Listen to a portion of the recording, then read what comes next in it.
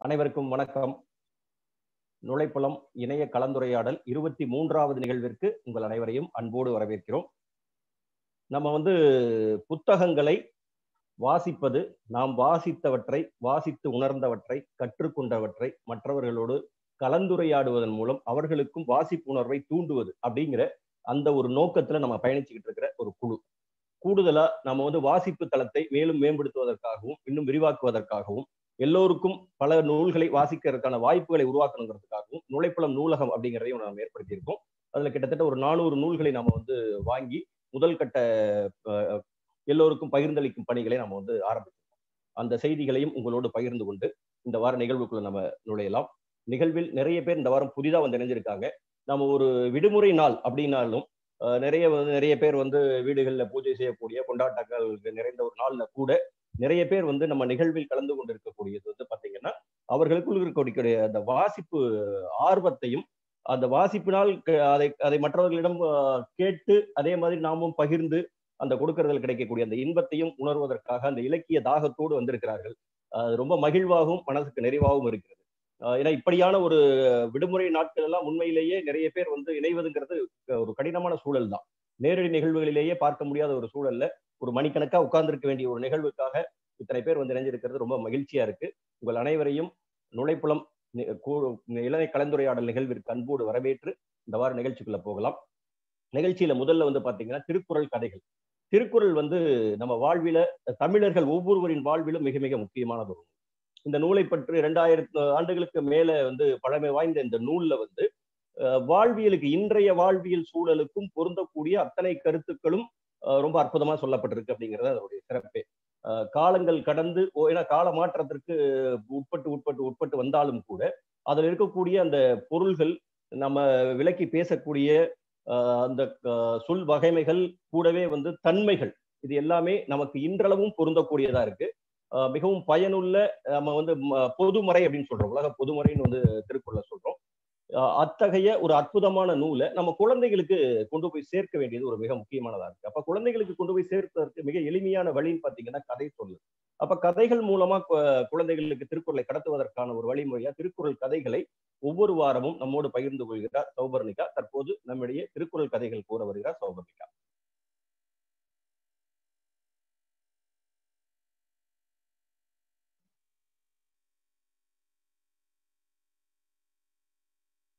தோபனிக்கா நீங்க இப்போ அன்மியூட் பண்ணிட்டு பேசலாம். அனைவருக்கும் வணக்கம். இன்று நான் திருக்குறள் கதைக்கு சொல்ல போகிறேன். அதிகாரம் நாற்பத்தி எட்டு இருந்து நான் இன்னைக்கு ஒரு ஒரு குரல் சொல்ல போகிறேன். வழி அறிதல் பக்கத்தில் நான் இன்னைக்கு ஒரு குரல் சொல்றேன். குரல் தீரிப்பை சாகாடும் அச்சீரும் அப்பண்டம் கால மிகுத்த பெயின் இதோட பொருள் நம்மளுக்கு இந்த குரல்ல இருந்து என்ன தெரியுதுன்னா மயில் இறகு எவ்வளவு லேசா இருந்தாலும் அது அளவுக்கு மீறி ஒரு வண்டியில ஏத்தும் போது அந்த வண்டியோட அச்சானையே கலண்டு விழுந்துரும். அப்படிங்கிறத இந்த திருக்குறள் வழியா சொல்றாங்க. அதே மாதிரி ஒருத்தருக்கு முடிஞ்ச வேலையை தரும் போது அவரால் செய்ய முடியும். அதே மாதிரி அவருக்கு முடியாத வேலையை தரும் போது அவரால் செய்ய முடியாதுன்னு தெரிய வருது. இதுக்கு ரிலேட்டடா இன்னைக்கு நான் ஒரு ஆஹ் கதை சொல்றேன். ஒரு ஊர்ல ஒரு அப்பா அம்மா இருந்தாங்களாம். அவங்களுக்கு ஒரே ஒரு பொண்ணு இருந்தாங்களாம். அவங்க பேரு லக்ஷ்மியா அவங்க அப்பா அவர் சின்ன வயசுல முடியாததெல்லாம் அவங்க பொண்ணு லக்ஷ்மிக்கே கொடுப்பாராம். ஐயோ அந்த பாப்பாவை நாலு மணிக்கே எழுப்பி விட்டு யோகா கிளாஸ் கொண்டு போய் விட்டு அதுக்கப்புறம் கராட்டே கிளாஸ் கொண்டு போய் விட்டு அதுக்கப்புறம் ரெகுலர் ரொட்டீன் ஸ்கூல் அதுக்கப்புறம் வந்துட்டு டியூஷன் அந்த மாதிரி எல்லாம் விட்டுட்டு ஒரு நாள் அவங்க அம்மா சொன்னாங்களா நம்ம பொண்ணுக்கு கொஞ்சம் கிளாஸ் கம்மி பண்ணலாமே. ஏன்னா அவ ரொம்ப சோர்வடைஞ்சிட்டாளே அப்படின்னோடனே அவங்க அப்பா இருந்துட்டு சொல்றாரு? இல்ல இல்ல உனக்கு எல்லாம் இது என்ன தெரிய போகுது? என் பொண்ணு எல்லாத்துலயும் ஃபர்ஸ்ட் வரணும். நான் நான் என்னால முடியாதெல்லாம் நான் இப்ப என் பொண்ணை வச்சு செய்யணும். அவளும் எல்லாத்துலயும் ஃபர்ஸ்டா இருக்கணும் அப்படிங்கிறாராம். அவங்க அம்மா சோகத்தோட திரும்பி போயிடுறாங்களாம். அப்புறம் கொஞ்ச நாள்ல அவங்க அந்த பொண்ணை எழுதிட்டு இருக்கும் போது அப்படியே எல்லாம் மயங்கி விழுந்துறாங்களாம் விழுந்த உடனே அவங்களை ஹாஸ்பிட்டல்ல சேர்க்கும் போது டாக்டர் இருந்து கேக்குறாராம் இந்த மாதிரி ஏழு வயசு பொண்ணு ஃபர்ஸ்ட் ஸ்டாண்டர்ட் படிக்கிற பொண்ணு இவ்வளோ சோர்வடைஞ்சு நான் பார்த்ததே இல்லையே. உங்க டெய்லி ரொட்டீன்ஸ் ரொட்டீன்ஸ சொல்ல சொல்லுங்க சொல்லுங்கன்னொடனே அவங்க அம்மா இருந்துட்டு சொன்னாங்களாம் எல்லாத்தையும் சொல்லும் போது அந்த டாக்டர் வந்துட்டு திட்டிட்டு சொன்னாராம் திருத்தி பாருங்க அந்த பொண்ணோட டெய்லி ரொட்டீன அப்படின்னோடனே அவங்க அப்பா இருந்துட்டு அந்த பொண்ணு கிட்ட போய் சொல்றாராம் நீங்க ஏதாவது உனக்கு பிடிச்ச ஒரு கிளாஸ் ஆஹ் எக்ஸ்ட்ரா கரிக்குலர்ல சேர்ந்துக்க. நான் உன்னை- எனக்காக நீ எந்த கிளாஸ்க்கு போவேனா அப்படின்னு சொல்லிட்டு சாரி கேக்குறாராம். இங்க இவ்வளவு நேரம் பேச வாய்ப்பு கொடுத்த அனைவருக்கும் நன்றி.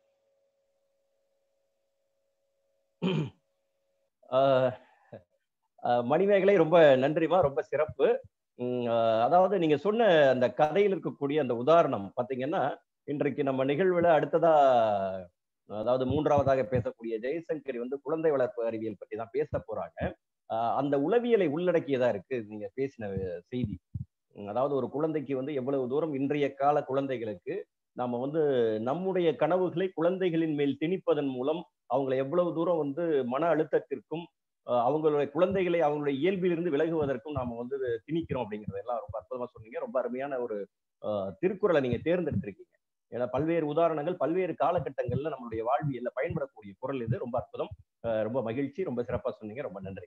அடுத்ததா நம்மிடையே தீக்ஷன் கதை சொல்ல வருகிறார். அவர் வந்து க- சுகாஷினியோட மகன். ஏற்கனவே ஒரு முறை நமது நிகழ்வில் பங்கேற்று ஒரு அற்புதமான கதைகள் வந்து நமக்கு நம்ம கூட பகிர்ந்துகிட்டவர். இப்போது சில கதைகள் பகிர்ந்து கொள்ள தீக்ஷன் நம்மிடையே வருகிறார்.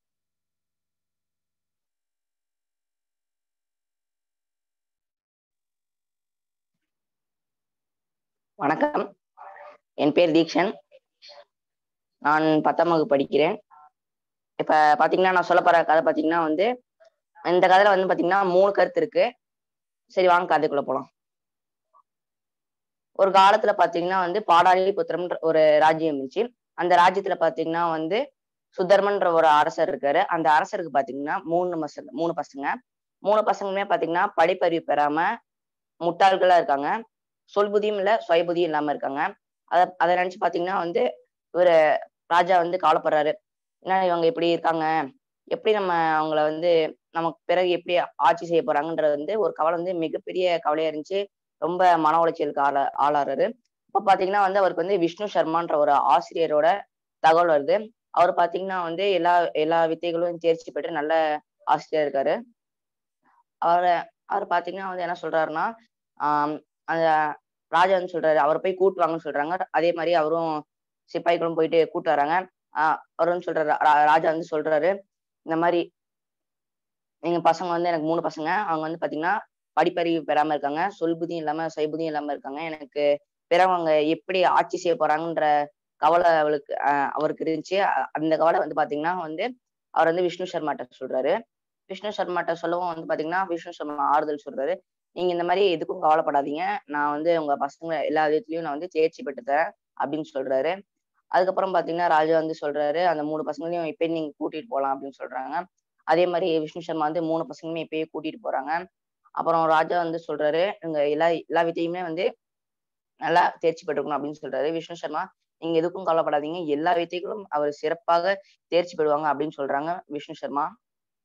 உடனே ராஜா வந்து பாத்தீங்கன்னா அந்த வார்த்தை ரொம்ப சந்தோஷமா இருந்துச்சு. அப்ப பாத்தீங்கன்னா இந்த காலத்து மாதிரி ஸ்கூல்லாம் இல்ல.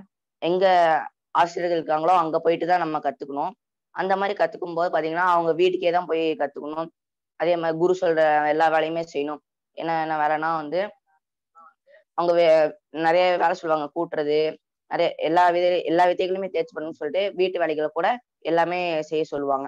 அப்படி செய்ய சொல்லும்போது பாத்தீங்கன்னா வந்து எல்லா வித்தைகளும் தேர்ச்சி பெறாங்க. குரு இருக்க இடத்துல தான் சமைச்சு சாப்பிடணும். ஒரு மகன் பாத்தீங்கன்னா அதுல சமைக்கிறதுல எல்லாமே நல்லா சமைச்சு நல்ல பேர்லாம் எடுக்கிறாரு. அப்புறம் பாத்தீங்கன்னா எல்லா வித்தைகளுமே மூணு பேருமே தேர்ச்சி பெறாங்க. அந்த மூணு பேருமே தேர்ச்சி பெறும்போது பாத்தீங்கன்னா அவர் சொல்றாரு நீங்க மூணு பேருமே எல்லா வித்தைகளையும் நல்லா தேர்ச்சி பெற்றிருக்கீங்க. நீங்க இந்த அளவுக்கு வருவீங்கன்னு நான் நினைச்சு கூட பார்க்கலன்னு சொல்றாரு விஷ்ணு சர்மா. அப்படி சொல்லும்போது பாத்தீங்கன்னா இந்த மூணு பசங்களுக்குமே வந்து பாத்தீங்கன்னா ரொம்ப சந்தோஷமா இருக்காங்க. அப்புறம் இன்னும் ஒரே ஒரு இது மட்டும்தான் இருக்கு. நீதி நீதி அசோக் நீதி சாஸ்திர நீதி சாஸ்திரம் அந்த ஒரு பாட்டு மட்டும்தான் இருக்கு. அந்த பாட்டுக்கு வந்து அவரு கதை சொல்றாரு. ஃபர்ஸ்ட் கதை என்னன்னு பாத்தீங்கன்னா வந்து ஒரு காட்டுல வந்து பாத்தீங்கன்னா புறாக்கள் வந்து கூட்டமா பறந்து போகுது. கூட்டமா பறந்து போகும்போது பாத்தீங்கன்னா ஒரு இடத்துல வந்து மூட்டை மூட்டையா தானியங்கள் கூச்சி வச்சிருக்காங்க. அந்த கூச்சி வச்ச தானியத்தை பார்த்து ஒரு புறா சொல்லுது அங்க ஒரு தானியம் நிறைய இருக்கு. அங்க போயிட்டு சாப்பிடலாம் அப்படின்னு சொல்றாங்க. அதுக்கு ஒரு மு ரொம்ப ஒரு வயசான புறா சொல்லுது. இல்ல அங்க போவானா இது வந்து ஒரு சதி வேடனோட ஒரு சதி அப்படின்னு சொல்லுது.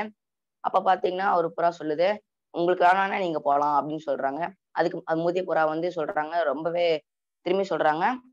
என்னன்னு பாத்தீங்கன்னா இது வந்து வேடன் ஒரு சதி நீங்க திரும்பி போகாதீங்க அப்படின்னு சொல்றாங்க. அப்ப பாத்தீங்கன்னா வந்து அந்த புறா சொல்லுது உங்களுக்கு வேணானா நீங்க திரும்பி போகலாம் அப்படின்னு சொல்லலாம் சொல்றாங்க சொல்லுது அந்த புறா.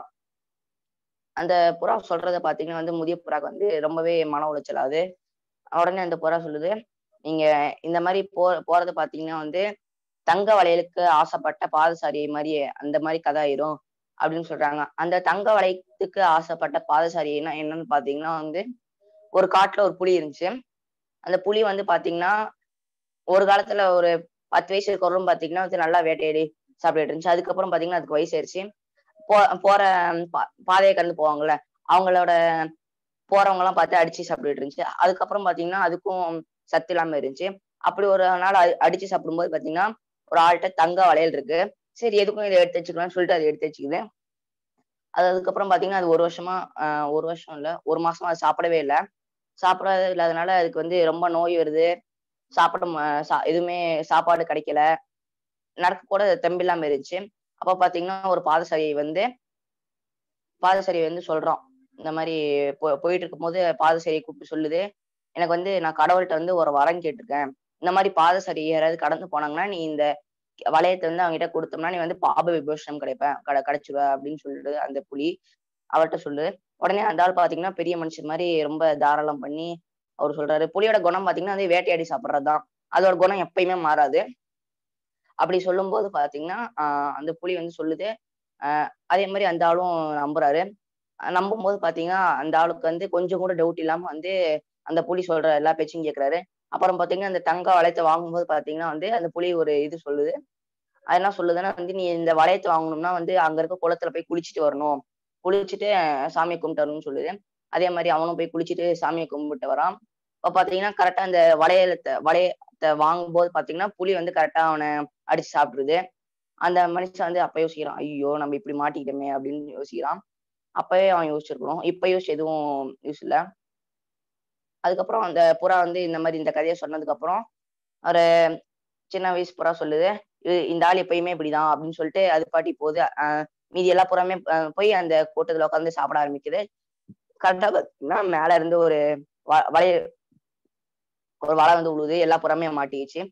அப்ப பாத்தீங்கன்னா முதிய புறா மட்டும் வெளியே இருக்கு. வெளியவே தான் பறந்துட்டு இருக்கு. அப்ப கீழே வந்து அது சொல்லுது நம்ம அப்பயே சொன்னோம் தானே இது வேடனுடைய ஒரு சதின்ட்டு. அப்படின்னு சொல்லவும் பாத்தீங்கன்னா அது வந்து ஆஹ் நம்பல. அதுக்கப்புறம் அப்ப நம்பல அந்த புறா. அப்ப இப்ப நான் இப்ப நம்பிச்சு அதுக்கப்புறம் அந்த முதிய புறா சொல்லிச்சு இப்ப கூட ஒண்ணும் கெட்டு போல. நான் சொல்ற மாதிரி செஞ்சோம்னா நீங்க எல்லாமே தப்பிச்சலாம் அப்படின்னு அந்த முதிய புறா சொல்லுது. உடனே எல்லா புறாவுமே வந்து சரி செய்யறோம் அப்படின்னு சொல்லிச்சு.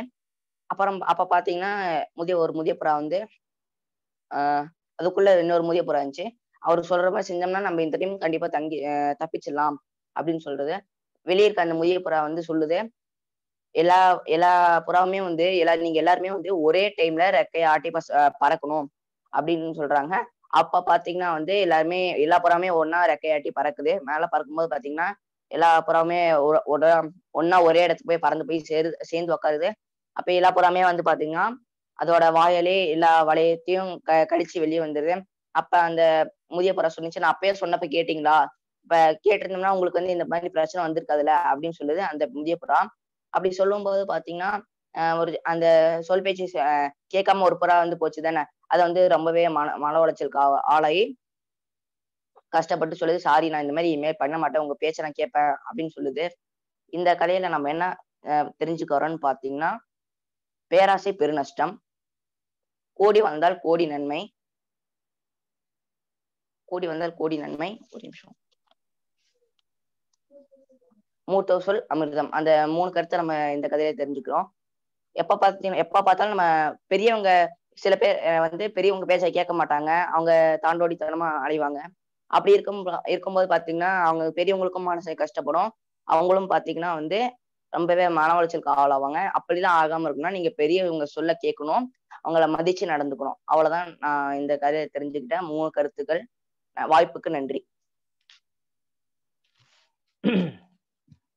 ரொம்ப அருமை தீக்ஷன்.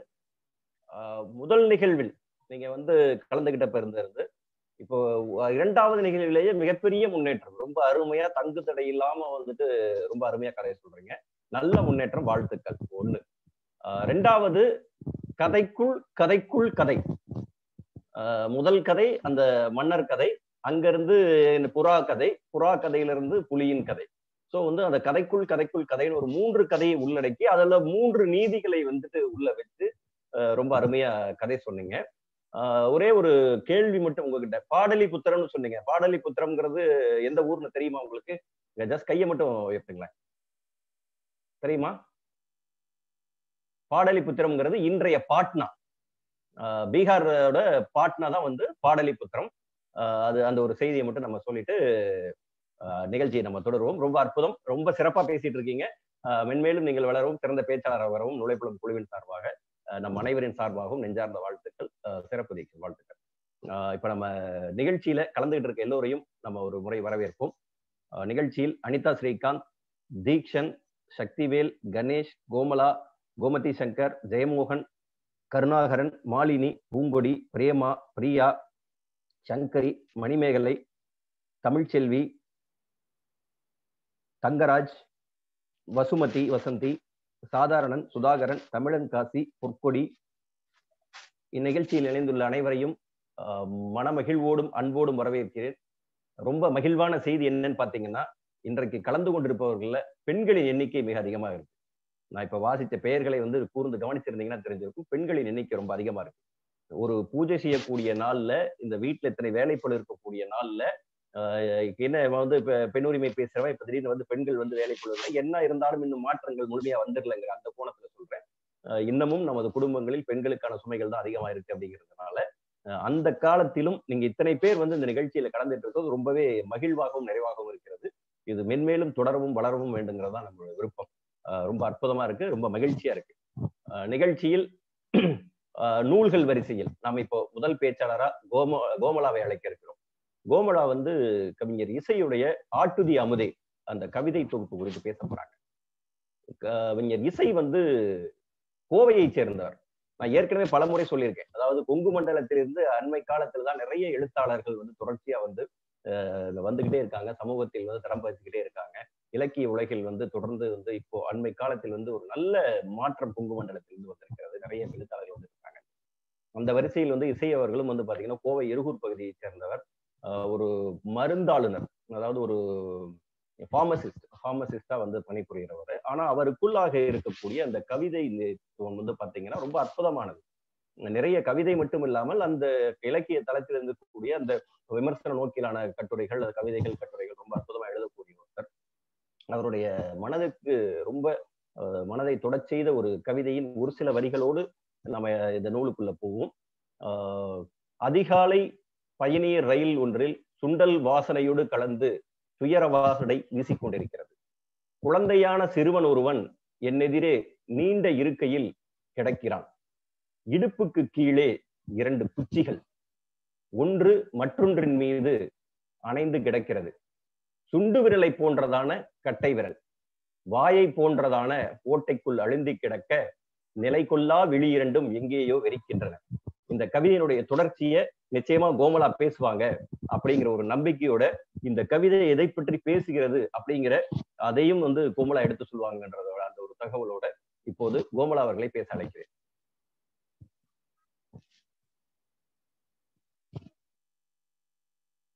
கோமலா நீங்க அன்மியூட் பண்ணிட்டு பேசலாம். கேக்குதா சார்? கேக்குதா? கேக்குது கோமலா பேசலாம். அனைவருக்கும் வணக்கம். இந்த நுழைபுலம் குழுவிற்கு ஒரு மிகப்பெரிய நன்றி. நான் வந்து இப்போதைக்கு எடுத்துக்கிட்டது வந்து இன்றைக்கு நான் உங்களோட பகிர்ந்து கொள்றது வந்து கவிஞர் இசையோட ஆட்டுதி அமுதே அப்படின்னு சொல்லக்கூடிய ஒரு கவிதை தொகுப்பு. எழுபது பக்கங்கள் அறுபதுக்கும் மேற்பட்ட கவிதைகள் இருக்கு. ரெண்டாயிரத்தி பதினாறுல முதல் பதிப்பா வெளிவந்திருக்கு. ரெண்டாயிரத்தி இப்ப மூன்றாவது பதிப்பா வந்திருக்கு. ஆஹ் தொண்ணூத்தி ஐந்து ரூபாயில காலச்சுவடு பதிப்பகத்துல இது கிடைக்குது. சார் சொன்ன மாதிரி கவிஞர் இசை கோவை மண்டலத்தை சார்ந்தவர் கோவை இருகூர் பகுதியை சார்ந்தவர். இவருடைய இயற்பெயர் வந்து சத்தியமூர்த்தி. மருந்தாளுநராக பொது சுகாதாரத்துறையில இருக்காரு. ரெண்டாயிரத்துக்கு பிறகு இவரோட க இவரோட கவிதை உலகில் இவர் வந்திருக்காரு. இது வந்து இவருடைய ஐந்தாவது தொகுப்பு. ஆட்டுதி அமுதே அப்படின்னு சொல்லக்கூடிய இது வந்து இந்த தலைப்பே வந்து அவர் கம்பனிடம் இருந்து கடன் வாங்கினேன் அப்படின்னு சொல்லி தான் போட்டிருக்காரு. கம்பன் இதுல கம்பராமாயணத்துல திரு அந்த கணையாளியை கொண்டு போய் அனுமான் வந்து சீதை கிட்ட கொடுக்கும் பொழுது அதை பார்த்த உடனே சீதா வந்து ஒரு நாலு லைன்ல ஒரு ப ஒரு பாடல் இருக்கு. அதுல கடைசியில வந்து இன்று போல் இருத்தி அப்படின்னு சொல்லி முடிக்கிறாங்க. இன்று போல் இருத்தி அப்படிங்கிறதுக்கு இன்று போல் என்றும் நீ ப- எல்லா பிரளயங்களிலும் எல்லாம் எல்லா நலனும் பெற்று வாழ்க அப்படிங்கிறது அர்த்தமா? அதை நம்ம என்னன்னா என்றும் இன்று போல் என்றும் வாழ்க அப்படின்னு நம்ம முடிச்சிருந்திருக்கலாம். ஆனா இன்று போல் இருத்தி அப்படின்னு சொல்லக்கூடிய அந்த வார்த்தை வந்து நெஞ்சிலிருந்து வா வா- மூன்று வார்த்தைகளாக இருந்தாலும் அப்படி மனசிலிருந்து அடியாளத்திலிருந்து வருவதாக அவர் உணர்ந்ததால கம்பனிலிருந்து பெறப்பட்ட அந்த அதோட மூலத்தை கண்டுபிடிச்சு அதே லயத்துல ஆட்டுதி அமுதே அப்படின்னு சொல்லி வச்சிருக்காரு. சார் நல்லு சார் சொன்ன அந்த கவிதை அஹ், காக வைக்கப்பட்ட தலைப்பும் இதுதான். அவரு அந்த க சொன்னார் இல்லையா? அந்த கவிதைக்கு இந்த தலைப்புல தான் இருக்கு. நான் வந்து பொதுவா நான் வந்து புதினங்களையும் சிறுகதைகளையுமே அதிகமாக வாசிப்பவள் இன்று வரைக்குமே வந்து கவிதை தொகுப்புன்னு நான் எதையுமே வாசிச்சதே கிடையாது. நிறைய புத்தகங்கள் புதினங்கள் என்கிட்ட நான் இருக்கு நான் வாசிச்சிருக்கேன். ஆனா கவிதை தொகுப்பு வாசிச்சது கிடையாது. முகநூல் வந்த பிறகு நிறைய பேர் எழுதுனதெல்லாம் பார்த்திருக்கேன் ரசிச்சிருக்கேன் லைக் பண்ணியிருக்கோம் கமெண்ட் பண்ணியிருக்கோம். ஆனா ஒரு அது அது சார்ந்த ஒரு புக்கை வாங்கி படிக்கணும்னு தோணவே இல்லை. ஆனா அந்த நுழைபுலம் குழுவுல வந்து கவிதைக்குன்னு ஒரு ஒரு இம்பார்ட்டன்ஸ் கொடுத்து அதுல பேச ஆரம்பிச்ச பின்னாடிதான் ஏன் நம்மளும் ஒரு கவிதை புக்கை வாங்கலாமே அப்படின்னு சொல்லி அதுக்கு பிறகுதான் இத்தனை ஐ- இத்தனை எத்தனையோ வருடங்கள் என்கிட்ட நான் வந்து புக்கு வாங்குறேன். ஆனா கவிதை புக்கு வாங்கினது இல்லை பிள்ளைங்கள்ட்ட ஏதாவது படிங்கடா அப்படின்னு சொல்லி சொன்னா சும்மா எல்லா ஒர்க்குமே முடிச்சாச்சு ஸ்கூல்ல சும்மா உட்காந்துருப்போம் ஏதாவது பொழுது போகல எல்லா ஒர்க்குமே முடிச்சிட்டோம். ஒரு ஒன்றரை பீரியடு ஒன்றரை டு ரெண்டு சாப்பிட்டுட்டு ரிலாக்ஸா இருக்கிற டயத்துல ஏதாவது வாசிங்கடா அப்படின்னு சொன்னா அவன் பாடப்புத்தகத்தை எடுத்து தான் வாசிப்பான். அதே அப்புறம் அடே பாடப்புத்தகம் வைங்கடா நம்ம கதை புக்கு வாசிக்கலாம் அப்படின்னு சொல்லிட்டு கதை புக்கு எடுத்து கொடுக்கறது. அது மாதிரிதான் கவிதைனாலே எனக்கு சினிமா பாடல்கள் தான் ஞாபகம் வரும்.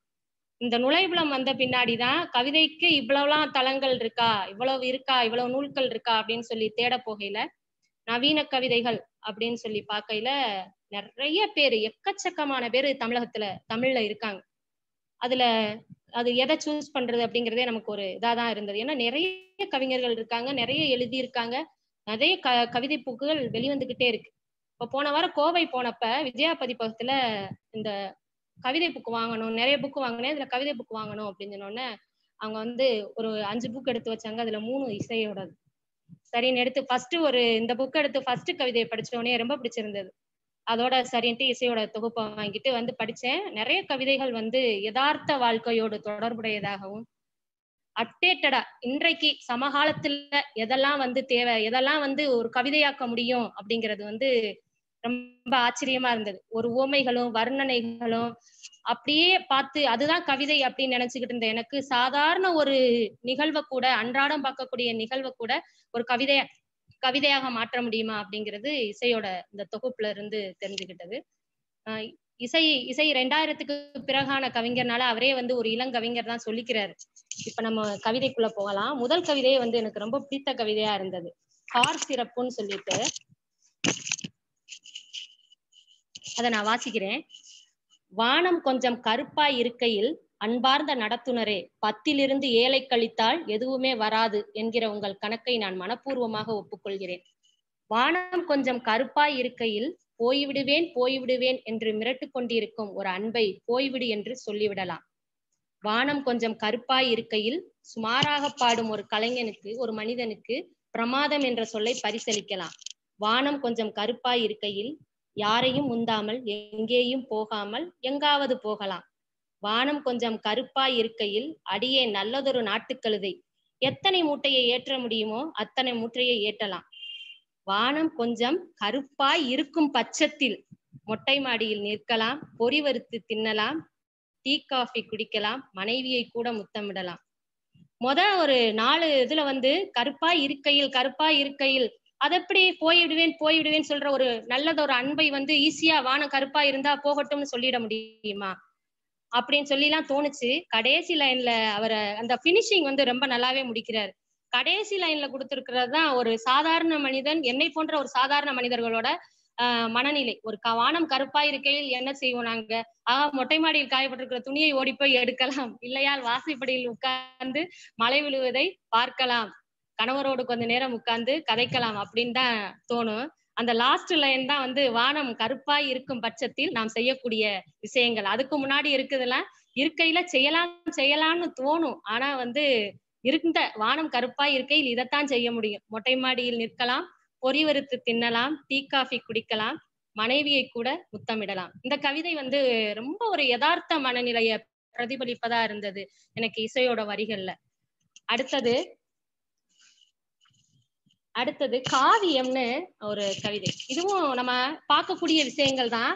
ஆனா இப்படி யோசிச்சிருப்போமா அப்படின்னு எனக்கு தோணுச்சு. கண்டிப்பா நிறைய பார்த்திருக்கேன். நான் பஸ்ல எல்லாம் நிறைய பார்த்திருக்கேன். நீங்களும் பார்த்திருப்பீங்க. இப்படி யோசிக்க முடியுமா? இப்படி இப்படி ஆசுவாசப்படுத்தி கொண்டவங்கள நம்மள வந்து இப்படி நினைச்சிருப்போமா அப்படின்னு தோணுச்சு. சூம்பி சூம்பிய சூம்பிய கால்களுடன் முறுக்கிய கைகளுடன் கோணித்தவாய் சிறுவன் ஒருவன் இந்த ரயில் பெட்டியின் நீண்ட இருக்கையில் கிடக்கிறான். அவன் தலை சீட்டில் உருள்கிறது. ஏனெனில் அதன் மடிக்கு கனத்து விட்டது. கனத்தவள் ஜன்னலோரத்தில் ஓரத்தின் ஓரத்தில் இடுங்கி போயிருக்கிறாள். அவள் வெளியே வெறுத்தபடி வந்தாள். கை வெளியே கைவிட்டு காற்றை துளாவினாள். வெளியே தலை நீட்டி அங்குமிங்கும் பார்த்தாள். பாதி உடலை கம்பிக்குள் செருகி இதோ பறந்து போகிறாள். ஆம் இதுதான். இது காவியம் தான். இதை பாக்குறவங்களுக்கு அத்தனை தூரம் அவ்வளவு அந்த கணத்தை தாங்கி கொண்டு மடியில் ஒடுங்கி போய் ஒரு ஓரத்துல அந்த இயலாத சிறுவனை மடியில் கணத்தை தாங்கி கொண்டு அந்த ஒரு நிமிடத்துல அந்த அரை நிமிடத்துல தன்னைத்தானே ஆசுவாசப்படுத்தி கொள்ளக்கூடிய தலைய வெளியே நீட்டி கைய ப ஒரு நிமிஷத்துல அந்த செய்யக்கூடிய அந்த செய்யை வந்து உண்மைக்குமே எனக்கு அது காவியமா தான் தெரிஞ்சது. நம்ம நிறைய பார்த்திருக்கோம். கொஞ்ச நேரத்துல அந்த ப- அந்த மாதிரி குழந்தைகளை மடியில பஸ்ல போட்டு வர்றவங்கள கொஞ்ச நேரத்துல அவங்க ரிலாக்ஸா இருக்கக்கூடிய சமயங்கள்ல பார்த்திருக்கோம். ஆனா இப்படி யோசிச்சிருப்போமாங்கிறது தெரியல. அப்புறம் அடுத்து வந்து பரோட்டா மாஸ்டரின் காணம் இதுவும் ரொம்ப பிடிச்சிருந்தது எனக்கு. இந்த கவிதை வந்து ரொம்ப பிடிச்சிருந்த கவிதையா இருந்தது.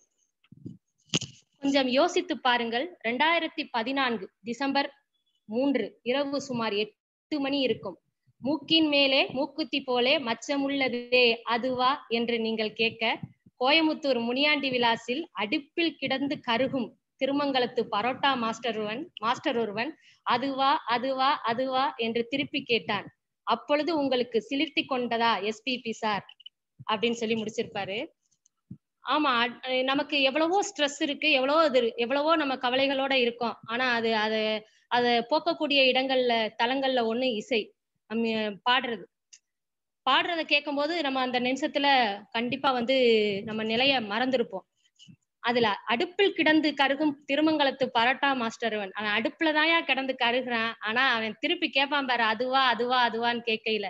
கேட்கையில உண்மைக்குமே வந்து கண்டிப்பா எஸ்பிபிக்கு வந்து சிலிர்த்து தான் போயிருந்திருக்கும். ஏன்னா அவனுடைய ஸ்ட்ரெஸ் பர்ஸ்டரா அந்த இடத்துல இருந்தது வந்து எஸ்பிபி கண்டிப்பா அந்த அதுக்குரிய சாட்சியா தான் நாம அவர் இறந்தப்ப எந்த ஒரு சினிமா பாடகருக்குமே கிடைக்காத நம்ம சமகாலத்துல சமகாலத்துல நம்ம டிஎம்எஸ் டிஎம்எஸ்ஆ இருக்கட்டும் அதுக்கப்புறம் அவர் இறந்ததுக்கு கூட இத்தகைய ஒரு இறுதி மரியாதை வந்து கிடைக்கல. இத்த இந்த பெருந்தொற்று காலத்திலையும் அந்த சென்னையில லைவ்ல பார்க்கும்போது அவ்வளோ ஒரு ரசிகனோட ர- ரசிகர்களோட அந்த அன்பு வந்து பிரதிபலிச்சிச்சு. கண்டிப்பா இது வந்து ரெண்டாயிரத்தி பதினாறுல எழுதியிருக்காரு. ஆனா வந்து இது ஒரு நி- ஒரு ஒரு என்ன சொல்றது ஒரு நிச்சயமான ஒரு கவிதையா வந்து அவர் தீர்மானிச்சு அவர் வந்து எழுதியிருக்காரு. அப்புறம் இன்னும் ஒரு கவிதை. அதுக்கு பக்கத்திலேயே பை இப்படி மழை வந்து விசிறுகிறது அப்படிங்கிற ஒரு கவிதை. பைத்தியத்திற்கு ஒரு வீடு இருந்தது. துரத்தி விட்டார்கள். சாத்தப்பட்ட கடைகளின் வாசற்படிகள் இருந்தன. விரட்டி விட்டார்கள். பைத்தியத்திற்கு ஒரு புளிய மரத்தின் கருணை இருந்தது. அதை வெட்டி விட்டார்கள். அதற்கு ஒரு இடிந்த பள்ளிக்கூடத்தின் இடியாத பகுதி இருந்தது. அதை முற்றாக இடித்து விட்டார்கள். பைத்தியத்திற்கு ஒரு பிள்ளையார் கோவில் மேடை இருந்தது. அவருக்கும் சதுர்த்தி வந்தது. பைத்தியத்திற்கு வெட்டவெளி இருந்தது. இப்படி மழை வந்து விசிறுகிறது. பெட்டிக்கடை பெட்டிக்கடைக்காரர்களிடம் கம்பும் டீக்கடைக்காரர்களிடம் வெந்நீரும் இருக்கின்றன. ஆனாலும் என்ன? பைத்தியத்திற்கு அதன் பைத்தியம் இருக்கிறது. ஆமா அந்த பைத்தியத்தோட அது எங்க வேணாலும் வந்து இருந்துக்கும். எங்க விரட்டி விட்டாலும் வீடு இருந்தது. வீட்டை விட்டு கூட விரட்டி விட்டுட்டாங்க. இப்ப வந்து அது வந்து தெருவுல நின்றாலும் அதோட அந்த துணையோட துணையா இருக்கிற அந்த பைத்தியத்தோட அது எங்க வேணாலும் இருந்துக்கும் அப்படின்னு இந்த கவிதையில முடிச்சிருக்காரு. இதே மாதிரி இன்னொரு கவி இன்னொரு தொகுப்புல இதுவும் நல்லா இருந்தது. ஆஹ் பைத்தியத்திற்கு டீன்னு சொல்லிட்டு ஒரு பைத்தியம் கேரி பைக்கில் டீ வாங்கி கொண்டு போவதை பார்த்தேன். பைத்தியத்திற்கு இன்னும் டீ குடிக்க வேண்டியிருக்கிறது. இந்த இருபத்தி நான்காம் தேதி இரவை நான் பைத்தியத்தின் டீ என்பேன். தெய்வமே இந்த டீ சூடு ஆறாதிருக்கட்டும் சுவை குன்றாதிருக்கட்டும் பருக பருக பல்கி பெருக பல்கி பெருகட்டும். ஒரு சமுதாய சீர்கேட்டை வந்து ஒரு நையாண்டித்தனமாகவும் பகடியாகவும் பகடியாவும் பகடி அதிக பகடி தான். அதிக பகடின்னு நம்ம சொல்லிட முடியாது. ஆனா அந்த பகடிக்குள்ள கண்டிப்பா ஒரு சமுதாயத்தை சீர்திருத்தக்கூடிய ஒரு விஷயங்கள் வந்து இவரோட கவிதைகள்ல வந்து இருக்கு. இத்தனை இந்த இந்த கவிதைகள் ரெண்டும் அதுக்கு நம்ம சொல்லலாம். அப்புறம் இன்னொன்னு சிக்கன பிடித்தல் அப்படின்னு சொல்லிட்டு ஒரு கவிதை. அதுவும் நல்லா இருந்தது. நம்ம வந்து இது வந்து ஒரு இதோட குறியீட்டுல நம்ம வந்து நம்பிக்கை நம்பிக்கை தான் இதுல மறைகுறியீடா இருக்கு அப்படிங்கிறது நான் நினைச்சுக்கிட்டு நான் எடுத்துக்கிட்டேன் ஒரு வாசகனா ஒரு வாசகியா அது எனக்கு அப்படி தோணுது. பிர- பிரச்சனை சிக்கன பற்றுதலில் தான் இருக்கிறது. ஆமா சிக்கன பற்றுதலில் பற்றுதலில் தான் பிரச்சனையே இருக்கு. நல்ல வேளையாக வாத ஊரானுக்கு உடைந்த மதியும் ஊரும் பாம்பும் கிடைத்து விட்டன. அவன் அதை பற்றி கொண்டு கதிமோச்சம் கண்டான். கச்சவில் பின் வழியே வீட்டுலகம் அடைந்தவர்களை அவன் அங்கு சந்தித்தான். சிக்கன பற்றப்படும் எதுவும் யாரையும் கைவிட்டு விடுவதில்லை. எவ்வளவு முயன்றும் எப்படி புரண்டும் எதையும் பற்றி கொள்ள இயலாதவர்கள் கடைசியாக தாம்பு கயிறு வாங்கி வர வேகமாக கிளம்புகிறார்கள். ஆக துயரம் என்னவெனில் அவர்களில் பலருக்கு அதுவும் கீழே விழுந்து உடைந்து விடுகிறது. அந்த சிக்கன பற்றுதல் அப்படிங்கிறது வந்து ஆஹ் ஒரு பாசிட்டிவ் தாட்ஸ் நம்பிக்கை அது அது சார்ந்து இருக்கும் அப்படின்னு. அப்புறம் இந்த கவிதை வந்து ரொம்ப பகடியான கவிதை. ஆனா வந்து ஒரு சமுதாய சீர்கேட்ட வந்து நல்லா நையாண்டி பண்றக்கூடிய ஒரு கவிதை தான் அப்படிதான் இருக்கு. நம்மளோட கற்பனை எல்லாம் அப்படிதான் இருக்கு. அது சார்ந்துதான் இருக்கு அப்படி. உண்மைக்குமே ஒரு சாதாரண விஷயங்கள்ல கூட நம்ம இது இப்படிதான் யோசிக்கிறோம். சினிமாவில் வருவதை போன்றே நெஞ்சை பிடித்து கொண்டு கீழே சரிந்தேன். சினிமாவில் வருவதை போன்றே வாயிலிருந்து ரத்தம் கொட்டியது. இனி எனக்கு அழகாக ஒரு தாடி முளைக்குமா? சேசுதாசை போல் நான் கம் கமகம வி- விடுவேனா? சினிமாவில் வருவதைப் போன்றே நான் ஒரு அகல் விளக்காக காற்று வந்து என்னை அணைக்க பார்க்குமா? சினிமாவில் வருவதைப் போன்றே மரணத்தின் மரத்தடியில் எனக்கு ஞானம் பிறந்து விடுமா? சினிமாவில் வருவதைப் போன்றே என் மனைவி கடைசியாக தன் பொட்டு தாலியையும் அடகு வைப்பாளா? சினிமாவில் வருவதைப் போன்றே ஒரே ஒரு முறை பார்த்துக் கொள்கிறேன் என்று கேட்டு என்னுடைய ஏழு காதலிகளில் எந்த காதலி வந்து என் வாசலில் நிற்பாள்? அப்படின்னு. ஆஹ் இதே மாதிரி இன்னொரு பகடியான ஒரு ஒரு கவிதை வந்து அதுவும் நல்லா இருந்தது. இன்னொரு தொகுப்புல ஆஹ் டாக்டர் வந்து சொல்றாங்க ரிசல்ட் சொல்றாங்க. பயாப்சி டெஸ்டுக்கான முடிவுகள் வந்து விட்டன. மருத்துவர் மூக்கு கண்ணாடியை கலற்றி விட்டு கருணையின் கண்களை காட்டினார். தோலை தட்டி தந்து தைரியமாக இருக்க சொன்னார். நான் காதியில் ஒரு நீல கலர் சால்வை வாங்கி போர்த்தி கொண்டேன். ஆமா ஒரு ஒரு- ஒரு உங்களுக்கு அப்படி முடியாம வந்துட்டு அப்படின்னு சொன்னா சினிமாவில் அடுத்து என்ன காமிப்பாங்க? ஒரு ரொம்ப சோகமயமா ஒரு இதுவும் ஒரு ஒரு சாலை வாங்கி போட்டுக்கிட்டு அந்த மாதிரி தானே காட்டுவாங்க. அத ஒரு நல்ல ஒரு ஒரு பகடியா இவர் வந்து அதை சொல்லியிருக்காரு. அதுக்கப்புறம் நிறைய கவிதைகள் வந்து நல்லா இருக்கு. இந்த பூரண மகிழ்ச்சி அப்படின்னு சொல்லக்கூடிய இந்த கவிதை வந்து ஒரு நல்ல கவிதை. என்னை என்னை கேட்டா கட்ட கடைசியில் நான் உறுதி பூண்டு விட்டேன். வாழ்வில் மகிழ்ச்சி மட்டும்தான் என்று. கிடார் வாசிக்க கிடார் அவசியமில்லை என்பதை அறிந்து கொண்டேன். புகைக்க நெருப்பு கட்டாயம் இல்லை நாபிக்கமலத்தை நுனிநாக்கால் வருடுவதற்கு நாபிக்கமலமோ நுனிநாக்கோ தேவையில்லை என்பதை உணர்ந்து கொண்டேன். மலையுச்சியில் நிலவொளியில் கிடக்க மலையேற வேண்டியதில்லை. புனலாட வேண்டும் என்று தோன்றிவிட்டால் உடனே ஆடைகளை கலைந்து விட வேண்டியதுதான். கடல் நீர் ஆவியாகி பிறகு மேகமாகி எப்போது அது மாறியாகி எப்போது நமது ஆறுகளில் புதுவெள்ளம் பெருக்கெடுக்க நான் உறுதி பூண்டு விட்டேன். இனி மகிழ்ச்சி மகிழ்ச்சி பூரண மகிழ்ச்சி. எல்லாம் சரியாயிரும். எல்லாம் வந்து இதுல இருக்கக்கூடிய குறியீடா நம்ம செஞ்ச பிரச்சனைகள் எல்லாம் மோஞ்ச பின்னாடி நான் வந்து சரியாயிக்கிறேன் நான் வந்து மகிழ்ச்சியா இருப்பேன் அப்படின்லாம் நினைச்சா முடியவே முடியாது. நம்மளா நம்ம மனசுக்குள்ள ஒரு ஆஹ் இனிமே நான் சந்தோ எந்த பிரச்சனையிலையும் எது இல்லைனாலும் நான் சந்தோஷமா இருப்பேன் அப்படிங்கிற ஒரு நிலைப்பாடோட இருக்கணும் அப்படிங்கிற மாதிரி சொன்னதா இருந்துச்சு. அப்புறம் இந்த இதுவும் அவரும் நானும் அப்படிங்கிற இது நம்ம சக மனிதர்களுக்குள்ளேயே இந்த நிகழ்வுகளை நம்ம பார்க்கலாம். குறை கண்டுபிடிக்கிறது ஓட்ட சொல்றது அது அதை நல்ல ஒரு பகடியா நல்லா சொல்லியிருக்காரு. இந்தாருங்கள் ஒரு உன்னதம் என்று என்னிடம் அவர் நீட்டிக்காட்ட நான் அதை நுணுகி பார்த்து யுரேகா யுரேகா என்று வெற்றி கழிப்பில் கூச்சலிட்டேன். அங்கே பாருங்கள் ஒரு உன்னதம் என்று அவர் எனக்கு சுட்டிக்காட்ட நான் அதை கூர்ந்து நோக்கி யுரேகா யுரேகா என்று மகிழ்ச்சியில் கெக்களித்தேன். வேறெங்கும் போக வேண்டாம் உங்கள் பக்கத்தில் பாருங்கள் ஒரு அதி உன்னதம் என்றவர் முகன் முகன் சிவந்து சீறி வர யுரேகா யுரேகா என்று நான் பொறுமையாய் முணுமுணுத்தேன். ஐயா உவட்டை இல்லாததென்று வையத்தில் ஒன்றுமில்லை. சரிதான் விடுங்கள் என்றார். உன்னதங்களை கட்டிக்கொண்டு அவர் அழுவதென்றும் ஓட்டைகளை கட்டிக்கொண்டு நான் அழுவதென்றும் சமரசம் கண்டது சர்ச்சை. இப்படி குறை கண்டுபிடிச்சுக்கிட்டே நம்ம இருக்கோம்ல. ஒருத்தர் யாராவது ஒண்ணு சொல்லையில திருப்பி குறை கண்டுபிடிக்கிறது திருப்பி அவர் சொல்றதுல நம்ம குறை கண்டுபிடிக்கிறது அப்படியே வந்து சொல்லிக்கிட்டு இருக்கிறத ஒரு நல்ல ஒரு பகடியா இதுல கொண்டு போயிருப்பாரு. நிறைய கவிதைகள் நல்லா இருக்கு.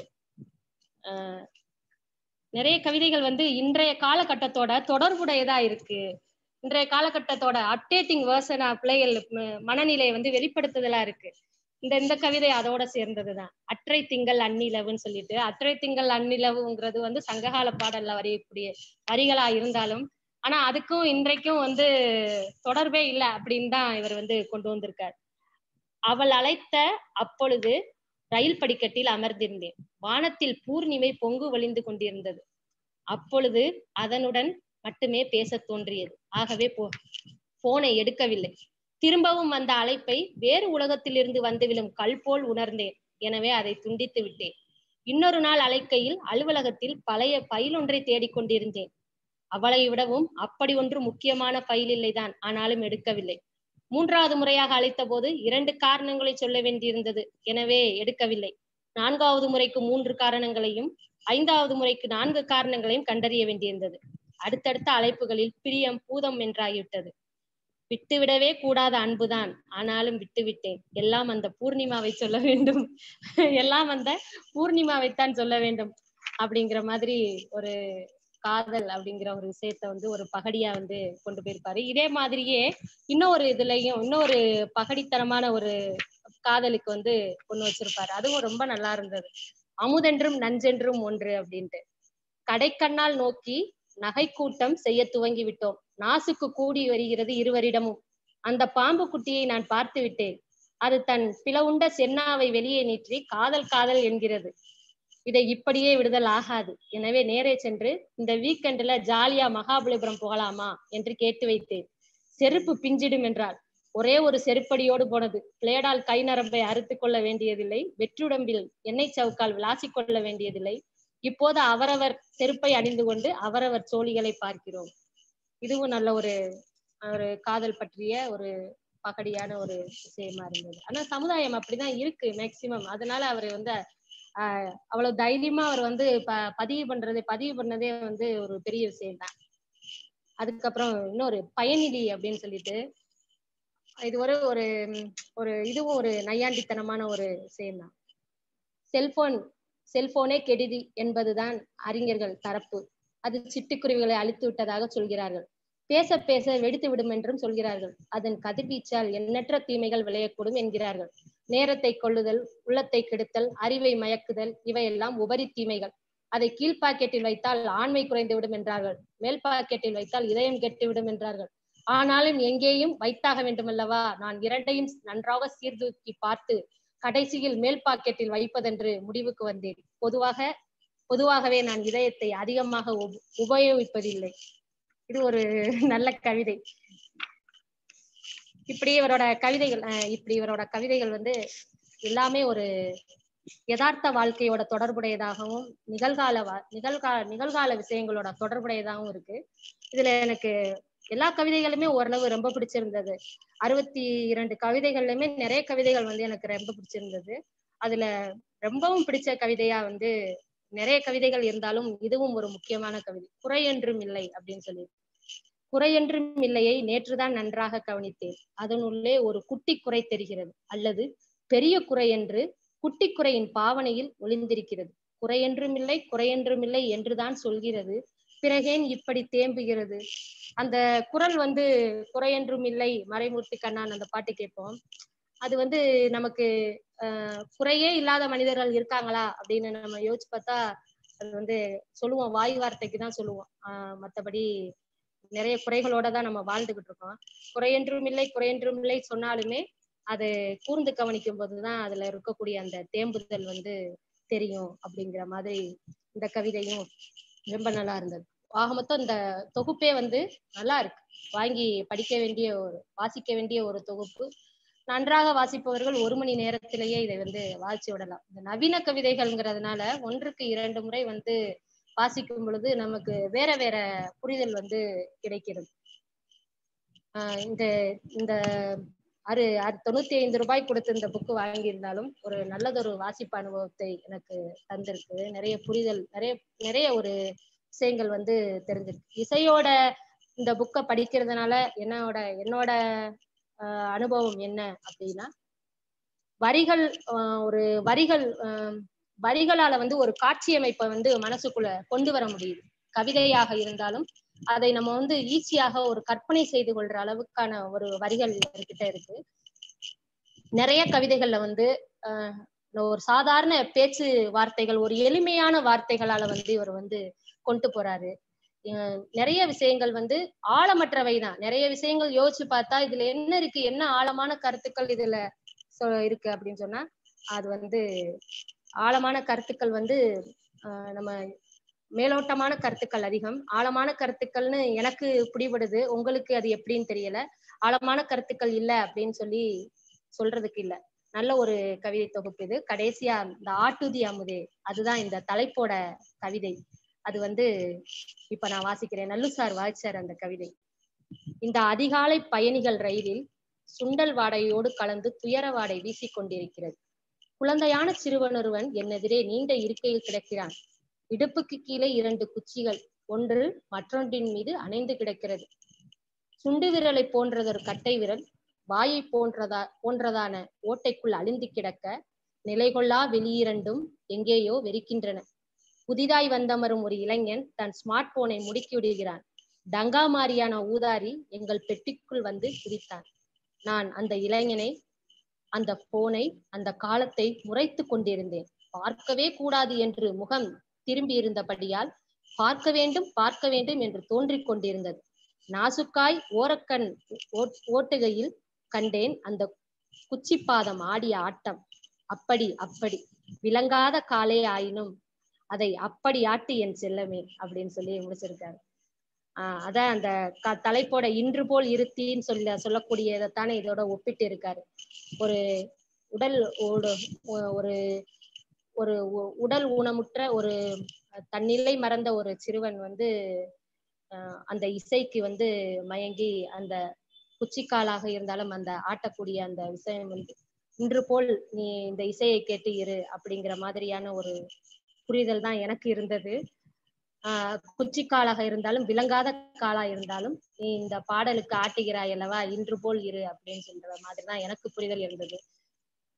இந்த கவிதை புத்தகம் முழுதும் நல்ல யதார்த்த வரிகளோடு அன்றாட பிரச்சனைகளை சார்ந்து நிகழ்காலத்தை ஒட்டி நிறைய அவலங்களை சமுதாய அவலங்களையும் சரி எல்லாத்தையுமே பதிவு செஞ்சிருக்கார். மிகவும் நன்றான ஒரு வாசிப்பனுவோம் எனக்கு. இதை கேட்ட அனைவருக்கும் என்னுடைய நன்றிகள். வணக்கம்.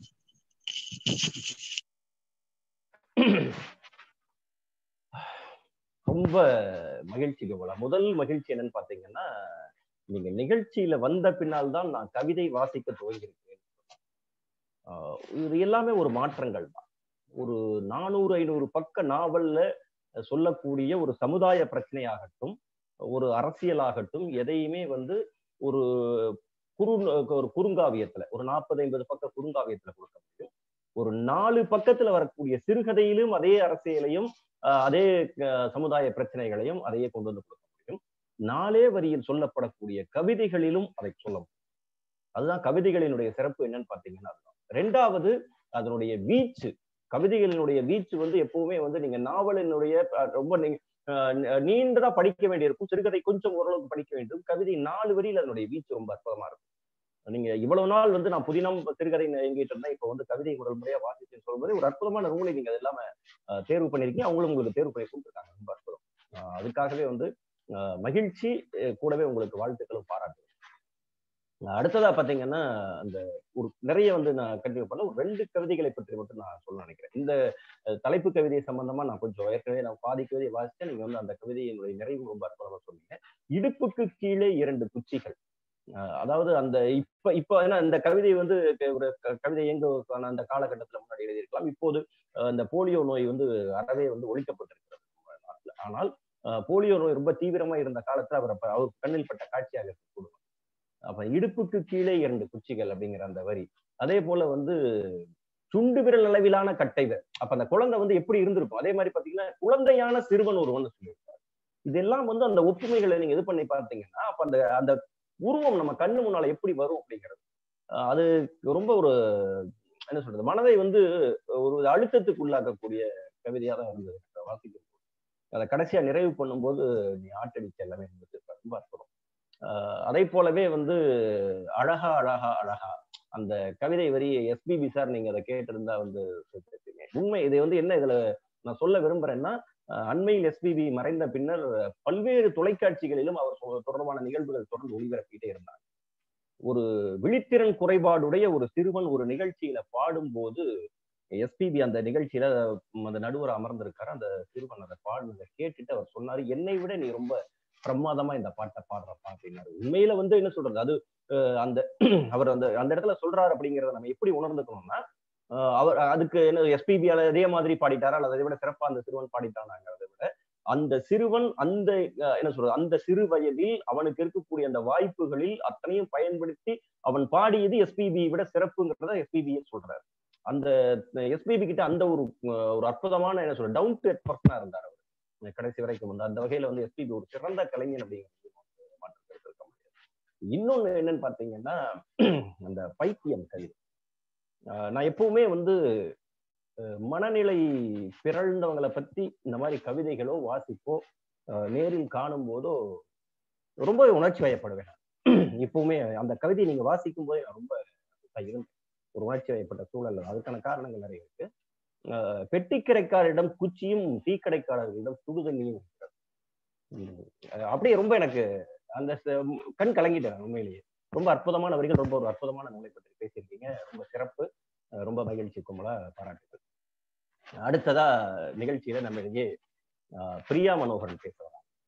இப்ப பிரியா மனோகர் எடுத்திருக்கிற தலைப்பு சமகால சர்ச்சைக்கு உள்ளா உள்ளாகி இருக்கின்ற ஒரு தலைப்பு. அது தலைப்பு சர்ச்சைக்கு உள்ளாகி இருக்குன்னு சொல்ல முடியாது. ஆனால் அதை பற்றி பே- பேச துவங்கினாலே அது ஒரு பெரிய சர்ச்சையில போய் முடியிற ஒரு நிலவு இப்போது அது ஏன் எதனாலன்னு தெரியும் ஏன் அப்படின்னு பாத்தீங்கன்னா அதற்கான காரணமும் நமது உளவியல் சார்ந்ததா இருக்கு. நாம் காலம் காலமாக அப்படி படிப்பிக்கப்பட்டிருக்கிறோம். நாம் அப்படியே ஒரு கற்பிதங்களுக்குள்ளே வாழ்விக்கப்பட்டிருக்கிறோம். என்னன்னே தெரியாம அதாவது நம்மை சுற்றி என்ன இருக்கு இது நமக்கு க- சொல்லப்பட்டதெல்லாம் உண்மைதானா அப்படிங்கிறது எந்த விதமான ஒரு ஆய்வு மனப்பான்மைக்கும் இல்லாம நமக்கு கொடுக்கப்பட்டிருக்கக்கூடிய அந்த சிந்தனை திறனை ஆறாம் அறிவை பகுத்தறிவை நாம வந்து பயன்படுத்தவே மறுக்கின்ற ஒரு கூட்டமும் நம்மோட தான் பயணிக்கும். அந்த வகையில வந்து பாத்தீங்கன்னா நீங்க இதுல ஒரு இந்து மதம் அப்படின்னு சொன்னாவே உடனடியா அதை பற்றி நீங்க பேசணும் நீங்க ஆரம்பிச்சீங்கன்னாவே எங்களுடைய மனம் புண்ணாகிறதுன்றாங்க அதுல இருக்கக்கூடிய நீங்க எது ஒன்றும் நீங்க வந்து உங்க சமையல்ல வந்து வீட்டுல நீங்க சமைக்கிறீங்க அந்த சமையல் உப்பு போடாம சமைச்சிட்டீங்கன்னா அந்த சமையலை வந்து வாயிலே வைக்க முடியல நம்ம சொல்லாம இருக்கவே முடியாது. ஒரு காரம் அதிகமாயிடுச்சுன்னா என்ன இவ்வளவு காரமா இருக்குன்னு நம்ம கண் கலங்காம இருக்கவே முடியாது. அதுல வந்துட்டு வேப்பலை அரைச்சி ஊத்தி ஒரு சமையலை பண்ணி வச்சா அதை வாயிலவே வைக்க முடியாதுங்கிறது எல்லாருக்கும் தெரிஞ்சதுதான் ஆனால் அப்படி நம்மிடம் சமைத்து இது எல்லாமே ஒரு கலவையா நம்ம கிட்ட சமைச்சு கொடுக்கப்பட்டதை இதுதான் மிகுந்த சுவையுள்ளதாக இருக்கிறது நம்மளே சொல்ல வைக்கப்பட்டது அப்படி ஒரு சமுதாயத்தில் அப்படி ஒரு இடத்துல நம்ம வாழ்ந்துகிட்டு பெரியார் அப்படின்னு சொன்னாவே வந்துட்டு ரொம்ப பேருக்கு ரொம்ப பெரிய என்ன சொல்றது? அவ்வளவுதான். அந்த பெரியார்ன்ற சொல்லை கேட்டுட்டாலே போதும். அவங்க உடனடியே கொதிச்சிருவாங்க. அப்படி ஒரு அஹ், ஒரு பக்கம் அது ஒரு பக்கம். அம்பேத்கர்னு சொன்னாவே ஒரு பக்கம் ஒரு முக சுழிப்பு இதெல்லாம் வந்து ஒரு ஒரு காலம் காலமாக நம்ம நமக்குள்ள நம்மை சுற்றி கட்டமைக்கப்பட்ட பிம்பங்கள் அந்த பிம்பங்கள் அது அந்த பிம்பங்களின் நிழல்கள் சொல்லலாம். அந்த பிம்பங்களின் நிழலில் சா- நாம உட்காந்துக்கிட்டு அது என்ன பண்றோம்? அதை பார்க்கிறோம். அப்படி வந்து ஒரு பார்வை நம்மிடமே இருக்கிறது. அதனால அதை பற்றி பேசணும்னா அது ஒரு பெரிய தளம் நிறைய பேச வேண்டியது தற்போது இந்து மதமும் பெரியாரும் அம்பேத்கரும் என்ற நூல் குறித்து நம்மிடையே பேச பிரியா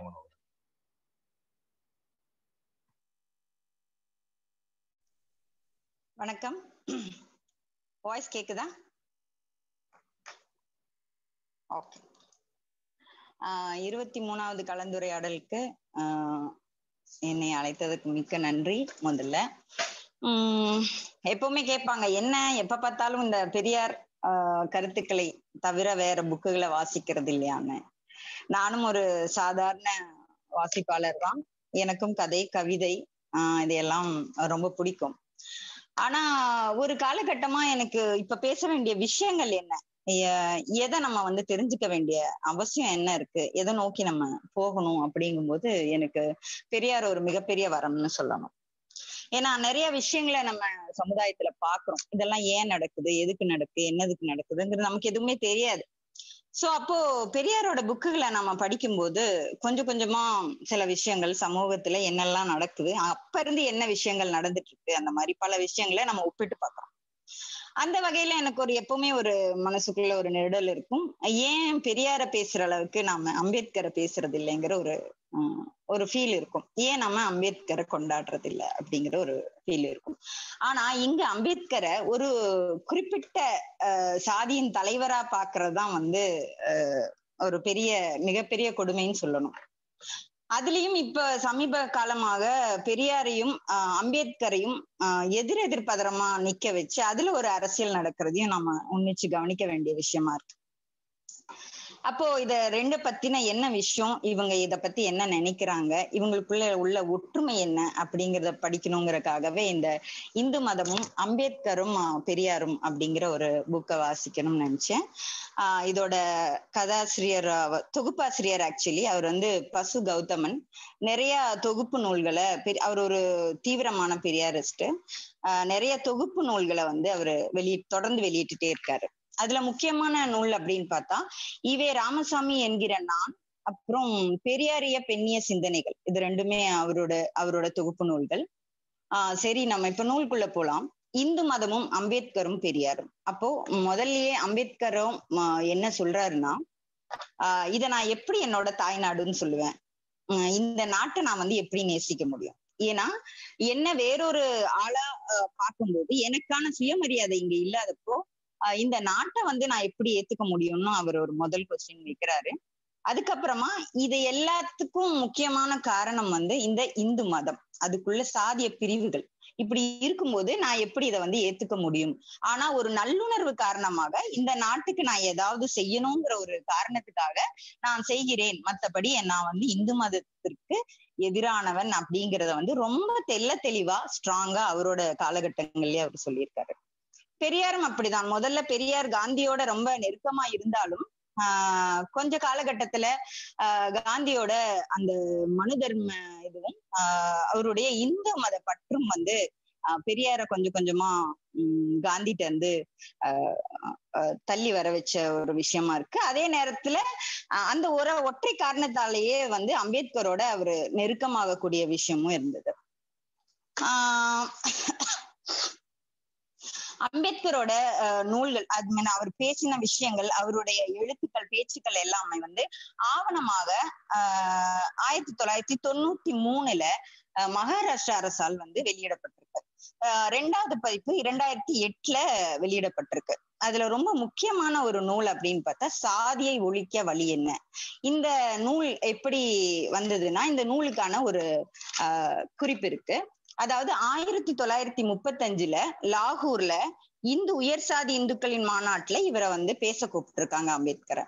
அப்போ அவர் அதை தலைமையை தாங்கறதுக்காக அவரை கூப்பிட்டிருக்கும் போது ஆஹ் அவர் வந்து இந்த மாதிரி ஒரு அமைப்புல எப்படி என்ன வந்து கூப்பிட்டீங்க அப்படிங்கிறது அவருக்கு ஒரு பெரிய ஆச்சரியமா இருக்கு.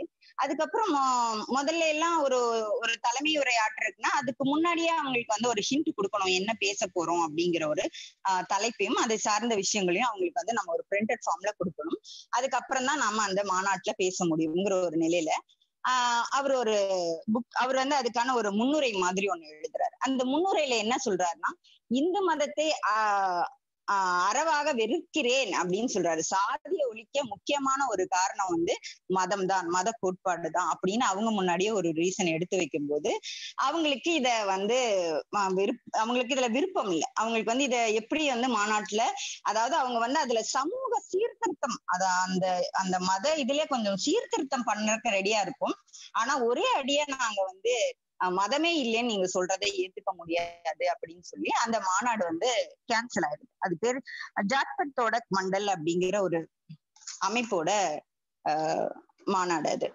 அப்புறம் அதுல அவர் என்ன சொல்றாருன்னா இந்த சாதியை ஒழிக்க வழி கிட்டத்தட்ட அதுல வந்து ஒரு ஐம்பது பாயிண்ட்ஸ் அவர் வைக்கிறாரு. அந்த ஐம்பது பாயிண்ட்ஸும் வந்து ஒரு புக்காவே வெளியிட்டு இருக்காங்க ஆஹ் அந்த புக்குன்னு தான் சாதியை ஒழிக்க வழி என்ன அப்படின்னு கேக்குறாரு. அப்ப அதுல நிறைய விஷயங்கள் சொல்ல வர்றாரு ஆஹ் ஃபர்ஸ்ட் ஆஃப் ஆல் இவங்க வந்து என்ன சொல்றாங்கன்னா இப்பவும் நம்ம பார்க்கக்கூடிய ஒரு விஷயம் என்னன்னா இடஒதுக்கீடு. இடஒதுக்கீடு வந்து வேண்டவே வேண்டாம். அதாவது ஒரு திறமையின் அடிப்படையில நாம அஹ் தேர்வு செய்யலாம் அப்படின்னு சொல்றாங்க. அப்ப இவர் என்ன கேக்குறாருன்னா இத்தனை காலம் பின்தங்கிய மக்களுக்கும் முன்னேறிய மக்களுக்கும் நம்ம வந்து ஒரு தேர்வு போட்டி வச்சா எப்படி அவங்கனால வந்து அட்டன் பண்ண முடியும்? எப்படி அதை எப்படி அவங்க வந்து அதை அணுகுவாங்க? அது எப்படி அவங்களுக்கான அந்த நாலேஜ் கல்வி அறிவு பொருளாதார விஷயம் இத்தனை விஷயங்கள் இருக்கும்போது இதை தாண்டி எப்படி வந்து அவங்களால அதுல போட்டியிட முடியும் அப்படிங்கிற ஒரு விஷயத்த வைக்கிறாரு.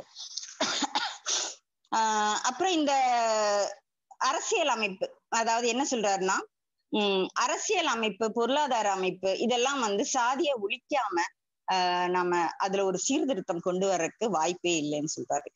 ஆஹ் சாதி ஒழிப்பு இந்த மத ஒழிப்பு இல்லாம நீங்க வந்து வெறும் பொருளாதாரத்தை அடிப்படையில வச்சுட்டு நீங்க அதுல ஒரு சீர்திருத்தம் கொண்டு வர முடியும் அப்படின்னா அது எப்படி பாசிபிலிட்டின்னு கேக்குறாரு. அதாவது தனக்கு தன்னை வந்து ஒரு ஒரு சூத்திரர்கள் அப்படின்னு சொல்லப்படக்கூடிய ஒதுக்கப்பட்ட மக்களை நீங்க மதிக்கவே மாட்டேங்கிறீங்க. அப்ப எப்படி போராடுறதுக்கு அவங்களை எல்லாம் இணைக்க முடியும் அப்படிங்கிற ஒரு கேள்வியும் அதுல வைக்கிறாரு. அப்ப ஒரு சமூக அமைப்பை சீர்திருத்தாமல் பொருளாதார சீர்திருத்தம் நடக்கிறதுக்கு வாய்ப்பே இல்லைன்னு சொல்றாரு. அடுத்து ஒரு சமூக புரட்சி உண்டாகாமல் பொருளாதார வளர்ச்சி எப்படி ஏற்படும் அப்படின்னு இப்படி பல அடுக்கான கேள்விகள் வந்து அதுல முன்வைக்கிறாரு. ரொம்ப முக்கியம். நாம நேத்து கூட பார்த்தோம். மனுநீதியை வந்து எரிக்கணும் அப்படிங்கிறத வந்து முதல்ல அம்பேத்கர் வந்து ஆயிரத்தி தொள்ளாயிரத்தி முப்பத்தி ரெண்டுலயே ராமாயணத்தை கையில எடுத்தாரு. ராமாயணம் வந்து ராமாயணத்தை வந்து அவரு கொளுத்துறாரு. அதாவது அந்த டைமே வந்து இந்த இந்த மாதிரியான இதெல்லாம் ராமாயணத்துல எல்லாம் ஒண்ணுமே இல்ல. இதெல்லாம் வந்து ஒரு பைத்தியக்காரத்தனமான ஒரு நூல். அதே அதே மாதிரி அவர் இதையும் சொல்றாரு. இதையும் அதே மாதிரி சொல்றாரு அவரு. உம் அடுத்ததா நம்ம சொல்லணும்னா ஆஹ்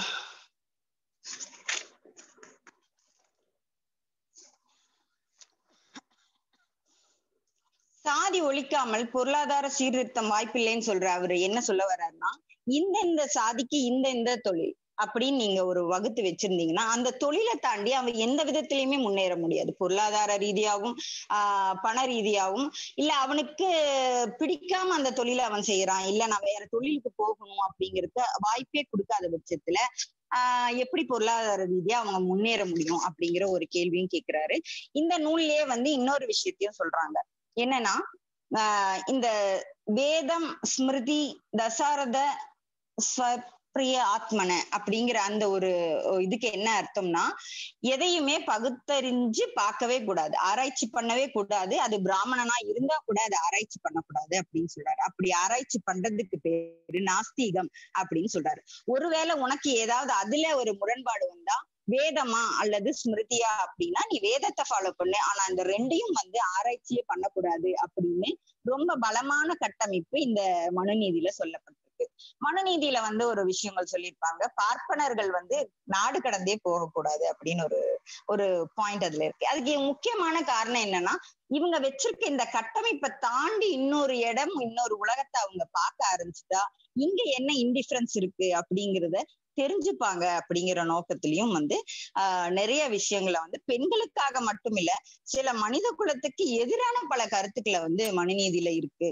அந்த மனுநீதியை ஃபாலோ பண்ற ஆஹ் இந்த இந்து மக்கள் கிட்ட எப்படி நியாயங்களை எதிர்பார்க்க முடியும்னு கேக்குறாரு. அடுத்ததா பெரியார் வந்து ஆயிரத்தி தொள்ளாயிரத்தி நாற்பத்தி ஆறுல நாற்பத்தி சாரி ஆயிரத்தி தொள்ளாயிரத்தி நாற்பத்தி ஏழுல சென்னை திராவிட கழக திறப்பு விழால பேசுறாரு. அதுல பேசும்போது என்ன கேக்குறாருன்னா நீங்க வந்து ஆதிரி திராவிடரா இருக்கீங்க. ஆஹ் அப்படி இருக்கும்போது உங்களுக்கு என்ன பிரச்சனை? ஏன் உங்களால வந்து முன்னேற முடியலன்னு யோசிக்கிறீங்களா? உங்களுக்கு மேல இருக்கக்கூடிய அரசாங்கமும் ஆஹ் உங்களை அதே நிலையில அதாவது பாட்டாளி வர்க்கமாவே வச்சிருக்கக்கூடிய காரணம் என்ன அப்படின்னு சொல்றாரு. இதுக்கு ஒரு எக்ஸாம்பிளும் அவரு சொல்றாரு. என்ன சொல்றாருன்னா ஒருத்தனுக்கு மலேரியா காய்ச்சல் அப்படின்னா அதுக்கான வழிமுறை என்னன்னு ஒரு டாக்டருக்கு தெரியும். அந்த மாதிரி ஒரு அரசாங்கத்துக்கு அதை எப்படி குணப்படுத்தணும்னு தெரியும். ஆனா அரசாங்கமும் அங்க இது வந்து குணப்படுத்த கூடாது அப்படிங்கிற ஒரு மனநிலையில இருக்கிறனால இந்த பிரிவுகளை வந்து இந்த பிரிவுகளை ஆதரிக்கிறனாலையும் ஆஹ் பொய்யா ஏதாவது இது இப்ப கொடுத்துட்டு இது சரியாயிடும் இது இப்ப கொடுத்துட்டு சரியாயிடும் அது மாதிரிதான் இப்ப இருக்கிற காலகட்டம் வரைக்குமே உண்மையா அதுக்கான ஒரு சொல்யூஷன் என்னன்னு எந்த கட்சிகளும் எந்த அரசாங்கமும் ஆஹ் எடுக்காம இருக்காங்கங்கிறத சொல்றாரு. அதே மாதிரி அது எந்த ஒரு மதத்தையும் நீங்க தாண்டி போகணும். இல்ல இந்த மதத்துக்கு நான் வந்து சப்போர்ட் பண்றேன். நீங்க அந்த மதத்துக்கு மாறுங்கன்னு அந்த மக்களை சொல்லல. மாறாக அந்த மக்களை சிந்திக்க தூண்டுறாரு. கேள்வி கேட்கிறாரு நீங்க எத்தனை காலத்துக்கு இப்படியே இருக்க முடியும்? அப்ப இதை யோசிங்க அப்படின்னு சொல்றாரு. உம் ரெண்டாவது இந்த இந்து மதம் மனுநீதி இந்த ரெண்டையும் ஒண்ணுக்கு ஒண்ணு மாத்தவே முடியாது. அதாவது ஒன்னோட ஒண்ணு தொன்று தொட்டதுதான். அதுல இருந்து நான் வந்து அத முற்றிலுமாக அதாவது இவங்க சில சிலரோட மனநிலை எப்படி இருக்குன்னா சாதி வேண்டாம் ஆனா மதம் வேணும் அப்படிங்கிறாங்க. அப்போ சாதி ஒழியாம ஒரு மதம் ஆஹ் மட்டும் தாங்கி பிடிச்சால் இதோட இதோட பேசிக்கான விஷயங்கள் தான் மதத்திலயும் இருக்கு. அப்ப நீங்க எந்த ஒரு மாற்றத்தை கொண்டு வர முடியும் அப்படின்னு கேக்குறாங்க. அடுத்து அதுலயும் இவர் வந்து இந்த மாநாட்டை பத்தி சொல்றாரு. இந்த மாநாட்டுல அம்பேத்கர் என்னெல்லாம் சொல்லியிருக்காரு? என்ன விஷயங்களை எல்லாம் அதை சொல்லியிருக்காருங்கிறத வந்து இன்னொரு இன்னொரு உரையில சொல்றாரு. ஆயிரத்தி தொள்ளாயிரத்தி ஐம்பத்தி ஆறுல ஆஹ் வேலூர் மாநகராட்சி மன்றத்துல பேசுறாரு சொற்பொழிவுல பேசுறாரு. அப்ப அந்த சொற்பொழிவுல இவர் ஆயிரத்தி தொள்ளாயிரத்தி நாற்பத்தி ஏழுல பேசும்போது என்ன சொல்றாருன்னா அம்பேத்கர் வந்து இந்த மதத்தை விட்டு வேறு மதத்தை தழுவ முடிவெடுத்திருக்காரு அப்படிங்கிற விஷயங்களை ஆயிரத்தி தொள்ளாயிரத்தி நாற்பத்தி ஏழு பேசும்போது ஆஹ் அம்பேத்கரை பத்தி சொல்றாரு அவரு. அப்ப அம்பேத்கர் வந்து ஆஹ் திடீர்னு ஆஹ் முஸ்லிம் மதத்தை தழுவல் தழுவலாம் அப்படிங்கிற ஒரு எண்ணத்துக்கு போறாரு. அப்ப உடனடியாக இவர் இங்க இருந்து கடிதம் எழுதுறாரு ஆஹ் அதுலயும் உங்களுக்கு வந்து நிறைய பிரச்சனைகள் இருக்கும். அஞ்சு நேரம் தொழணும். அந்த மாதிரி அவங்களுக்கும் சில ஆஹ் இது இருக்கு விதிமுறைகள் இருக்கு. நீங்க அதனால வந்து அதை பரிசீலனை பண்ணுங்க அப்படின்னு சொல்லிட்டு ஒரு கடிதம் எழுதுறதா அதுல குறிப்பிட்டிருக்காரு இந்த உரையில.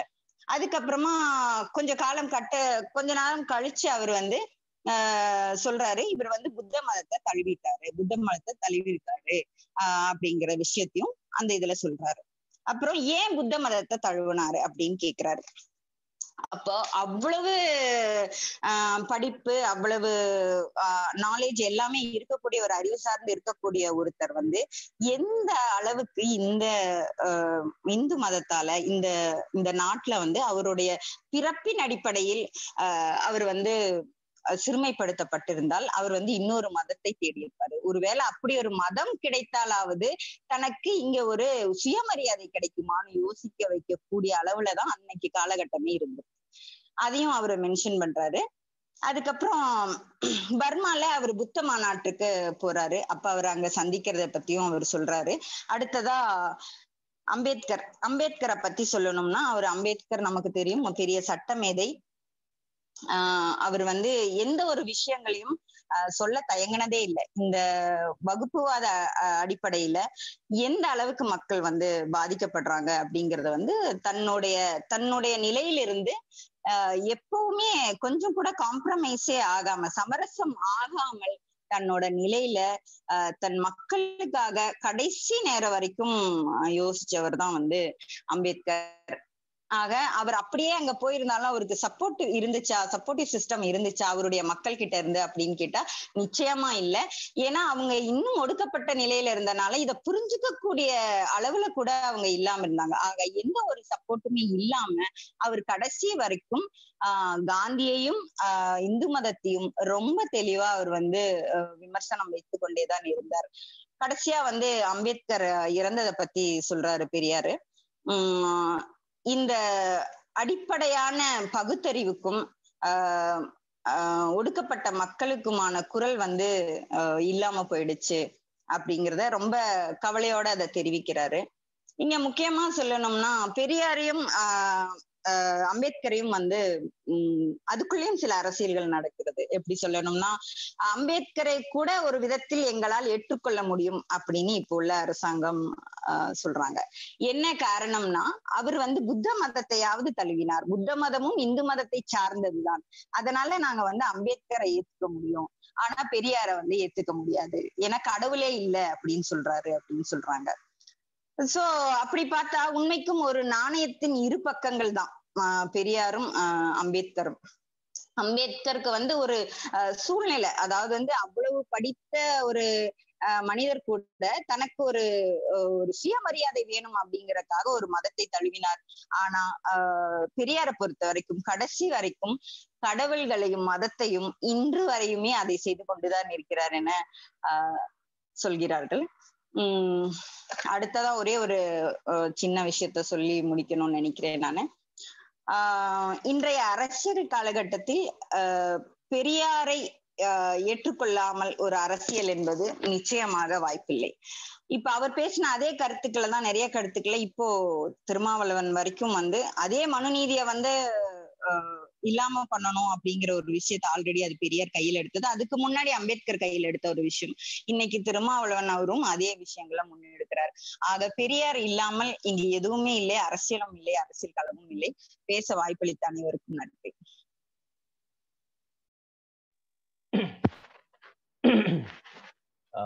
அண்மை கால சமூக பிரச்சனையை கிட்டத்தட்ட ஒரு தொண்ணூறு ஆண்டுகளுக்கு முன்பான நிகழ்வோடு சேர்த்து கொண்டு வந்து அங்கிருந்து கொண்டு வந்து பெரியாரும் அம்பேத்கரும். அதாவது இந்தியாவில் வந்து விடுதலை போராட்டம் ரொம்ப தீவிரமா நடைபெற்று கொண்டிருந்த காலத்தில் அது அந்த காலத்துல வந்து உருவாகி வந்த தலைவர்கள் பெரியார். காந்தி நேதாஜி அப்படி ஒரு டீம் அவங்க வந்து அவங்களும் வந்து விடுதலை போராட்ட இவங்க வந்து பாத்தீங்கன்னா இவங்களும் விடுதலை போராட்ட வீரர்களா அறியப்படுறாங்க. ஆனாலும் ஒரு செய்தியை நம்ம நல்லா கவனிக்கணும். காந்தியும் நேதாஜியும் இன்றைக்கு பெரும்பாலான மக்கள் வந்து மறந்துட்டாங்க. காந்தியை காந்தி ஜெயந்தி மட்டும் ரூபா நோட்ல மட்டுமே நம்ம வந்துட்டு காந்திஜி கொண்டாடப்படுகிறார். ரூபா நோட்ல காந்தி படம்லாம் காந்தியே மதிக்க மாட்டோம் அந்த நிலைமைக்கு வந்துட்டோம். ஆனால் பெரியாரும் அம்பேத்கரும் இன்றளவும் ஒரு என்ன சொல்றது மக்களிடம் ஒரு மிகப்பெரிய தாக்கத்தை உண்டாக்கிட்டே இருக்காங்க. தொடர்ச்சியா காரணம் என்னன்னா அவங்க வந்து வெளிநாட்டிலிருந்து வந்து வந்த ஆங்கிலேயனை வந்து அனுப்பிட்டு இங்க இருக்கிறவங்க எல்லாம் சேர்ந்து இருக்கணும். அப்படி இங்க இருக்கிறவங்க வந்து ஆட்சி கைக்கு வரணும் தான் நினைத்தாங்க அது மட்டும்தான் அவங்களுடைய நோக்கமா இருந்தது. ஆனால் பெரியார் அம்பேத்கரனுடைய நோக்கம் அதுவாக இல்லை. இந்த மக்கள் இங்கே இந்த மண்ணிலே பிறந்து இங்கேயே வளர்ந்த மக்கள் இங்க இருக்கிறவங்களே ஒரு சாரார் கிட்ட அடிமையா இருக்காங்க. பன்னெடுங்காலமா ஆங்கிலேயர் வருகைக்கு முன்பாக முகலாயர் வருகைக்கு முன்பாக காலங்காலமா. கிட்டத்தட்ட ஆயிரக்கணக்கான ஆண்டுகளா பல்லாயிரம் கிட்ட ஒரு மூவாயிரம் நாலாயிரம் ஆண்டுகளா வந்து இங்கேயே இருக்கக்கூடிய மக்கள்கிட்டயே வந்து இவங்க அடிமைப்பட்டு கிடக்குறாங்க. இங்க இருக்கக்கூடிய ஒரு சாராராலேயே இவங்க வந்து ஒடுக்கப்படுகிறார்கள். இவர்கள் விளக்கப்படுகிறார்கள். நீயும் நானும் ஒண்ணு இப்பவும் மன்னிக்கும் இப்பவும் வந்து அரசாங்க பதிவேடுகளில் நீயும் நானும் இந்துன்னு சொல்லும். ஆனா நீயும் நானும் ஒரே மாதிரி நடக்க முடியாது. ஒரே மாதிரி என்ன சொல்றது நடவடிக்கைகள் ஈடுபட முடியாது. ஒரே அதுதான் சொல்றேன். ஒரே அந்த குடும்பத்துல வந்து குடும்ப உறவு முறைகளையே நீங்க ஏற்படுத்திக்க முடியாது சூழல் அப்புறம் எப்படி நீயும் நானும் ஒரே மதமாக இருக்க முடியும்? ஆனா அரசாங்கம் சொல்லுது. இதை வந்து எங்க இருந்து கொண்டு வரணும்? ரொம்ப தெளிவா வந்து சில தரவுகள் இருக்கு. இந்து மதம்ங்கிற சொல் வந்து வரலாற்றில் கிடையவே கிடையாது. ஆங்கிலேயர் வருகையின் போது ஆங்கிலேயர் அங்கிருந்து வந்து ஒரு ஆபீசர் அனுப்புறாங்க. இவங்க எல்லாம் அதாவது கிறிஸ்தவ மதத்தை தழுவனவங்க ஒரு மக்கள் இருக்காங்க. இஸ்லாமியத்தை தழுவன ஒரு மக்கள் இருக்காங்க. மற்ற மக்களை இங்க இருக்கிறவங்க எப்படி வந்து ஒருங்கிணைக்கிறது? பிரித்தாளும் சூழ்ச்சி. ஒருங்கிணைக்கிறதுனா வந்துட்டு ஒருங்கிணைக்கிறது கிடையாது. அவங்களை எல்லாம் ஒன்றாக்குவதல்ல. நோக்கம். பிரித்தாளும் சூழ்ச்சி. இந்து அவனை பிரிச்சிடலாம். கிறிஸ்தவனை தனியா பிரிச்சிடலாம். இஸ்லாமியனை தனியா பிரிச்சிடலாம். மீதி இருக்கிறவன என்ன பண்றது? இவனை எப்படி வந்து எல்லாம் வந்து பாத்தீங்கன்னா ஆயிரக்கணக்கான சாமியை கும்பிட்டு இருக்கிறான் லட்சக்கணக்கான முறைகளை கையாளுறான். அவங்ககிட்ட இவங்ககிட்ட வேற மாதிரி இருக்கு அவங்ககிட்ட வேற மாதிரி இருக்கு வேற வேற மொழி பேசுறாங்க. இதெல்லாம் இருக்கு. அப்படி இருக்கும்போது இவங்களை எல்லாம் வந்து கொண்டு வந்து என்ன பண்ணலாம்னு யோசிச்சுட்டுதான் ஒரு ஆளை கொண்டு வராங்க. அவர் ரொம்ப யோசிச்சு பாக்குறாரு. அவங்க வந்து வந்து தேர்ந்தெடுத்ததும் வந்து என்ன பண்றாரு? அவர் வந்து சமஸ்கிருதம் கத்துக்கிறதுக்காக வர்றாரு கூடவே. அவர் வந்து பல மொழிகளை கற்றுக்கொண்ட ஒருத்தர். அவர் வந்து சமஸ்கிருதம் சேர்த்து கத்துக்கிறாரு. இங்க இருக்கிறவங்க சமஸ்கிருதம் எல்லாம் கத்துக் கொடுக்குறாங்க. அப்படி கத்துக் கொடுக்கும் போதுதான் வந்து பகவத்கீதையெல்லாம் கத்துக் கொடுக்குறாங்க. இவங்க வந்து இதையெல்லாம் பிடிச்சிக்கிட்டு அவர் அதுல இருந்து வந்து எல்லாத்தையும் வந்து இவங்க எப்படி அதாவது வரலாறு எப்படின்னா இவங்க வந்து கைபர் போலன் கலவை வழியா வந்த வரலாறை எல்லாம் அவர் கேட்கிறாரு. அதை வச்சுதான் வந்து இவர் அந்த இந்துங்கிற சொல்ல வந்துட்டு ஒரு கைப்பற்றி இந்துக்கள் இவங்க எல்லாரும் இந்துக்கள் முடிவு பண்ணி அவர் எழுதுறாரு. வெள்ளக்காரர் இதை நான் சொல்லவில்லை. இதை வந்து இந்து மதத்தை பெரும் நிறைய இந்து மதத்தினர் வந்து எல்லாரும் ஏத்துக்கிட்டாங்கன்னு சொல்ல முடியாது. இந்து மதத்தின் ஒரு பகுதியினர் வந்து தங்களுடைய மத குருவாக சொல்லக்கூடிய சங்கராச்சாரியார் சொல்றாரு. வெள்ளக்கார வந்து நம்மளை எல்லாம் இந்துன்னு சொன்னானோ இல்லையோ நாம எல்லாம் புழைச்சோம் அப்படின்னு அவர் சொல்லியிருக்காரு. தெய்வத்தின் பொருள் நூல்ல நான் சொல்றேன். அவர் சொல்றாரு. அவர் வெள்ளக்காரன் வந்து இந்துன்னு பேர் வைக்கலாம் நம்ம எல்லாம் மாட்டோம்டாங்கிறாரு. இது ஒரு பக்கம். அடுத்ததா இவங்க இந்துக்கள் சரி இந்துக்கள் எல்லாருக்கும் வந்து இவங்களுக்கு குரான் இருக்கு அவங்களுக்கு பைபிள் இருக்கு. அப்ப இந்துக்களுக்கு என்ன புரிந்துணர்வுன்றப்ப அதையும் வந்து ஒரு சாரார் அவங்களே வந்துட்டு கொடுக்குறாங்க. இந்தவங்க இதை வந்து பகவத்கீதை வச்சு இங்க தென் தமிழ்நாட்டுல இருந்தவனுக்கும் இங்க இருந்த என்ன சொல்றது கிட்டத்தட்ட வந்து ஒரு ரெண்டாயிரம் மைல்களுக்கு பின்னாடி கிடந்தவனுக்கும் அவனுக்கு- பகவத்கீதைக்கு அவனுக்கு என்ன சம்பந்தம்? சம்பந்தமே இல்லை. ஆனால் அவனுடைய தலையில் உன்னுடைய புனித நூல் பகவத்கீதையில் கட்டப்பட்டது.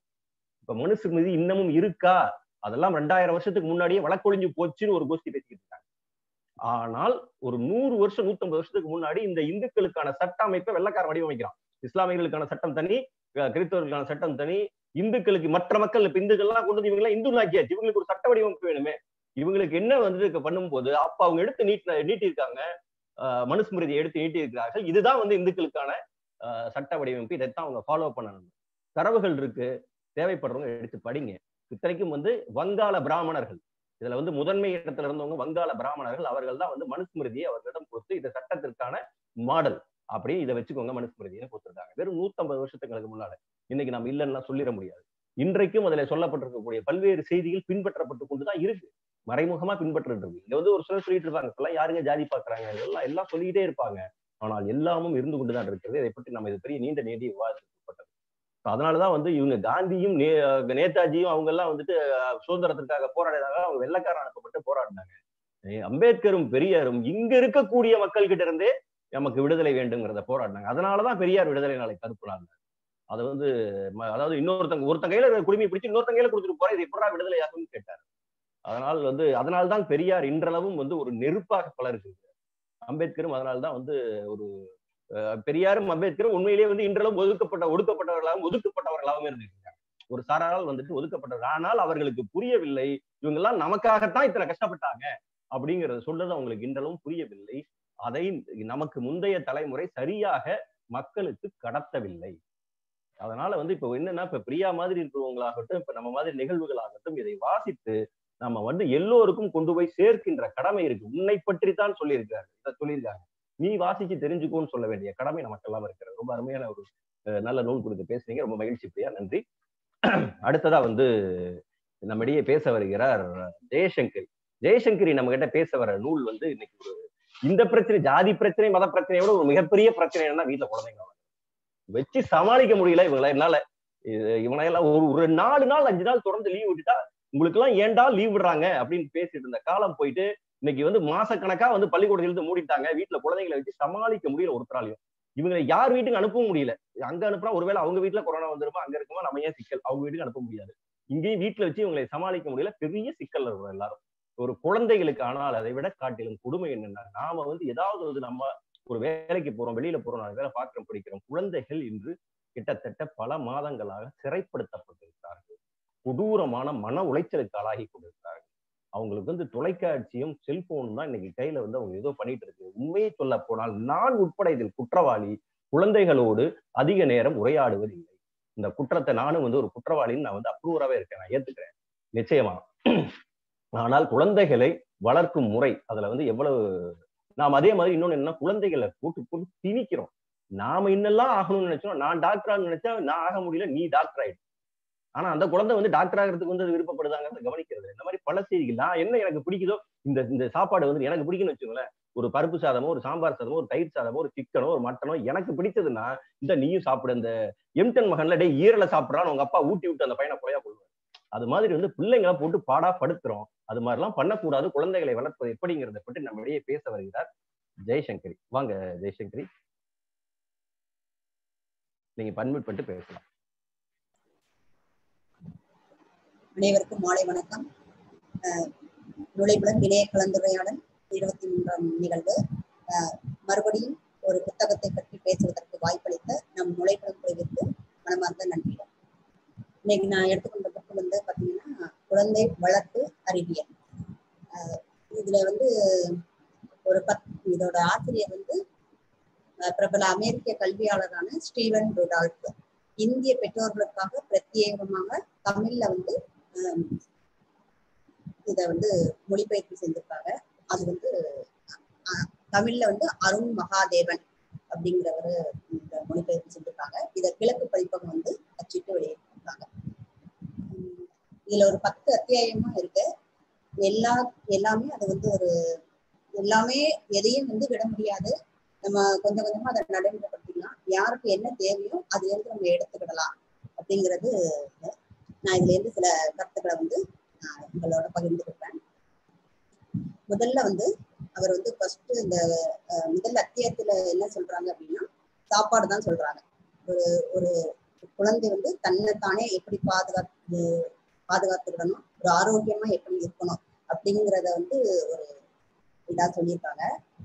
குழந்தைகள் வந்து தங்களை தாங்களே கவனித்துக் கொள்வதற்கு கற்றுக் கொடுப்பதுதான் இன்றைய பெற்றோர்கள் எதிர்கொள்ளும் மிகப்பெரிய சவாலா இருக்கிறது. குழந்தை வந்து எல்லாமே கேக்குது அடம் பிடிக்குது ஆசையா கேட்குது அப்படிங்கிறதுக்காக நம்ம எல்லாத்தையும் வந்து வாங்கி கொடுக்குறோம். அது வந்து குழந்தையோட தவறு இல்லை அதை வாங்கி கொடுக்குற பெற்றோராகிய நாம் தான் அதை தவற செய்யறோம். இதுக்கு வந்து இதுக்கு என்ன செய்ய ஒரு உணவை வந்து நம்ம எதுக்கு சாப்பிடணும்? ஒரு சாப்பாடு வந்து நம்ம எதுக்கு சாப்பிடணும்? ஒரு வேலை செய்வதற்கும் ஒரு விளையாடுவதற்கும் நம்ம ஒரு உயிர் வாழ தேவையான ஒரு எனர்ஜிய ஒரு சக்தியை கொடுக்கறதுக்காக மட்டும்தான் நம்ம அந்த உணவை சாப்பிடுறோம். அதை வந்து நிறைய பேர் அதை ருசிக்காக தான் சாப்பிடணுமே தவிர பசிக்காக யாருமே சாப்பிடுறது இல்லை அப்படிங்கிறத இந்த முதல் அத்தியாயத்துல சொல்லியிருக்காங்க. அதுக்கு காரணம் வந்து நம்ம தொலைக்காட்சிகள்ல வர கண்ணை கவர விளம்பரங்களும் கலர் கலரான அந்த பாக்கெட்டுகளில் வர்ற அந்த நம்ம கண்ணை பறிக்கிறதும் தான். அதோட வாங்கணும் அதை சாப்பிடணுங்கிற ஆசையை வந்து தூண்டுது. இதை வந்து நம்ம தான் முதல்ல இந்த இந்த உணவு நம்ம குழந்தைக்கு வந்து நல்லதா அப்படிங்கறத நம்ம தான் முடிவு செய்யணும். இதுல முதல்ல நம்ம தான் மாறணும். அதுக்கு பிறகு நம்ம குழந்தைகளை வந்து இதுல இருந்து நம்ம மாற்ற முடியும் அப்படிங்கிறது. இப்ப குழந்தைகளுக்கு ரொம்ப பிடிச்சதுன்னு பாத்தீங்கன்னா chocolate biscuit ice cream cool drinks இதெல்லாம் வந்து இதுல எல்லாமே வெள்ளை சர்க்கரை வந்து அதிகமா இருக்கு இதை ஏன் சாப்பிடுறாங்க? திரும்ப திரும்ப நம்ம ஏன் சாப்பிட்றோம் அப்படின்னா அதுல சாப்பிட்டோன்னா ஒரு ஒரு புத்துணர்ச்சி நம்மளுக்கு அதை கிடை கிடைக்குது. சாப்பிட்டோன்னு கிடைக்குது. அதனாலதான் நம்ம அதை திரும்ப திரும்ப நம்ம அதை சாப்பிடுவோம் இத வந்து நம்ம நம்ம இதுல இருந்து எப்படி வெளியில வரணும் அப்படிங்கிறது நம்ம தான் முதல்ல நம்ம மாட்டை வந்து நம்மள்கிட்ட இருந்து மட்டும்தான் வரணும். நம்ம வீட்டுக்குள்ளேருந்து வரணும். நம்ம அதை நம்ம முடிவு பண்ணிட்டு கொஞ்சம் கொஞ்சமா ஒ- ஒரேடியா அந்த சர்க்கரையை அளவு அளவை வந்து நிப்பாட்ட முடியாது. கொஞ்சம் கொஞ்சமா நம்ம அதுல இருந்து வெளியில வரணும். அவங்களுக்கு பிடிச்ச மாதிரியும் செஞ்சு கொடுக்கணும். நம்ம நம்மளோட ஆரோக்கியமான உணவையும் நம்ம வந்து பழக்கப்படுத்தணும். அது நம்ம கையில தான் இருக்கு. இதுக்கு மாற்றா என்ன செய்யலாம் அப்படின்னா அந்தந்த சீசன்ல கிடைக்கிற பழங்களை வந்து அவங்களுக்கு வந்து அறிமுகப்படுத்தலாம். பழங்களோட அளவு சாப்பிட்ற அளவு வந்து அதிகப்படுத்தலாம். இப்ப வெளியில போறாங்க வீட்டுல இல்ல அப்படின்னா நம்ம அந்த நட்ஸ் கொடுக்கலாம். ஒரு ட்ரை ஃப்ரூட்ஸ் கொடுக்கலாம். வீட்டில் இருக்கும்போது நீங்க கருப்பட்டி வெல்லம் இதுல இயற்கையா கிடைக்கிற இதுல ஒரு பணியாரம் செஞ்சு கொடுக்கலாம் பாயாசம் செஞ்சு கொடுக்கலாம். அது வந்து நம்ம வீட்டில் இருக்கும்போது அதை கொஞ்சம் பண்ணி கொடுக்கலாம். அடுத்ததான் என்ன என்ன சொல்றாங்கன்னா எல்லாத்துலயுமே குழந்தைங்களை வந்து ஈடுபடுத்துங்க. நம்ம என்னெல்லாம் செய்யறோம் ஒரு உணவு வந்து நம்ம தட்டுல வச்சு கொடுக்குறோம். அது மட்டும்தான் அந்த குழந்தைக்கு தெரியும். அது எப்படி வந்தது அதோட பின்னணி என்ன அதுக்கு எத்தனை பேர் எத்தனை பேரோட உழைப்பு இருக்கு அப்படிங்கறது வந்து நிறைய பேருக்கு தெரியறது இல்லை அதெல்லாம் நம்ம சொல்லி புரிய வைக்கணும். அது மாதிரி கடைக்கு நம்ம குழந்தைங்களை வந்து நம்ம கூட்டிட்டு போனோம் அப்படிங்கிறாங்க.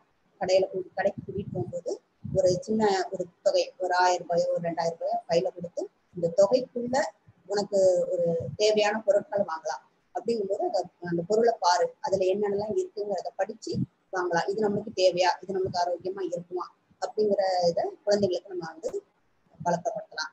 அப்படிங்கிறத இதுல சொல்லியிருக்காங்க.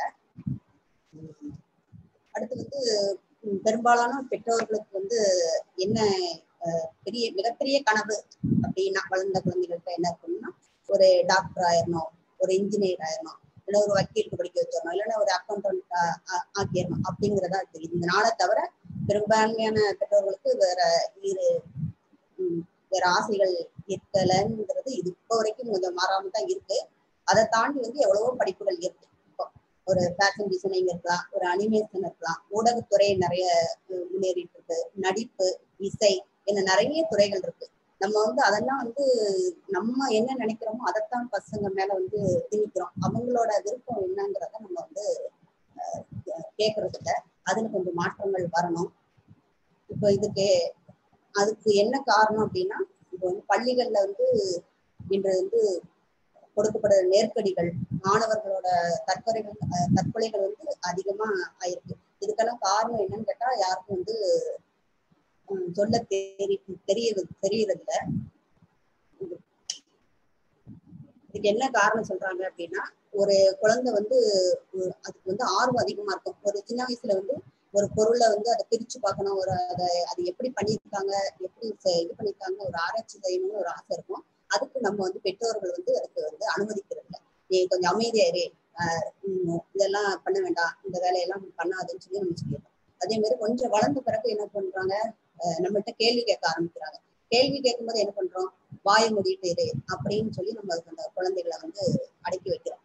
குழந்தைகள் வந்து உம் இது பள்ளிக்கூடங்களிலும் இதே நிலைமை தான் இருக்கு. குழந்தைகள் வந்து பள்ளிக்கூடத்துல ஒரு தொழிற்சாலைகள்ல இருக்கு. பள்ளிக்கூடங்கள் வந்து ஒரு தொழிற்சாலைகள் போலதான் இயங்குறது. வெறும் பரீட்சைகளை தேர்ச்சி பெறுறதுக்கும் மூட்டை மூட்டையா பாடங்களை வந்து வெறுமனே மனப்பாடம் செய்து ஒப்பிக்கிறதுக்கும் பரீட்சை எழுதுறதுக்கு மட்டுமே கேள்வி கேட்கவோ புரிந்து படுக்க படிக்கவோ வந்து முக்கியத்துவம் வந்து தரப்படுவது தரப்படுவதில்லை அப்படிங்கிறத சொல்றாங்க. இதனால என்ன இதாகுன்னா முதல்ல வந்து நம்ம குழந்தைங்க கேள்வி கேட்கறாங்க அப்படின்னா நம்ம அந்த கேள்விக்கு பதில் தெரியலன்னா அதை வந்து பெருந்தன்மையை நம்ம வந்து ஒத்துக்கிடணும். அது எத்தனை பெற்றோர்கள் செய்யறாங்கன்னு தெரியல. இந்த கேள்விக்கு எனக்கு பதில் தெரியலன்னு நீங்க ஒரு தடவை சொல்லி பாருங்க அப்படி ஒரு விஷயம் தெரியாமல் இருப்பது வந்து தவறு இல்லை தெரிஞ்ச விஷயங்களை தெரிந்து கொள்ள கிடைத்த வாய்ப்பாகவே வந்து புத்திசாலிகளா அதை எடுத்துக்கொள்வாங்க அப்படிங்கிறது அந்த குழந்தைங்களோட இதா சரி நமக்கு ஒரு கேள்வி கேட்டோம். அவங்களுக்கு அதை பதில் சொல்ல தெரியல. அதை ஒத்துக்கிட்டாங்க அப்படிங்கிற ஒரு ஒரு திருப்தியாவது அவங்களுக்கு இருக்கும். அத சொல்றாங்க இதுல. திரும்ப வந்து இன்னொரு மிகப்பெரிய இது என்னன்னா போர் அடிக்குது. வீட்டுல நிறைய பசங்க ஒரு ரொம்ப ஆர்வ கோளாறா இருப்பாங்க. ஆர்வம் ரொம்ப அதிகமா இருப்பாங்க. ஒரு ஒரு விஷயத்த நம்ம சொல்லியிருக்கோம். அதை முடிச்சுட்டு வர்றதுக்குள்ள எனக்கு போர் அடிக்கு. நான் என்ன பண்றது? எனக்கு ஏதாவது சொல்லுங்க. ஏதாவது வேலை சொல்லுங்க. அப்படின்னு சொல்லுவாங்க. நம்ம அதுக்கு என்ன பண்றது? நம்ம போரை திருப்பி அடிங்கன்னு சொல்லிட்டு இருக்கோம். அது அது என்ன பண்ணணும்னா நம்ம அதுக்கு மாற்று வழியை நம்ம யோசிக்கணும். ஒரு கதை புத்தகங்களை படிக்க பழக்கலாம். ஒரு சமைக்கிறதுக்கு ஒரு உதவி செய்யறதுக்கு நம்ம குழந்தைங்களை பழக்கலாம். கற்றல் சார்ந்த விளையாட்டுகள் புதிர்கள் போடுறத நம்ம அவங்களுக்கு சொல்லிக் கொடுக்கலாம். ஒரு இசை கருவியை இசைக்கிறதுக்கு நம்ம பழக்கப்படுத்தலாம் ஒரு சுவாரஸ்யமான இடங்களுக்கு நம்ம இப்ப வெளியில செல்ல முடியல. அப்படி வாய்ப்பு இருக்கும்போது வெளியில பசங்களை கூட்டிட்டு போங்க. உங்களுக்கு தெரிஞ்ச இடங்களா இருக்கலாம் தெரியாத இடங்களா இருக்கலாம். ஏன்னா கதை கவிதைகளை வந்து அவங்கள வந்து எழுத சொல்லலாம். இல்லைன்னா ஒரு தோட்டம் ஒரு மாடி தோட்டமா இருக்கட்டும் இந்த வீட்டுல சுற்றி ஏதாவது இடங்கள் இருந்ததுன்னா ஒரு தோட்ட வேலைகளை அவங்க ஈடுபட வைக்கலாம். ஓவியம் வண்ணம் தீட்டுறது அல்லது கைவினை பொருட்கள் தயாரிக்கிறது இந்த மாதிரி எதுனாலும் அவங்களுக்கு இது பண்ணலாம். அவங்களுக்கு எதுல விருப்பம் இருக்கோ அதுல நம்ம சேர்க்கலாம். அடுத்து வந்து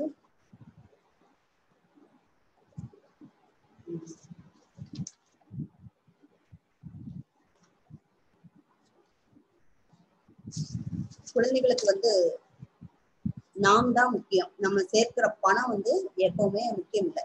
அதிக பணம் சேர்க்கிறதை விட வலுவான உறவை உருவாக்கி கொள்பவர் தான் மிகவும் சந்தோஷமானவர்ங்கிறது ஆய்வுகள் வந்து தெரிவிக்கிறது. பெரும்பாலான பெற்றோர்களுக்கு வந்து இது வந்து புரியுறதில்ல. ஒரு வீடு இருந்தா நல்லா இருக்குமே. நம்மளுக்கு ஒரு இன்னொரு ஒரு கார் இருந்தா வசதியா இருக்குமே.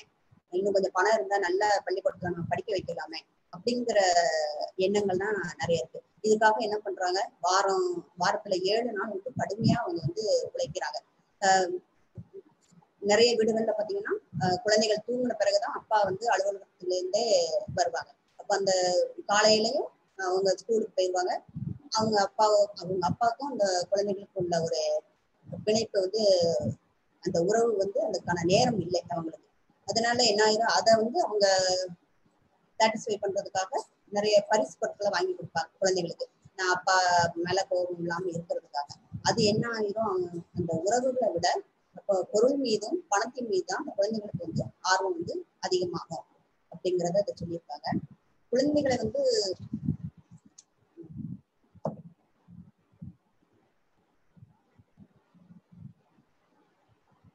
இது ஒரு இதா பத்து அத்தியம் ஒரு திட்டமிட நம்ம கற்றுக் கொடுக்கணும். ஒரு கால அட்டவணையை வந்து அவங்க வந்து செய்யணும். இந்த இந்த வேலையை இந்த இந்த நேரத்துல கரெக்டா செய்யணும். முதல்ல சாப்பிடுறதுக்கு டைமுக்கு சாப்பிடுறதுக்கு நம்ம பழக்கணும். அவங்கள படி படிங்கன்னு சொல்லிட்டு நம்ம வந்து தொலைக்காட்சி பார்த்து கொண்டோ ஒரு செல்போனை பார்த்து கொண்டோ இருந்தா வந்து அதுல எந்த பிரயோஜனமும் இல்லை. நம்ம அந்த படிக்கிறதுக்கு உண்டான சூழ்நிலையை வந்து நம்ம தான் உருவாக்கி கொடுக்கணும். அது வந்து ஒரு ஒரு எல்லார் வீட்லயும் எல்லா வசதிகளும் இருப்பதில்லை. தனியா ரூம் இருக்குமான்னு தெரியாது. இருக்கிற இதுல வந்து நம்ம அவங்க கூட நம்மள நம்மளால கற்றுக் கொடுக்க முடியுதோ இல்லையோ அவங்களுக்கு ஒரு சப்போர்ட்டாவது நம்ம கூட இருக்கணும். அவங்களை கவனிச்சுட்டு இருக்கோம். நம்மள ஒருத்தவங்க கவனிச்சுட்டு இருக்காங்கிற ஒரு- ஒரு சப்போர்ட் இருந்தா போதும். அது அந்த சூழ்நிலையை நம்ம தான் உருவாக்கி கொடுக்கணும். அது ரொம்ப முக்கியம் அப்படிங்கறத இந்த தியேட்டர்ல சொல்லியிருக்காங்க. எல்லா படிப்பு மட்டுமே வந்து அதை மட்டுமே தீர்மானிக்க கூடாது. படிப்பு எல்லாருக்கும் வந்து வந்துடாது ஒரு குழந்தைக்கு வந்து எவ்வளவு திறமை இருக்கு அப்படிங்கிறத பார்க்கணும். அதுல எந்த திறமை அதிகமா இருக்கோ அதை நம்ம தான் கண்டுபிடிக்கணும். இந்த பெற்றோர்களாகிய நாம் வந்து கடைசி ஒரு பயிற்சியாளரா வாழ்க்கை முழுவதும் ஒரு பயிற்சியாளரா இருக்கணும்.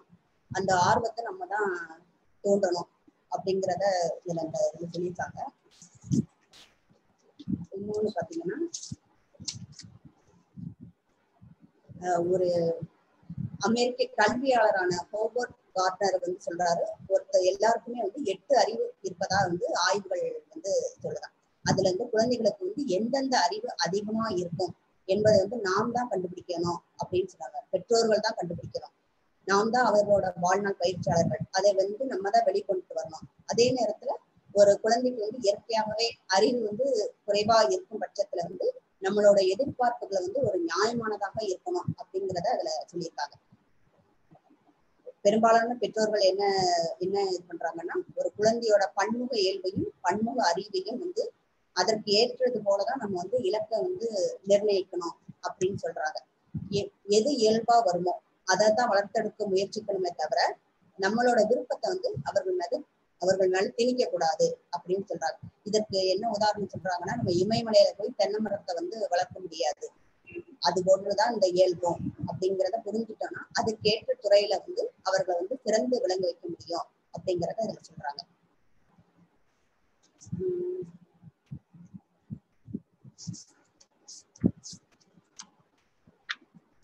ஒரு உம், இறுதியா ஒண்ணு நான் சொல்றேன். இதுல நிறைய இருக்கு. என்னால முழுமையா இது பண்ண முடியல.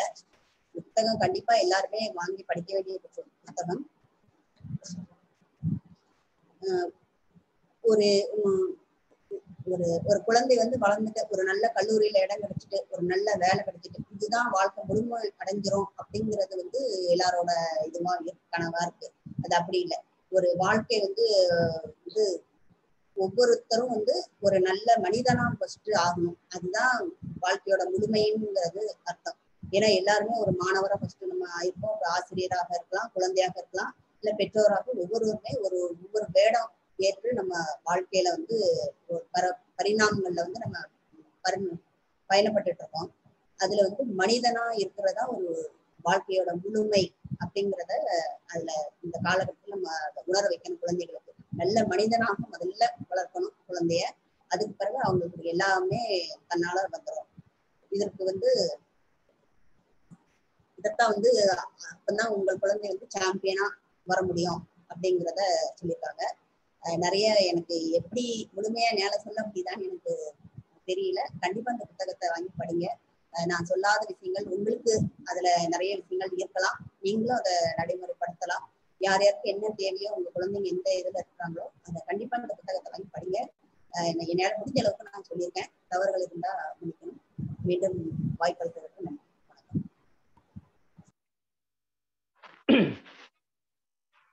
ஆஹ் ரொம்ப அருமையா பேசுனீங்க ஜெயசங்கரி. நல்ல முன்னேற்றம். ரொம்ப அற்புதமா வந்து கடந்த நிகழ்வுகளை விட இந்த முறை வந்து ரொம்ப அற்புதமான முன்னேற்றம். இன்னொரு மகிழ்ச்சியான செய்தினா பின்னாடியே வந்துட்டு பின்னணியில பாப்பா உட்காந்து கேட்டுட்டு இருக்கிறதும். உங்க நிகழ்ச்சி தான் கேட்டுட்டு இருக்காங்கன்னு நினைக்கிறேன். உங்க அவ்வளவு சுவாரஸ்யமா அதை கேட்டுட்டு இருக்காங்க. அவங்க காலாட்டிக்கிட்டே ரொம்ப ஈடுபாட்டோட ரசிக்கிறது ஒரு பெரிய நமக்கு அதை ரசிக்கிறதுக்கு ஒரு வாய்ப்பாகவும் இருக்கு. ரொம்ப அற்புதம். இன்னொரு விஷயம் என்னன்னா இப்ப நீங்க எல்லாம் சொல்லிட்டீங்க அதை அவங்க கேட்டுட்டு இருக்காங்க.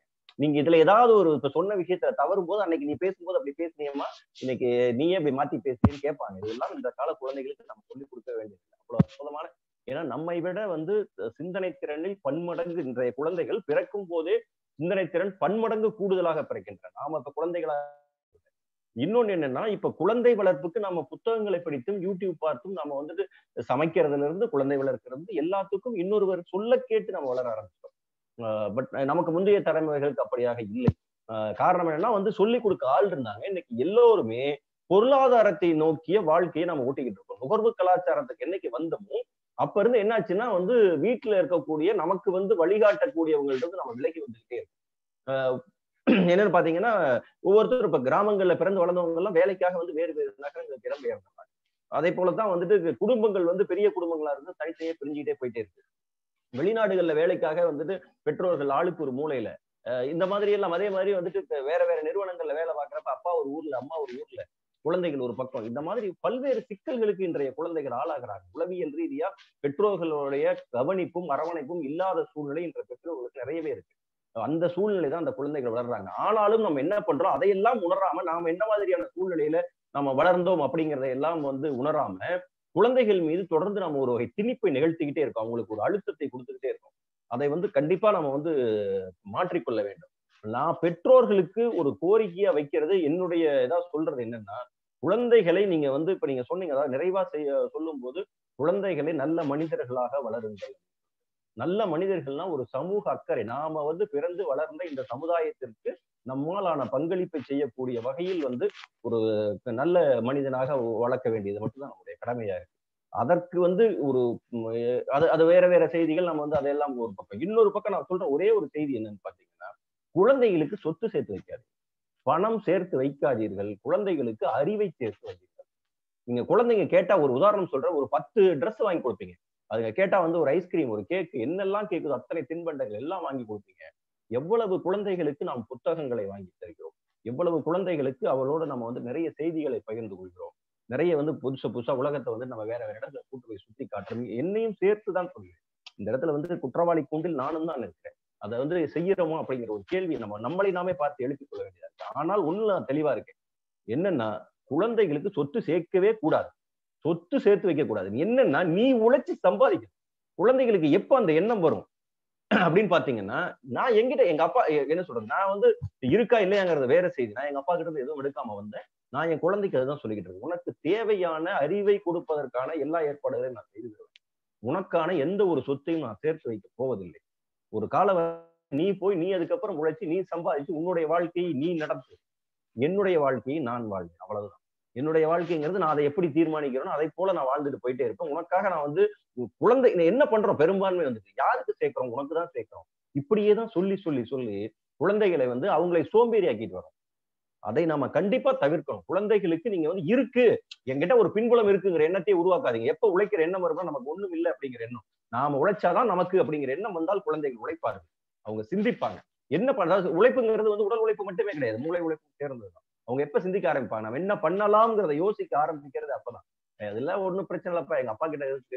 அப்படின்னா வந்து பையன் ஜாலியா காலேஜ் போவோம் வருவான் வந்துட்டு எல்லாம் முடிச்சுட்டு அவன் பாட்டுக்கு வந்து அப்பா சம்பாதிச்ச சொத்துல பண்ணுவான். அப்பா ஒரு கம்பெனி ஆரம்பிச்சு வச்சிருப்பா நடத்திட்டு இருப்பார். அவன் வந்து எம்டி உட்காந்துருவான் அவங்ககிட்ட புதுசா ஒரு சிந்தனை சக்தி இருக்கு. அந்த சந்தோஷ் சுப்பிரமணியன் ஒரு படம் வரும். அவங்க அப்பா போட்டு போட்டு அவனை அமுக்கிட்டே இருப்பார். ஆனா அவனுக்குள்ள என்ன ஒரு ஏக்கம் இருக்கும் நான் வந்து ஒரு பெரிய தொழிலதிபரா தனிப்பட்ட முறையில நான் வரணும் அவன் பேங்க் லோன் தேடி அலைஞ்சிட்டு இந்த மாதிரி எல்லாம் வந்து குழந்தைகளை குழந்தைகளாக அவர்கள் இயல்பில் நம்ம அதை தான் வந்துட்டு இப்ப நீங்க பேசும்போது சொல்லியிருந்தீங்க. இயல்பாக அவர்கள் இயல்பில் இருக்கவில்லை நம்ம இயல்பில் இல்லை. நம்ம இயல்புக்கு அவர்களை வளைக்க முயலாதீர்கள் அப்படிங்கிற கருத்தோட நம்ம அடுத்த பேச்சாளர் நோக்கி போவோம். பாப்பாவுக்கும் என்னுடைய வாழ்த்துக்கள் உங்களுக்கும் வாழ்த்துக்கள்.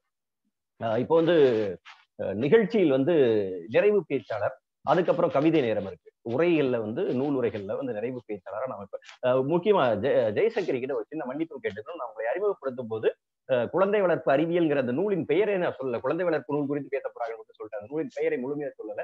அதனால வந்து இப்போ முழுமையா இன்னொரு போய் சொல்லிடுறேன். அடுத்ததா வந்து தற்போது ஜெயமோகனை பேச அழைக்கின்றேன். ஜெயமோகன் வந்து ஏழாவது ஊழிங்கிற ஒரு சுற்றுச்சூழல் நூல் குறித்து பேசப்படுறார் தொடர்ச்சியா நம்மிடையே சுற்றுச்சூழல் குறித்து உரையாடி கொண்டிருக்கக்கூடிய இரு நபர்கள் சாதாரணமும் ஜெயமோகன். அவர் அதுவும் ஜெயமோகன் குறிப்பா வந்து வேறு எந்த தளத்திலும் இயங்காமல் முழுக்க முழுக்க சுற்றுச்சூழல் குறித்த தளத்திலேயே இயங்கிட்டு வர்றாரு. அவர் பேசுகின்ற ஒவ்வொரு நூலும் சூழலியல் தொடர்பான நூல்களாவே இருக்கும். அவர் அறிமுகப்படுத்தி இருக்கக்கூடிய இதுவரை எனக்கு தெரிந்த நான்கு கூட்டங்களில் அவர் பேசி முந்தைய நான்கு கூட்டங்களில் பேசியதுமே அற்புதமான நூல்கள். எல்லாமே வந்து சூழலியல் தொடர்பானது. அது அது சூழலியல் தொடர்பானது மட்டுமல்ல இந்த சூழலியல் பிரச்சனைகளில் பன்னாட்டு நிறுவனங்களும் அயல் நாடுகள் அதாவது மேலை நாடுகள் என்று சொல்லக்கூடிய வளர்ந்த நாடுகள் என்று சொல்லக்கூடிய நாடுகள் எல்லாம் எந்த அளவுக்கு வளர்ந்து கொண்டிருக்கிற நாடுகளை சுரண்டி அங்கே வந்து அந்த நாட்டினுடைய சுற்றுச்சூழலை சீர் சீர்கேடு செய்து இவங்க வந்து பொருளீடும் சுரண்டனை நிகழ்த்தி கொண்டு வருகிறார்கள். என்ற அந்த அரசியல் குறித்தும் ஜெயமோகன் ரொம்ப அற்புதமா பேசிட்டு இந்த நூலை பொறுத்த வரைக்கும் வந்து பாத்தீங்கன்னா போ ஐங்கரநேசன் எழுதிய அவர் வந்து ஒரு ஈழத்தைச் சேர்ந்த எழுத்தாளர். அதுவும் மட்டும் இல்லாமல் அங்க வந்து வடமாகாண அமைச்சராகவும் கூட இருக்கார். அவர் எழுதிய ஏழாவது ஊழி நூல் குறித்து தற்போது நம்முடைய உரையாற்ற ஜெயமோகன்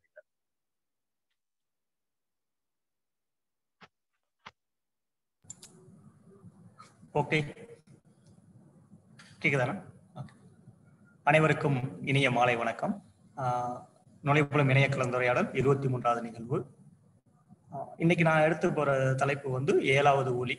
ஆஹ் சேமமேடு இவர் வந்து யாழ்ப்பாணத்து சேர்ந்தவர். இவர் ரெண்டு இடத்துல இவரே கொஞ்சம் சங்கடப்படுவார். இந்த புக்கில் தமிழ் சொற்களை நான் கையாளுவதற்கு மிகுந்த சிரமப்பட்டேன்னு சொல்லி எழுதியிருப்பார். எப்படின்னா யாழ்ப்பாணத்தில் உயர்கல்வி பயின்றாரு. அதுக்கப்புறமா தமிழ்நாட்டில் வந்து கிறிஸ்துவ கல்லூரியில் சூழ்நிலை தொடர்பான விலங்கியல் தாவரவியல் விலங்கியல் அந்த படிப்பு தான் படித்தாங்க அதை வச்சுட்டு யாழ்ப்பாண தமிழ்லையும் நம்ம தமிழ்லையும் சேர்த்து இந்த புஸ்தகத்தை எழுதியிருப்பாங்க. இது ஒரு சுற்றுச்சூழல் பருவநிலை மாறுபாடு உலகம் முழுவதும் நடக்கக்கூடிய சுரண்டல்கள் அதை பத்தி அலசி ஆராய்ச்சி எழுதியிருப்பாரு. இதுல இந்த புத்தகத்துல வந்து மொத்தம் நாற்பத்தி ஒரு தலைப்புகள். அந்த தலைப்பெல்லாம் சொன்னா பத்து நிமிடம் ஆயிரும். அந்த தலைப்புல ஒரு பகுதி மட்டும் நான் எடுத்துக்கிறேன். பத்தாவது பகுதி மட்டும் நான் எடுத்துக்கிறேன். பத்தாவது பகுதி வந்து ஜப்பான்ல நடக்கிறது. ஒரு வளர்ந்த நாடு அங்கெல்லாம் எப்படி மனிதர்களை வந்து நாசப்படுத்துறாங்க? அந்த ஒரு தொழிற்சாலையை வச்சு எவ்வளவு மக்கள் பாதிக்கப்படுறாங்களோ ஃபுல்லாக அதை பற்றி தான் இந்த கட்டுரை. இதோட தலைப்பு வந்து தள்ளாடும் மினமாட்டா. நீங்கள் நீங்க வாய்ப்பு இருக்கிறவங்க இன்னைக்கு இரவு போய் மின்னமாட்டா டிசீஸ் அப்படின்னு அடிச்சிங்கன்னா எம்ஐஎன்ஏ டிடிஏ மின்னமாட்டா டிசீசஸ்ன்னு அடிச்சிங்கன்னா ஆயிரத்தி தொள்ளாயிரத்தி ஐம்பத்தி மூணுல இருந்து நடந்த ஆயிரத்தி தொள்ளாயிரத்தி ஏழுல இருந்து நடந்த படுபாதக செயல்கள் எல்லாம் உங்களுக்கு அந்த யூடியூப்லயோ சரி ஆஹ், வலைதளத்திலையும் அதிகமான தகவல்கள் கிடைக்கும். கண்டிப்பாக பாருங்க. இது வந்து ஜப்பானில் மினமாட்டா ஜப்பானோட கியூசு தீவுல இருக்கக்கூடிய ஒரு தொழில்பேட்டை சிறு நகரம். எப்படி ஜப்பானோட ஹிரோசிமா நாகசாகியோட வடுக்கள் இன்னும் மாறாம இருக்கோ அதே அளவு சோகத்தை இந்த மின்னமாட்டா ஒரு நகரத்துக்கும் இருக்கு. இது ஒரு எப்படின்னா ஜப்பானோட தொழிற்புரட்சியோட அவலை நிலையின் சாட்சி தான் இந்த மின்னமாட்டா சரியா? இது வந்து ஆயிரத்தி தொள்ளாயிரத்தி ஐம்பத்தி மூணுல வந்து ஆஹ் மின்னமாட்டா அதுக்கு பக்கத்துல இது ஒரு கரையோர ஒரு சிறு நகரம் தொழிற்பேட்டை. ஆயிரத்தி தொள்ளாயிரத்தி ஐம்பத்தி மூணுல இந்த மின்னமாற்றத்தோட அந்த வளைகுடாவிலையும் அதை ஒட்டி அந்த கடற்கரை பரப்புலையும் இனங்காண முடியாத சில நிகழ்வுகள் அசாதாரண நிகழ்வுகள் நடக்குது. என்ன நிகழ்வு நடக்குதுன்னா கடல் எல்லாம் மீன் வந்து செத்து செத்து மிதக்குது சிப்பிகள்லாம் கரை ஒதுங்குது ஆஹ் பிற கடல்வாழ் விலங்குகள் திமிங்கலம் எல்லாமே என்ன செய்யுதுன்னா செத்து தரை ஒதுங்குது. பறந்துகிட்டு இருக்க பறவைகள்லாம் செத்து செத்து விழுகுது. அதே மாதிரி கூடுகட்ட வாழ பறவைகளும் செத்து செத்து விழுகுது. ஆஹ் அதுக்கப்புறம் வீட்டுல இருக்கிற பூனைகள் அதோட நடத்தை வந்து இயல்புக்கு மீறி இருக்கு. எப்படி இருக்குன்னா மது அருந்துட்டு தள்ளாடுவாங்க இல்லையா? அது மாதிரி தள்ளாடி தள்ளாடி அப்படியே சுத்தி சுத்தி வந்து விழுந்து இறக்குது. சில பூனைகள் வந்து மாடியிலிருந்து கீழே குதிச்சு தற்கொலை பண்ணிக்கிற மாதிரி கீழே விழுந்து செத்து போகுது. இது வந்து ஒரு அதிர்ச்சியா இருக்கு. அதிர்ச்சியும் ஆச்சரியமா இருக்கு. அந்த மின்னமாட்ட நகர மக்களுக்கு. அது குறைந்த அளவு மக்கள் தொகை உள்ள ஒரு தொழிற்பேட்டை நகரம். என்னடா இது? திடீர் திடீர்னு பூனை வந்து இப்படி போகுது பறவைகள் இறக்குது மீன்கள்லாம் கரை ஒதுங்குது என்ன அப்படின்னு அவங்களுக்கு ஒரு ஒரு அதிர்ச்சி. ஏதோ வந்து இந்த பூனைகளுக்கு வந்து ஒரு வகையான பைத்தியம் பிடிச்சிருச்சு. அப்படின்னு நினைக்க ஆரம்பிக்கிறாங்க. சோ அந்த அந்த பூனைகள்லாம் தள்ளாடி தள்ளாடி விழுந்து இறக்குறதுனால இவங்க என்ன வச்சுட்டாங்க? பூனைகள் மூலமா தான் இது வியாதி வருது அப்படின்ட்டு அந்த வியாதிக்கு வந்து நடனமாடும் நோய் அதாவது டான்சிங் டிசீஸ்னு பேர் வைக்கிறாங்க. இப்ப என்ன ஆகி போச்சுன்னா ஆயிரத்தி தொள்ளாயிரத்தி ஐம்பத்தி மூணுல பரவ ஆரம்பிச்ச இந்த பறவைகள் விலங்குகள் மீன்கள் பரவ ஆரம்பிச்ச இந்த பாதிப்பு இந்த நோய் ஆயிரத்தி தொள்ளாயிரத்தி ஆட்டை கடிச்சு மாட்டை கடிச்சு கடைசியில் என்ன வந்துச்சுன்னா ஆயிரத்தி தொள்ளாயிரத்தி ஐம்பத்தி ஆறுல மின்னமாட்ட மக்களுக்கையும் வர ஆரம்பிச்சிருச்சு. எப்படி வர ஆரம்பிச்சிச்சுன்னா அவங்களோட உதடுகள் வந்து மரத்துக்கு போக ஆரம்பிச்சிச்சு. தோலெல்லாம் தடிக்க ஆரம்பிச்சிச்சு. பேச்சு குளருது. கண்ணோட விடிகள் இருக்கு இல்லையா? அதெல்லாம் வீங்கி அந்த பார்வையெல்லாம் பறிபோகுது அவங்களோட மூளை வந்து ரொம்ப மோசமா பாதிக்கப்பட்டு வினோதமா சிரிக்கிறாங்க. அவங்க அவங்களாலேயே கண்ட்ரோல் பண்ண முடியாத அளவுக்கு அவங்க சிரிக்கிறாங்க.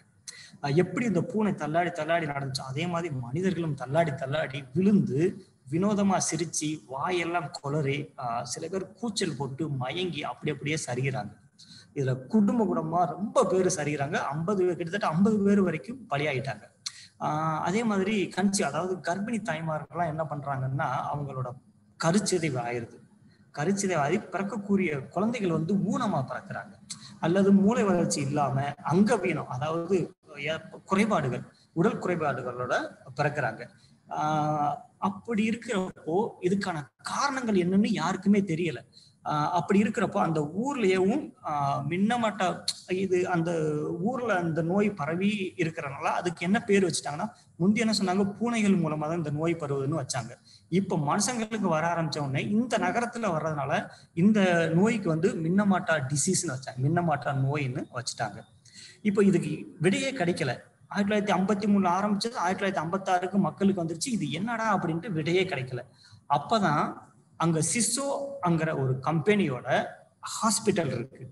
அதுக்கு அப்புறமா வர்றேன். இந்த சிசோவோட ஹாஸ்பிட்டலோட ஒரு ஆ- ஒரு குழந்தை வந்து அங்க அட்மிட் ஆகுது. ஒரு பத்து வயது குழந்தை அட்மிட் ஆகுது. எப்படின்னா இந்த நோயோட திடீர் திடீர்னு சிரிக்கிறது வாயை குளர்றது அந்த மாதிரி தோல் தடிச்சு கண்ணெல்லாம் வீங்கி அப்போ அங்க வந்து கொசோவானுங்கிற டாக்டர் வந்து அங்கதான் மருத்துவக்கு வர்றாங்க. அவர் வந்து கண்டுபிடிக்கிறாரு. இந்த பொண்ணோட நரம்பு தொகுதி வந்து முழுசா மைய மையத்தோட நரம்பு தொகுதி முழுசா பாதிக்கப்பட்டிருக்கு. இதுக்கு காரணம் வந்து மீன் உணவு இருக்கு இல்லையா? அதுல இருக்கிற அந்த நஞ்சு மீன் மீன் வந்து அந்த நஞ்சை சாப்பிட்டுருக்கு. அதை மக்கள் சாப்பிட்றதுனால அந் இந்த நோய் அந்த கழிவுகள் உள்ள போய் மனிதனை தாக்கி அதுக்கு அந்த உலோகத்தோட நஞ்சு தான் மனதினை தாக்குது அப்படின்னு கண்டுபிடிக்கிறார். இதுக்கு என்ன காரணம்னா மின்னமாட்டா நகர் வந்து சிராயுனு அப்படிங்கிற ஒரு கடல் பக்கத்துல இருக்கு. அது ஒரு வந்து என்ன சொல்றேன்னா அந்த வளைகுடா அந்த கடல் அந்த அந்த வளைகிற அந்த அந்த இடத்துல இருக்குது. அங்க இருக்கிற மக்களோட மெயின் இது வந்து என்னன்னா கடல்ல மீன் பிடிக்கிறதும் விவசாயம் தான் அதை வச்சுட்டு அந்த வாழ்க்கையை வந்து ஓட்டிட்டு இருக்கிறாங்க. அப்படி இருக்கிறப்போ சிசோ என்ற கம்பெனி ஏன்னா இரண்டாம் உலக போருக்கு முன்னாடியும் சரி பின்னாடியும் சரி இருக்கிற அந்த வடுக்களை வந்து ஆத்துறதுக்காக ஜப்பான் என்ன செய்யுதுன்னா வணிகத்துக்கு வந்து திறந்து விடுது. அதோட எல்லா பகுதிகளையும் திறந்து விடுது. நீ என்ன வேணா பண்ணிக்கோ பொருளாதாரத்துல நம்ம மேல வரணும் அப்படின்ட்டு எல்லா திசையிலையும் திறந்து விடுறாங்க. அப்படி இருக்கிறப்போ அப்போ வந்ததுதான் சிசோங்கிற ஒரு உர தொழிற்சாலை. எப்படி வருதுன்னா அங்க மக்கள் தொகை கம்மி தான். ஒரு பத்தாயிரம் பதினஞ்சாயிரத்துக்குள்ள இருப்பாங்க இல்லையா? அவங்ககிட்ட ஒரு வாக்குமூலி தர்றாங்க. உங்க ஊருக்காரங்களை தான் இங்க வந்து நாங்க வேலைக்கு வச்சுக்கிடுவோம். ஆஹ் எல்லா பதவிகளையும் உங்களை தான் உட்கார வைப்போம். எல்லாருமே வாக்குறுதி கொடுக்கறது தானே? ஆஹ் பொய்யான வாக்குறுதி கொடுத்துட்டு ஆயிரத்தி தொள்ளாயிரத்தி ஏழுல வந்து உர தொழிற்சாலையை வந்து ஆரம்பிக்கிறாங்க. ஜப்பான்ல உள்ள சிசோ அப்படின்னா நைட்ரஜன் பேரு. ஆஹ் பெயருக்கு ஏத்த மாதிரியும் அவங்க வந்து தொழிற்சாலை ஆரம்பிச்சிட்டாங்க. என்ன சொல்லி ஆரம்பிச்சாங்கன்னா உங்க மக்கள் எல்லாருக்குமே வேலை தருவோம் அப்படின்ட்டு. ஆனா அவங்க சொல்றது எதையுமே செய்யாம அடிமட்ட தொழில் இருக்கு அந்த கழிவுகள் அகற்றுறது செய்யறது இல்லதான் அவங்கள உட்கார வச்சுட்டு பெரிய பெரிய பொசிஷனுக்கு எல்லாமே டோக்கியோ இப்படி வளர்ந்த அந்த நகரத்துல இருந்து மக்களை கொண்டு வந்து பணிய வைக்கிறாங்க. ஸோ இப்போ இப்படி இருக்கிறப்போ மூன்றாம் தர அடிமைகளாக தான் அந்த மக்கள் வந்து அங்க நடத்தப்படுறாங்க. அப்படி இருக்கிறப்போ ஆயிரத்தி தொள்ளாயிரத்தி ஏழுல ஆரம்பிச்ச இந்த கம்பெனியோட கழிவுகள்லாம் என்ன பண்றாங்கன்னா சுத்தப்படுத்தாம மறுசுழற்சி பண்ணாம கடற்கரை ஒட்டி இருக்கிறனால எல்லா கழிவுகளையுமே என்ன பண்றாங்கன்னா டோட்டலா அந்த கடலுக்குள்ள விடுறாங்க. ஆஹ் எப்படின்னா ஒரு கால்வாயை வெட்டி அப்படியே டைரக்டா எந்த வித ஒரு ரீ இது பண்ணாம கழிவுகள் மறுசுழற்சி பண்ணாம செய்யாம அப்படியேவும் அனுப்புறாங்க. அப்படி சிசோ உர தொழிற்சாலை வந்து கிட்டத்தட்ட ஆயிரத்தி தொள்ளாயிரத்தி ஏழுல ஆரம்பிச்சு ஆயிரத்தி தொள்ளாயிரத்தி முப்பத்தி ரெண்டு வரைக்கும் போயிட்டு இருக்கு. அப்போ என்ன பண்றாங்கன்னா உர தொழிற்சாலை நிப்பாட்டிட்டு சில சில பிரச்சனைகள் வர்றப்ப என்ன பண்றாங்கன்னா உர தொழிற்சாலை நிப்பாட்டிட்டு ஆயிரத்தி தொள்ளாயிரத்தி முப்பத்தி ரெண்டாம் ஆண்டு என்ன பண்றாங்கன்னா பிளாஸ்டிக் தயாரிக்கிறதுல கவனம் செலுத்துறாங்க.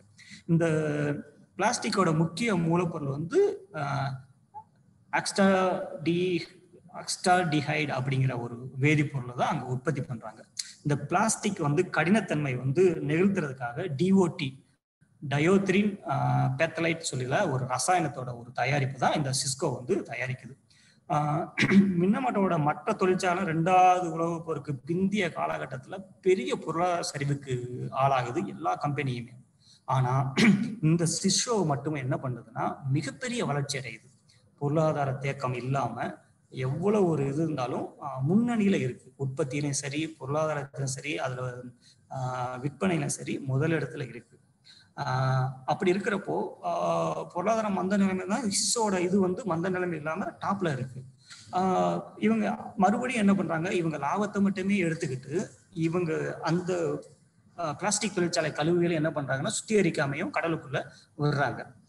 இப்போ இந்த சிஸ்கோட கூட்டு தாமனத்திலிருந்து அந்த வெளியேற கழிவுகள் தான் இந்த மின்னமாட்டாவையும் தள்ளாட வைக்கிறதுங்கிறது அதுக்கப்புறமா ஆராய்ச்சி பண்ணி எப்போ ஆயிரத்தி தொள்ளாயிரத்தி ஏழு ஆரம்பிச்சது ஆயிரத்தி தொள்ளாயிரத்தி முப்பத்தி ரெண்டு முப்பத்தி ரெண்டு முப்பத்தி நாலு என்ன பண்றாங்கன்னா இந்த டிசீஸ் ரொம்ப வேகம் எடுக்கவும் ஆராய்ச்சி பண்ணி அப்பதான் கண்டுபிடிக்கிறாங்க. இந்த சிஸ்ஸோ வந்து கம்பெனி தான் இந்த கழிவுகள்லாம் கடலுக்குள்ள விட்டு அதனாலதான் மக்களுக்கு இவ்வளவு பெரிய பாதிப்பு அப்படின்ட்டு. ஆனாலும் எந்த கம்பெனி தான் ஒத்துக்கிறது எந்த தொழிற்சாலை தான் நாங்க தான் தப்பு பண்றோம்னு ஒத்திக்கிட்டது கிடையவே கிடையாது. அவங்க என்ன சொல்றாங்கன்னா எங்க கம்பெனிக்கும் இந்த கழிவுகளுக்கும் எந்த சம்மந்தமே கிடையாது. நாங்க சூழ்நிலையில எதையுமே சிதைக்கல அப்படின்னு சொல்லி எல்லா இடத்துக்கும் போய் அவங்க ப்ரூவ் பண்றாங்க. நாங்க எந்த தப்புமே பண்ணல அப்படின்ட்டு. மக்களும் ஒரு திரட்டி இதுக்கு எதிராக போராடுறாங்க. முடியலை. ஆயிரத்தி தொள்ளாயிரத்தி ஏழுல ஆரம்பிச்சு ஆயிரத்தி தொள்ளாயிரத்தி ஐம்பத்தி மூணுலயும் ஒரு போராட்டம் நடக்குது. ஐம்பத்தி மூணுல தான் ஆராய்ச்சி பண்றாங்க. இதுக்கு காரணம் இதுதான் நிரூபிக்கிறாங்க. அப்படி இருந்துமே அவங்க என்ன பண்ணிட்டாங்க? நாங்க காரணமே கிடையாதுன்ட்டாங்க. அது போக ஏற்கனவே கொசவான்னு சொல்லி அந்த டாக்டரோட ஆய்வுகளையும் அவர்கிட்ட இருந்து வாங்கி அவரையும் மாத்தி பிறல் சாட்சியம் சொல்ல வச்சுட்டு இதுக்கு காரணம் இது கிடையாது நீதிமன்றம் சம்மதிச்சு மறுபடியும் கம்பெனி வந்து ரன் ஆக ஆரம்பிக்குது. மறுபடியும் ஆயிரத்தி தொள்ளாயிரத்தி ஐம்பத்தி ஒன்பதுல குமோமோட்டோ பல்கலைக்கழக விஞ்ஞானிகள் தான் என்ன சொல்றாங்கன்னா இந்த கழிவுகளுக்கும் இந்த மின்னமோட்டா நோய் அதான் அந்த மக்களுக்கு வர்ற நோய்க்கு பேர் மின்னமோட்டா டிசீஸ்ன்னு சொன்னோம் இல்லையா? அதுக்கும் இடையால அந்த அந்த ஒரு இதை வந்து விளக்குறாங்க. இது எப்படி விளக்குறாங்கன்னா இந்த கழிவுகள் இருக்க இதுல வந்து பாதரசம் மெர்க்குரி மீத்தைல் மெர்க்குரி இது வந்து ஃபர்ஸ்ட் மெர்க்குரி தான். இந்த மெர்க்குரி வந்து கடல்ல கடல் முகத்துவாரங்கள்ல கலக்குறப்போ அங்க பாக்டீரியா இருக்கு இல்லையா? அந்த பாக்டீரியனால இந்த மெர்க்குரி வந்து மெத்தைல் மெர்க்குரிங்கிற ஒரு ஆபத்தான ரசாயனமாக வந்து மாறுது. அப்படி ஆபத்தான ரசாயனம் மாறதுனால இது என்ன பண்ணுதுன்னா கடலோட மிதக்கிற உயிரியோட ஆஹ் உயிரியை வந்து கடலை மிதக்கிற உயிரை வந்து மீன் சாப்பிட்றப்போ அந்த உயிரி மேல படைஞ்சிருக்கிற இந்த மெத்தைல் மெர்க்குரி வந்து மீனுக்கு உணவா போயிருது. இத மீன் உணவா போறதுனால அது செரிக்கிற அளவு தான் செரிக்கும் மீதியெல்லாம் அங்கே அங்க தங்கிடும் இதை மனிதர்கள் சாப்பிட்றப்போ என்ன ஆகுதுன்னா இந்த மீத்தைல் மெர்க்குரி நம்ம கழிவுகளோட வெளியே வராம அப்படியே உடம்புக்குள்ள தங்கிருது. இந்த வேதி கொஞ்சமா இருந்தால் பரவாயில்ல. அந்த மெர்க்குரிங்கிறது பாதரசம் வந்து ரொம்ப ஒரு பெரிய ஒரு டிசீஸ் வராது இது சேர்ந்து சேர்ந்து சேர்ந்து மக்களுக்கு வந்து இவ்வளோ ஒரு பாதிப்பை வந்து உண்டாக்குது. இப்போ என்னன்னா அதுக்கப்புறமா இந்த அறிக்கை வெளியே வந்த உடனே இதுக்கு காரணம் மின்னமட்ட டிசீஸ் காரணம் இந்த கழிவுகள் இந்த ஆய்வக சிஸ்ஸோ கம்பெனி வெளியே விடக்கூடிய இந்த கழிவுகள் தான் அப்படின்னு சொல்லி ஆராய்ச்சி முடிவு வெளியே வந்த உடனே எல்லா மக்களுமே என்ன பண்றாங்கன்னா நஷ்டஈடுக்காக போராட்டம் பண்றாங்க. நம்ம தெரியுமே அங்க இருக்கிற ஆட்களை கூப்பிட்டு கொஞ்சம் லஞ்சம் கொடுத்து இதை வந்து அப்படியே மறைக்கிறாங்க. மறைச்சு இந்த டாக்டரையும் நம்ம பிரல் சாட்சி சொல்ல வச்சு இது பண்ணிட்டாங்க. அதுக்கப்புறமா ஆயிரத்தி தொள்ளாயிரத்தி அறுபத்தி ஒன்பதுல என்ன பண்றாங்கன்னா சிஸ்ஸோ இந்த சிஸ்ஸோ கம்பெனிக்கு எதிர் ஆயிரத்தி தொள்ளாயிரத்தி அறுபத்தி ஒன்பதுல நீதிமன்றத்துல தாக்கல் பண்றாங்க. அவங்களும் இந்த கம்பெனியை வந்து நாங்க நிறுத்தி விட்டதா சொல்லிட்டாங்க. நிறுத்தி விட்டா சொல்லி அங்க ஆய்வுக்கு போறாங்க. ஆய்வுக்கு போறப்போ என்ன பண்றாங்கன்னா கிட்டத்தட்ட இருபது டன் கழிவுகள் வந்து கடல்ல வந்து கலந்துருக்கு. இப்போ இந்த இருபது டன் இது இருக்கிறப்போ இப்ப என்ன ஆகுதுன்னா நஷ்டேடு கேட்டும் போராட்டம் பண்ணிட்டு இருக்கு. இவங்க நஷ்டேடு கொடுக்க முடியாதுன்னு சொல்லிட்டு இருக்காங்க. அதே சமயம் மின்னமாட்டாவுக்கு பக்கத்துல இருக்கிற ஒரு நகரத்துல ஆயிரத்தி தொள்ளாயிரத்தி எழுவத்தொன்னுல என்ன நடக்குதுன்னா இதே மாதிரி ஒரு ரசாயன தொழிற்சாலை கழிவுகள் வெளியாகி மிகப்பெரிய சீர்கேடு ஏற்பட்டுறப்போ அது இதை விட கொஞ்சம் மக்கள் அடர்த்தி அதிகமான பகுதி. அந்த மக்கள்லாம் கொதிச்சிருந்து பெரிய போராட்டம் ஆரம்பிச்ச உடனே மறுபடியும் இவங்களுக்கு நம்மளும் இதே மாதிரி போராடணும்னு சொல்லி மறுபடியும் இவங்க என்ன பண்றாங்கன்னா மிகப்பெரிய போராட்டத்தை முன்னெடுக்கிறாங்க. அப்படி இருக்கிறப்போ அமெரிக்கால இருந்து லைஃப் ஜேர்னல் பத்திரிகையோட ஆசிரியர் ஈஜுன் ஸ்மித்ங்கிறவர் இவர் எப்படின்னா ஜப்பானிய பொண்ணை வந்து கட்டியிருக்காரு. கட்டிட்டு இருக்கிறப்போ அவர் என்ன பண்றாருன்னா அங்கிருந்து இங்க வர்றாரு. அஹ் அமெரிக்கால இருந்து சூழ்நிலை தொடர்பான அந்த கட்டுரை எழுதுறதுக்காக இங்க வந்து கள நிலவங்கிறத பார்த்து எல்லா புகைப்படங்களும் எடுத்து சப்மிட் பண்றாரு. உலக மக்களுக்கெல்லாம் தெரிய வருது. எப்படின்னா ஆயிரத்தி தொள்ளாயிரத்தி ஐம்பத்தி ஆறுல ஒரு ரெபோக்கோ அப்படின்னா ரெபோக்கோ யுசிமுராங்கிற ஒரு பதினாறு வயசு பொண்ணு அவங்க அம்மா குளிப்பாட்டுறப்போ அவ மனசு உரி அந்த எடுத்த படம் உலக அந்த படம் வந்து உலக உலகத்தையே உலுக்கிருச்சு அந்த படம். இந்த விவகாரம் வந்து என்ன பண்றோம்னா ஆயிரத்தி தொள்ளாயிரத்தி எழுபத்தி மூணுல மறுபடியும் உச்ச நீதிமன்றத்துக்கு போகுது. உச்ச நீதிமன்றம் போறப்போ மறுபடியும் நஷ்டீடு வந்து அவ்வளவா கொடுக்க முடியாதுன்னு சொல்லி ஒரு சிறு அளவு நஷ்டீடு தான் கொடுக்குறாங்க. அதை ஏத்துக்கிட முடியாதுன்னு போராடுறாங்க. அப்படி போராடுறப்போ அந்த போராட்டத்துல ஒருத்தர் என்ன பண்றாருன்னா ஓங்கி அந்த அந்த போராட்டம் அந்த ஒப்பந்தம் நடைபெற இடத்துல வந்து ஓங்கி குத்துறாரு. குத்தி அந்த கண்ணாடி நாடியெல்லாம் உடைக்கிறப்போ அவங்க பயந்து போய் நஷ்டீட்டு தொகையை வந்து கொஞ்சம் அதிகரிச்சு கொடுக்குறாங்க. இப்போ மக்களை முடமாக்கி சீரழிச்சாச்சு. இப்போ ரெண்டாம் உலக போர் முடிவுக்கு வந்து எல்லாமே தீவிரமா செயல்பட்டு இருக்கிறப்போ மிகப்பெரிய ஒரு இது வந்து எல்லா தளத்துலையும் இந்த போராட்டங்கள் வெளிவர ஆரம்பிச்சிருச்சு. இதுக்கு மேல நம்ம தப்பிக்க முடியாது அப்படின்ட்டு உச்ச நீதிமன்றம் போறப்போ இதோட நடவடிக்கையோட பின்னணியில யார் இருக்கான்னா ஜப்பானிய அரசாங்கம் இருக்கு. ஏன்னா அவங்கதான் வணிகத்துக்காக இது எல்லாத்தையுமே திறந்து விட்டது. ஜப்பான் அரசாங்கமும் போராட்டத்துக்கு இறங்கி வந்துருச்சு. இறங்கி வந்து ரெண்டாயிரத்தி நாலுல தான் என்ன ஆகுதுன்னா இவங்களுக்கான சரியான நஷ்டீடு வழங்குறதுக்காக தீர்மானம் பண்றாங்க. ஆயிரத்தி தொள்ளாயிரத்தி ஏழுல ஆரம்பிச்ச ஒரு கம்பெனினால நஷ்டீடு பாதிக்கப்பட்ட மக்களுக்கெல்லாம் நஷ்டீடு எப்போ வருது? ரெண்டாயிரத்தி நாலுல வருது. அப்போ இருக்கிற மக்கள் தொகையில கிட்டத்தட்ட மூவாயிரம் மூவாயிரம் பேர்ல பாதிக்கப்பட்ட முழுவதும் பாதிக்கப்பட்ட மக்கள் மூவாயிரம் பேர்ல ஆயிரத்தி ஐநூறு பேர் செத்து போயிட்டாங்க. ஆயிரத்தி எழுநூறு பேர் செத்து போயிட்டாங்க. கைகால் இல்லாதவங்க ரொம்ப பேர். அது போக பன்னிரெண்டாயிரம் பேர் வரைக்கும் அந்த மருத்துவ சான்றிதழ் வச்சுட்டு நிவாரண நிதிக்காக இருக்கிறவங்க. இப்போ இப்போ வரைக்குமே அந்த பாதிப்புகள் தொடர்ந்து வந்துகிட்டே தான் இருக்கு. இது வந்து கதை வந்து சூழ்நிலையில ஒரு படிப்பினை தான். ஆனாலுமே மின்னமாட்டாங்கிறது ஜப்பான்ல வந்து ஒரு தொழிற்சாலையை பத்தி நம்ம இவ்வளவு தூரம் பேசிட்டோம். இதே சுற்றுச்சூழல்ல நம்ம இதே தமிழ்நாட்டுல நம்மளுக்கு பக்கத்துல ஆயிரத்தி தொள்ளாயிரத்தி தொண்ணூத்தி ஏழுல எல்லா மாநிலத்திலையும் விரட்டி அடிக்கப்பட்ட ஒரு தொழிற்சாலை ஸ்டெர்லைட் எத்தனை பேருக்கு தெரியும்? சல்பர் டை ஆக்சைடு காத்துல பரவி ரெண்டாயிரத்தி மூணுல எத்தனை பேர் பாதிக்கப்பட்டாங்க? கேட்டா அப்படி ஒண்ணு நடக்கவே இல்லைன்னு சத்தியம் பண்ணுவாங்க நம்ம ஆட்கள். காத்துல பரவல யாரும் மக்கள் இதாகலன்ட்டு. ஆயிரத்தி தொள்ளாயிரத்தி தொண்ணூத்தி ஏழுல இந்த ஸ்டெர்லைட்டை எதிர்த்து நேரடியாக போர் தொடுத்த அரசியலை தாண்டி சுற்றுச்சூழல் அக்கறையில் ஒரே தலைவர் வைகோ அவர்கள். ஆயிரத்தி தொள்ளாயிரத்தி தொண்ணூத்தி ஏழு ஆரம்பிச்ச போராட்டங்கள் அவர் தட்டாத கதவுகள் இல்லை. பசுமை தீர்ப்பாயத்துக்கு மட்டும் பத்தாயிரம் முறை போயிருப்பார். உச்ச நீதிமன்ற படிகளை ஏறிய ஒரே மாபெரும் தலைவர் தலைவர் வைகோ. அவர் போராடாத களங்களே கிடையாது. அதுக்கப்புறமா உயர் நீதிமன்ற தடை வாங்கி அதையும் உடைச்சி அதுக்கப்புறம் உச்ச நீதிமன்றம் போய் எவ்வளவு போராட்டங்கள்? இரண்டாயிரத்தி பதினெட்டுல நடந்த கொடூரங்கள் என்ன தெரியுமா? ஒரு மாநில மக்களையே அந்த மாநில அரசே சுட்டுக் கொள்கின்ற ஒரு அநியாயம் இங்க நடந்துச்சு. நம்ம கேட்டது என்னது? இந்த ஸ்டெர்லைட் இங்க வேண்டாம். இவ்வளவு டன் காப்பர் உற்பத்தி பண்றோம். பண்ணிக்கோங்க. வேற எங்கேயா பண்ணிக்காங்க. இங்க வேண்டாம். அங்க கலை அங்க அவ அந்த காப்பரை மெல்ட் பண்றப்போ அந்த கழிவு எல்லாம் எங்க போய் கொட்டுறாங்க தெரியுமா? அங்கேயே டம்ப் பண்ணி வச்சிருந்து ஒரு கால்வாய் மூலயமாக கடலுக்கு போறதையும் கண்டுபிடிச்சது இதுக்குமேவும் வைகோ சட்ட போராட்டம் நடத்தி நேரடியாக கள ஆய்வுக்கு போய் கண்டுபிடிச்சு அதையும் வெளி உலகத்துக்கு தெரிவிச்சார். அரசியலை தாண்டி நீங்க சிந்திங்க. ஒரு மிகச்சிறந்த சுற்றுச்சூழல் போராளின்னு கூட அவரை சொல்லலாம். இப்ப கடைசியாக இவ்வளவு உயிர் பலிக்கு அப்புறமா இப்பதான் மேடம் இந்த ஸ்டெர்லைட்டை திறக்கக்கூடாதுன்னு தடை பண்ணியிருக்காங்க அதுவும் போக இப்ப மின்னமாட்டால நடந்ததை நான் இங்க அதே ஸ்டெர்லைட். அங்க நடந்தது அந்த அரசாங்கம் இங்கேயும் நடக்கிறது அதே தான் நம்ம அரசாங்கமேவும் நம்மளோட குரல் வலையை நெருக்கிது. அது போக இப்போ ரீசண்டா துரை வைகோ நீங்க பரிச்சயம் இல்லாத பேரா இருக்கலாம் வச்சுக்கோ முட்டுக்காடுங்கிற ஒரு பகுதியில இது முட்டுக்காடு எப்படின்னா பேக் வாட்டர் முகத்துவாரம் சொல்லுவாங்கல்ல கடல் அரிப்பு அதாவது எ- எப்படி சொல்றேன்னா ஆறு வந்து கடல்ல கலக்கக்கூடிய ஒரு பகுதி. கடல் பொங்கி வர்றப்போ இது தடுக்கிறது தான் அந்த பேக் வாட்டர் ரிசர்ச்னு சொல்றது.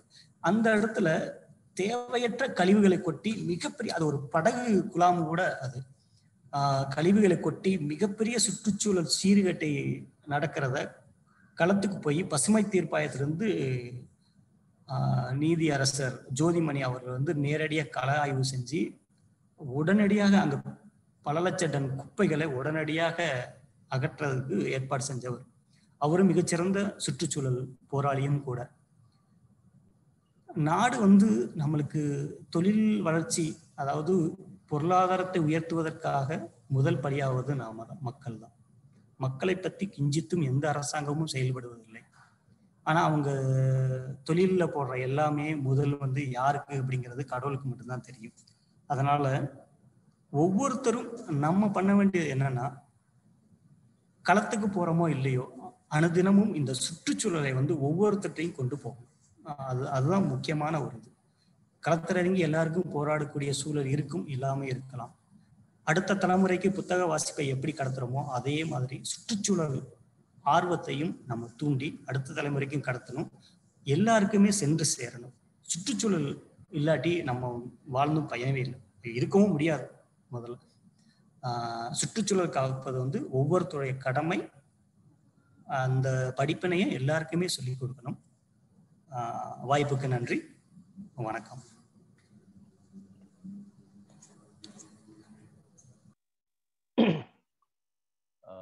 ரொம்ப சிறப்பு ஜெயமோகன் ரொம்ப நன்றி. முக்கியமா நீங்க ஜப்பான் நிகழ்வை தமிழக நிகழ்வோடு இணைத்து கொண்டு முடிச்சுங்க பாத்தீங்களா? அந்த நிறைவு ரொம்ப அற்புதம். ஸ்டெர்லைட்டை பொறுத்தவரை ஆஹ் அது என்ன சொல்றது? ஒரு பெரிய பொருளாதார பலம் பொருந்திய ஒரு பெரிய விளையாட்டு. இட்ஸ் அ கேம் அங்க வந்து நாம நினைக்கிற மாதிரி காப்பர் உற்பத்திக்காக மட்டுமே அந்த தொழிற்சாலையை அவங்க நடத்திடணும்னு அவங்க அவ்வளவு போராடலை. நூற்றுக்கணக்கான டன் தங்கம் அதாவது இதுல வந்து பை ப்ராடக்ட்ஸ் வரும்.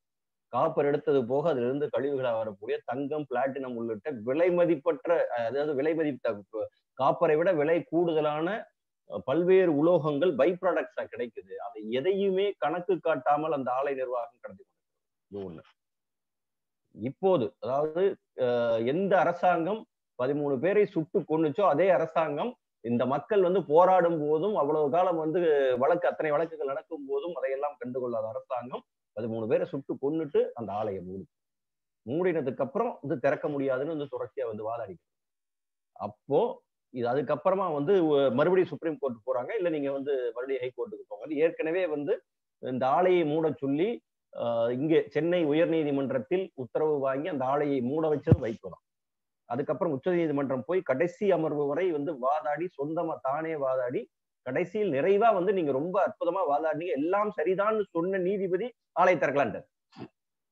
எல்லாத்தையும் வந்து உங்க வாதம் எல்லாம் சரின்னு ஏத்துக்கிட்டாரு. எப்படி வந்து நீங்க வந்து பாபர் மசூதியை இடித்தது தவறு ஆனா அந்த இடம் வந்து அந்த ராம் லல்லாவுக்கு சொந்தம் அப்படின்னு சொல்லி ஒரு தீர்ப்பை ஒரு ஜட்ஜ் எழுதினாரோ அதே மாதிரிதான் இந்த வழக்குலயும் வந்து நீங்க வாதாடினதெல்லாம் சரிதான். ஆனா அந்த ஆலய திறக்கலாம் ஒரு நீதிபதி ஜட்மெண்ட் இருக்காரு. நம்ம நாட்டுல நீதி அப்படித்தான் இருக்கு.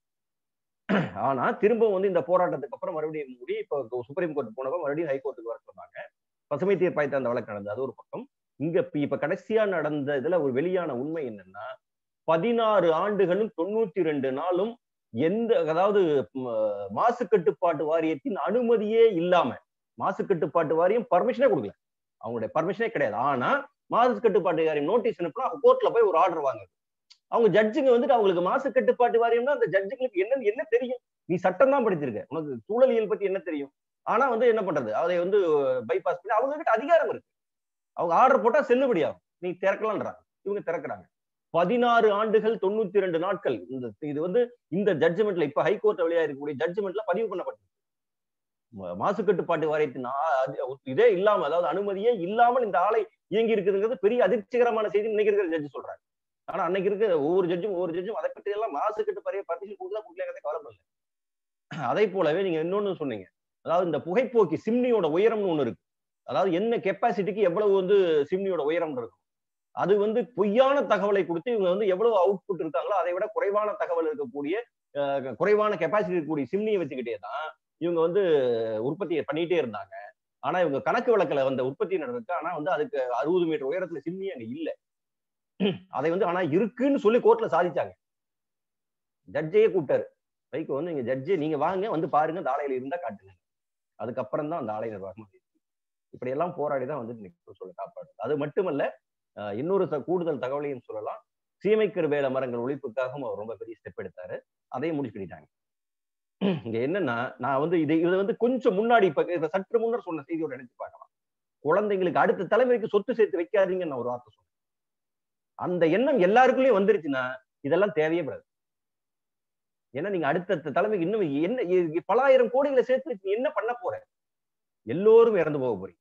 மாற்று அதுல வந்து யாராவது வந்துட்டு நான் சம்பாதிச்ச சொத்த பூரா சாப்பிட்டு தான் சாவணும் எவனுமே கிடையாது. எல்லாரும் ஒரு நாளைக்கு கண்டிப்பா மரணத்தை தழுவ போகிறோம்.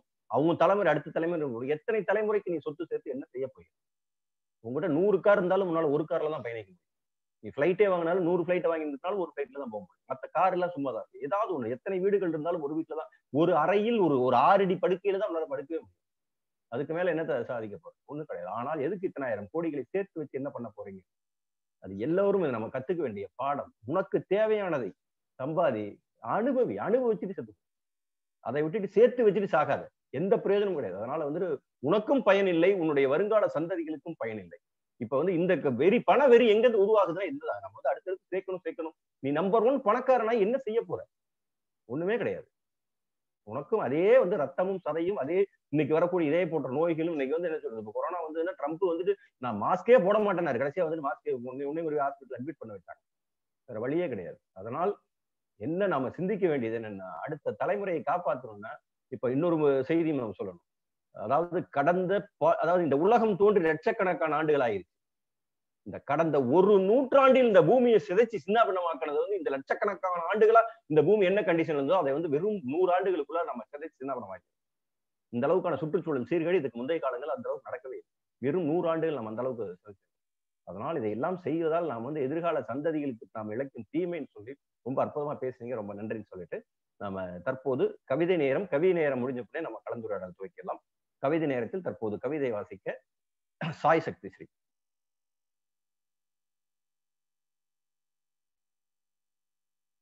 ஆஹ் அண்ணா வணக்கம். அண்ணா இன்னைக்கு நான் என்னோட ஒரு கவிதை படிக்க போறேங்கண்ணா.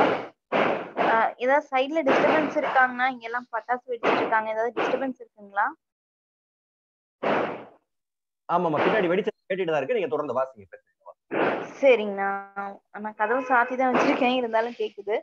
ஆஹ் படிக்கிறேங்கண்ணா. என்னோட கவிதையோட தலைப்பு பார்த்தீங்கன்னா ஜவ்வு மிட்டாய். சீவி அலங்கரித்த சிங்காரி பல பலன்னு ரவிக்குக்காரி ஊர்வலமா போறாளே. உச்சாணியில் ஏறிக்கிட்டு ஒய்யாரமா நின்னுக்கிட்டு குதிச்சு குதிச்சு போறாளே. உச்சாணியில் ஏறிக்கிட்டு ஒய்யாரமா நின்னுக்கிட்டு குதிச்சு குதிச்சு போறாளே. தோளில் பைய மாட்டிக்கிட்டு கலர் ஆடை போட்டுக்கிட்டு கைய தட்டி போறாளே.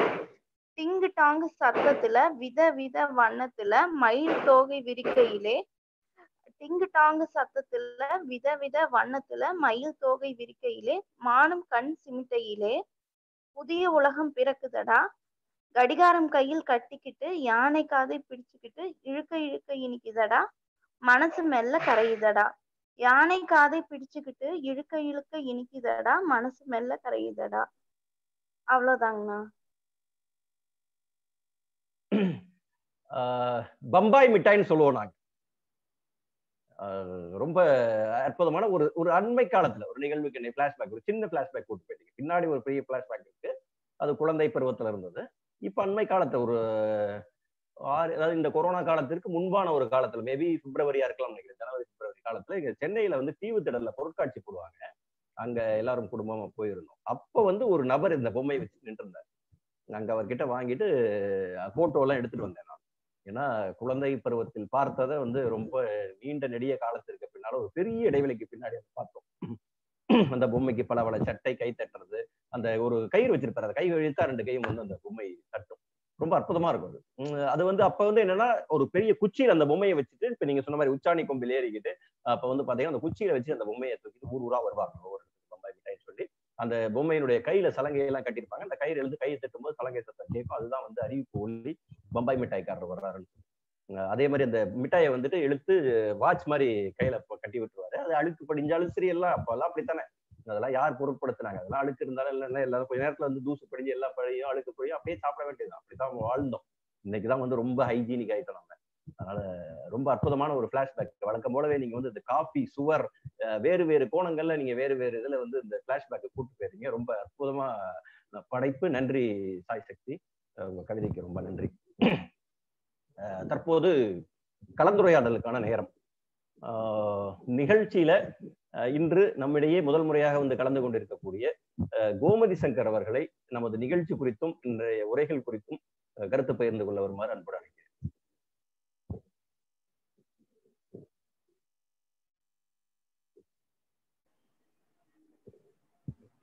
வணக்கம் அனைவருக்கும் கேக்குதுங்களா கேக்குது சார் தொடர்ந்து பேசு அஹ் சகோதரி பூங்கொடி அறிமுகப்படுத்தி இந்த நுழைபுறத்துக்கு நான் இன்னைக்கு இந்த உங்களுடைய கலந்துரையாடலில் கலந்துக்கிட்டேன். அவங்களுக்கு முதல்ல ஒரு நன்றி. பொதுவாக இவ்வளவு நீண்ட ஒரு இணைய தொடர் வந்து இப்போதான் நான் பார்க்குறேன். ஒரு நூறு நிமிடங்கள் அதிகமாக இருக்கும். சில சமயம் கொஞ்சம் போகலாம். ஒன்றரை மணி நேரம் ஒரு ரெண்டு மணி நேரம் கூட போகும். இப்போ கொஞ்சம் ரொம்ப நேரம் போகுது. இதுல பாத்தீங்கன்னா ஆரம்பத்துல ஒரு இருபது பேர் இருந்தாங்க இப்போ பதினாலு பேர் தான் இருக்காங்க. ஒரு இருபத்தி ரெண்டு பேர்கிட்ட இருந்தாங்க. இதை கொஞ்சம் கவனிங்க. இன்னும் கூட கொஞ்சம் நேரத்தை சுருக்கலாமா? இது என்னுடைய சின்ன அபிப்பிராயம். நீங்க யோசிச்சுக்கிடலாம். அப்புறம் முதல்ல அந்த குழந்தைகளை பத்தி சொல்லுவோம். இன்னைக்கு கவிதைகளை கதைகள் இதெல்லாம் வந்து குழந்தைகிட்ட இருந்து வர்றது வந்து ஒரு நல்ல விஷயம். அந்த செல்போன்லயும் லேப்டாப்லயும் முடங்கிக்கிட்டு இருக்கிற அந்த குழந்தைங்களை பேச வச்சு கதை சொல்ல வச்சு கவிதை பாட வச்சு ரொம்ப சந்தோஷம். அது நீங்க தொடர்ந்து இந்த உங்களுடைய இணையதளத்துல இந்த கூட்டங்கள்ல இன்னும் அதிகமா கொண்டு வரணும். ரொம்ப சந்தோஷம். அதுல இந்த தவ மிட்டாய் கவிதை கடைசி வாய்ச்சாங்கல்ல மனசு மெல்ல கரையுதுடா. உண்மையிலே ரொம்ப மெல்ல கரைஞ்சுதுங்க அது. ரொம்ப அருமையான ஒரு கவிதை நல்ல ஒரு அருமையான கவித்துவம் மிக்க வரி அது. மனசு மெல்ல கரையிறது. பொதுவா அந்த விஞ்ஞானிகள் அதாவது வேதியில பாத்தீங்கன்னா கரை திறன் ஒவ்வொரு திரவத்துக்கும் ஒரு கரை திறன் இருக்கும். தண்ணீர் தான் அதிகமான கரை திறன் கொண்ட ஒரு திரவம்னு சொல்லுவாங்க. மற்றதெல்லாம் அதுக்கு அடுத்தா தான் அந்த தண்ணீர்ல கூட எல்லா பொருளும் உடனே கரையிறது மெதுவாக தான் கரையும். அது உள் உள்வாங்கிற பிறகுதான் நமக்கு கரையிறத உணர முடியும். ஃபென்டாஸ்டிக் அந்த குழந்தைக்கு நல்ல பாராட்டுக்கள். அடுத்தது நான் மற்றதெல்லாம் பேசுறதுக்கு முன்னக்கூட்டி நம்ம ஜெயமோகனுடைய விஷயம் அந்த சொற்பொழிவை பற்றி அந்த உரையை பற்றி பேசணும்னு நினைக்கிறேன். நான் ஒரு கடற்கரைக்காரன். எனக்கு சொந்த ஊர் திருச்செந்தூர். நான் அதிகமாக வேலை பார்த்தது தூத்துக்குடி.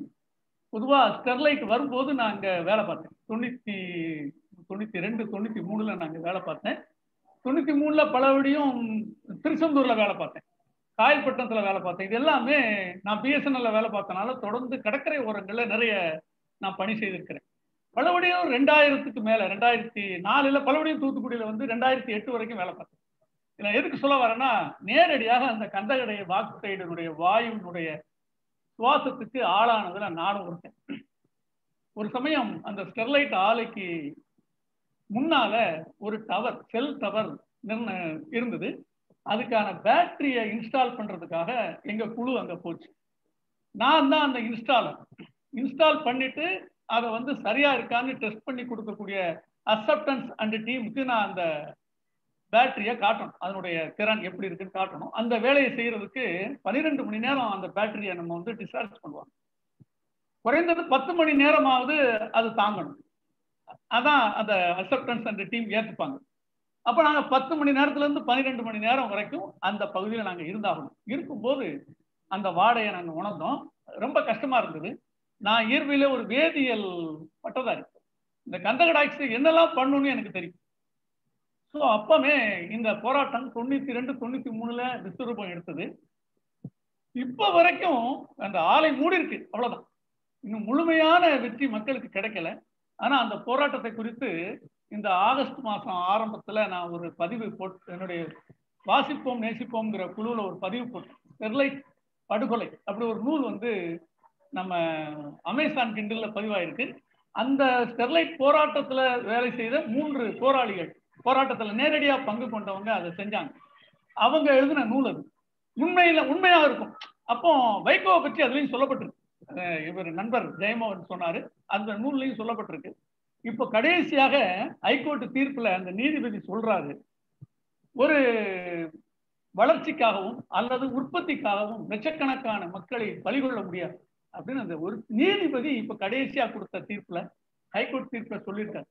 அவங்க மேல்முறையீட்டுக்கு போறாங்க. நான் அதை வந்து என்னுடைய முகநூல்ல எழுதினேன் அந்த பகுதியை. ஒரு சூரனின் ஒரு தலை விழுந்திருக்கிறது. திருச்செந்தூர் கடற்கடையில் அந்த சூர சம்ஹாரம் நடத்துவாங்க. நாலு சூரன் அஞ்சு சூரன் வரிசையா வருவாரு. ஒவ்வொரு சூரனையும் கொல்லுவாங்க. சூரன் என்பது சமூகத்தில் ஒரு அநீதியை குறிக்கிறது. அந்த அநீதியை கொல்லுவதற்கு மக்களுடைய திரள் தான் அது செய்ய முடியும். ஒரு திரள் ஒரு தலையை மட்டும்தான் இப்ப வீழ்த்தி இருக்கிறாங்க சுப்ரீம் கோர்ட் மேல்முறையீடுங்கிறது அடுத்த தலை. பார்க்கலாம். மக்கள் வெற்றி அஹ், மக்களுக்கு வெற்றி வந்து பக்கத்துல வந்திருக்க மாதிரி நான் நம்புறேன். அந்த நம்பிக்கையை கொடுத்ததனுடைய ஒரு உரை திரு. ஜெயமோகனுடைய உரை அவருடைய அந்த ஜப்பான் விஷயம் நான் கேள்விப்பட்டதுல ரொம்ப ஆச்சரியமா இருந்தது. இது புதுசு. இப்போ இதை வந்து அறிமுகப்படுத்திருக்கிறார் இந்த புஸ்தகத்தை நிச்சயமா நான் வாங்கி வாசிப்பேன். இன்னொரு விஷயம் இதே போன்றது நம்ம திருநெல்வேலி ஓரத்தில் உள்ள கடற்கரைகள்ல உவரி பெரியதாளை கூடுதாலை இந்த பகுதியில நடக்கக்கூடிய மண் சுரண்டம். அந்த கனிம மண் மலத்தை சுர சுர- சுரண்டுவதற்காக அவங்க வந்து அந்த மக்கள் போராடும் போது அவங்க ஒரு வாக்குறுதி கொடுத்தாங்க. இந்த மணல் பகுதியில் உள்ள இருக்கக்கூடிய அந்த ஆலைக்கு வேலைக்கு உங்களே வச்சுப்போம். உங்களுக்கு எல்லாம் செய்வோம். ஸ்டெர்லைட்லயும் இந்த இந்த வாக்குறுதியை கொடுத்தாங்க. அப்போ இந்த வாக்குறுதிகள் வந்து அந்த மக்களுடைய போராட்டத்திலிருந்து அவர்களை அப்புறப்படுத்துவதற்காக. ஆனால் உண்மையிலே நடந்தது என்ன? அந்த மக்களை அந்த பகுதியில் இருந்து இந்த ஆலைகள் அப்புறப்படுத்தி விட்டன. இது இன்னும் அதிகமாக பேசப்பட வேண்டிய விஷயம். நன்றி திரு ஜெயமோகன். இதை முதல்ல நான் சொல்லிடணும். நேரம் பேரக்கூடாதுக்கான அந்த இதை முதல்ல எடுத்தேன். இப்போ நம்ம அந்த கவிதை வாசிச்சாங்க இல்லையா? கோமலா. அந்த கவிதைகளில் வந்து அஹ் காலச்சுவடு வெளியிட்டிருக்குன்னு சொன்னாங்க. சமகால அணுகுமுறைகள் அந்த கவிதையில் இருக்குன்னு சொன்னாங்க. அதை அவங்க வாசிக்கவும் செஞ்சாங்க. எனக்கு ஒரு பாரதியோட ஒரு வார்த்தை ஞாபகம் வந்தது. கொள்ளை இன்பம் புலவு கவிதை. அஹ் ஒரு கவிதையானது கொள்ளை இன்பத்தை புலவு கவிதை என்பது குலவிக் கொண்டே இருக்க வேண்டும். அது நேற்று நேற்றும் குலவ வேண்டும் இன்றும் குலவ வேண்டும் நாளையும் குலவ வேண்டும். ஒரு வினைத்தொகை தமிழ்ல சொன்னா. இந்த குலவு கவிதைங்கிற வார்த்தையை பார்த்தீங்கன்னா அந்த கவிதையானது தொடர்ந்து நம்மை வந்து ப- தொந்தரவு செய்ய வேண்டும். அடுத்த கட்டத்துக்கு நம்ம எடுத்து சொல்ல வேண்டும். இந்த கதை இந்த கவிதைகள் அதை செய்யும் என்பது போல அவர்கள் அந்த கவிதையை பற்றி சொன்னார்கள். அதுல அந்த அறிமுகமான ஒரு கவிதை அந்த தலைப்பை சொன்னார்கள் அல்லவா? ஆட்டுதி அமுதே. அதானே? சரிதானே நான் சொல்றது? ஆட்டுதி அமுதே. ஓகே. அந்த கவிதையை வந்து கம்பராமாயணத்தினுடைய ஒரு இதுல இருந்து எடுத்தாங்கன்னு சொன்னாங்க. கொஞ்சம் பொருத்தமா இருந்தது. மிக எனக்கு பிடித்த கவிதை அவங்க சொன்னதுல அந்த சிக்கனை பிடித்தல். அந்த கவிதை எனக்கு ரொம்ப பிடிச்சிருந்தது. இது வந்து திருவாசகத்திலிருந்து எடுக்கப்பட்ட சொல். சிக்கனை பிடித்தேன் எங்கு எழுந்து எழு அரு எங்கு எழுந்து அருள்வது இனியன்னு சொல்லும். அதாவது இறைவனை போய் நான் பிடிச்சு வச்சுக்கிட்டேன் நீ எங்க போய் எழுந்துட போறேன்னு அப்படின்னு இந்த கவிதை நம்மை சிக்கனை பிடித்திருக்கிறது. மிக நல்ல ஒரு அருமையான வாசிப்பு. அவர்களுக்கு வாழ்த்துக்கள். அடுத்தது கோமலா அவர்களுடைய அந்த கட்டுரை புத்தகம். பெரியாரையும் அம்பேத்கரையும் காந்தியையும் கூட அவர்கள் சொன்னார்கள். அஹ் திரு லிங்கம் அவர்கள் அதை தொடர்ந்து பின்னூட்டமாக சொன்னபோது காந்தியையும் நேதாஜியும் கூட மக்கள் மறந்து விட்டார்கள். அம்பேத்கரையும் பெரியாரையும் நினைவு வைத்திருக்கிறார்கள் என்று அவர் குறிப்பிட்டார். நினைவு வைத்துக் கொள்ள வேண்டும். அவர்கள் இன்னும் எத்தனை தலைமுறைக்கு அவர்கள் நினைவாக இருக்க வேண்டும் என்பது நிச்சயமான ஊடகமாக அதை சொன்னார்கள். இப்போதும் கூட சமூகத்தில் நடக்கக்கூடிய விஷயம் வந்து எதிர் வினையாடல் என்று நான் நினைக்கிறேன். இந்த அம்பேத்காரியத்தையும் பெரியாரியத்தையும் பேசுபவர்களிடம் இருந்து அவர்களை அதிலிருந்து அப்புறப்படுத்துவதற்காக மற்றவர்கள் செய்கிறார். அதாவது அம்பேத்காரிய பெரியாரிய விரோதிகள் செய்யும் எதிர்வினையாடலில் நாம் சிக்கிக்கொள்ளக்கூடாது என்று நான் ஒரு எச்சரிக்கையாக அன்புடன் சொல்லிக் கொள்கிறேன் நாம் சிக்கிக்கொள்கிறோம் என்பது போல தோன்றுகிறது எனக்கு சிறிது நாளைக்கு முன்பால அந்த கந்த சஷ்டி கவசம் நடந்த அந்த விவகாரத்திலையும் அதுதான் நான் உணர்ந்தேன். இப்போதும் கூட மனுஸ்ருதி எரிப்புங்கிற விவகாரத்திலே நான் அதை உணர்கிறேன். அது ஒரு மெல்லிய எச்சரிப்பாக நான் உங்கள் முன்னே சமர்ப்பிக்க கடமைப்பட்டிருக்கிறேன். அந்த எதிர் விளையாடலில் நாம் அப்புறப்படுத்துகின்ற ஆபத்து அப்புறப்படுத்தப்படுகின்ற ஆபத்து இருக்கிறது என்பதை நான் இங்கே குறிப்பிட விரும்புகிறேன். என்னை ஒரு இந்த கலந்துரையாடலில் முதலில் பேச சொன்னதற்கு மிகுந்த அன்பும் நன்றியும். நான் அதிகமாக நேரம் எடுத்துக்கொள்வதாக நீங்கள் நினைத்திருந்தால் என்னை மன்னித்துக் கொள்ளுங்கள். உங்களுடைய நிகழ்ச்சி எனக்கு மிகவும் பிடித்திருந்தது. நன்றி வாழ்த்துக்கள். வணக்கம். ரொம்ப மகிழ்ச்சி சார். ரொம்ப ரொம்ப மகிழ்ச்சி. நீங்க முதல்ல வந்து நிகழ்ச்சியில வந்து கலந்து கொண்ட வேகம் ஏன்னா நீங்க ஒரு தீவிரமான வாசிப்பாளர். கிட்டத்தட்ட ஒரு இரண்டரை மணி நேரம் அளவிற்கு உங்களுடைய முழுமையான ஈடுபாட்டோடு இந்த நிகழ்ச்சியில் உட்கார்ந்து ஒவ்வொருவருடைய வாசிப்பையும் ஒவ்வொருடைய கருத்துக்களையும் நீங்க முழுமையா கேட்டு அதை வந்து எங்களுக்கு பதிலுரையா கொடுத்து ரொம்ப மகிழ்ச்சி. நீங்கள் நிகழ்வில் கலந்து கொண்டமைக்கும் நன்றி. தொடர்ந்து நீங்க சொன்ன மாதிரி அந்த நேரம் வந்து சொன்னீங்க இல்லையா? அப்ப என்னன்னா இன்றைக்கு நான் முதலே குறிப்பிட்ட மாதிரி கொஞ்சம் இந்த விடுமுறை காலம் அப்படிங்கறதுனால பெரும்பாலும் வந்து நிகழ்வுகள்ல வழக்கமா வந்து கடைசி நேரத்துல கொஞ்சம் எண்ணிக்கை குறையிறது வழக்கம் தான் வழக்கமாக ஒரு முப்பது பேர் நாற்பது பேர் அது வரைக்கும் இருந்தாலும் அந்த கடைசியில கொஞ்சம் குறையிறது வழக்கம் தான் ஆனா இன்றைக்கு அந்த ஒரு கூடுதல் காரணமாகவும் இருக்கு. கண்டிப்பா வந்து நிறைய பேர் வந்து கொஞ்சம் முன்னாடியே விலை காட்டலாம் இனி வரும் காலங்களில் கண்டிப்பா வந்து அந்த நேர கட்டுப்பாட்டையும் நாங்கள் கவனத்தில் எடுத்துக்கோம். ரொம்ப நன்றி உங்களுடைய கருத்துக்களுக்கு. அடுத்ததா நம்மிடையே கருத்துரை வழங்க மருது ஆறுமுகம். முதல்ல கை உயர்த்திருந்தார் மன்னிக்கவங்க மருது ஆறுமுகம். இப்போ நீங்க பேசலாம்.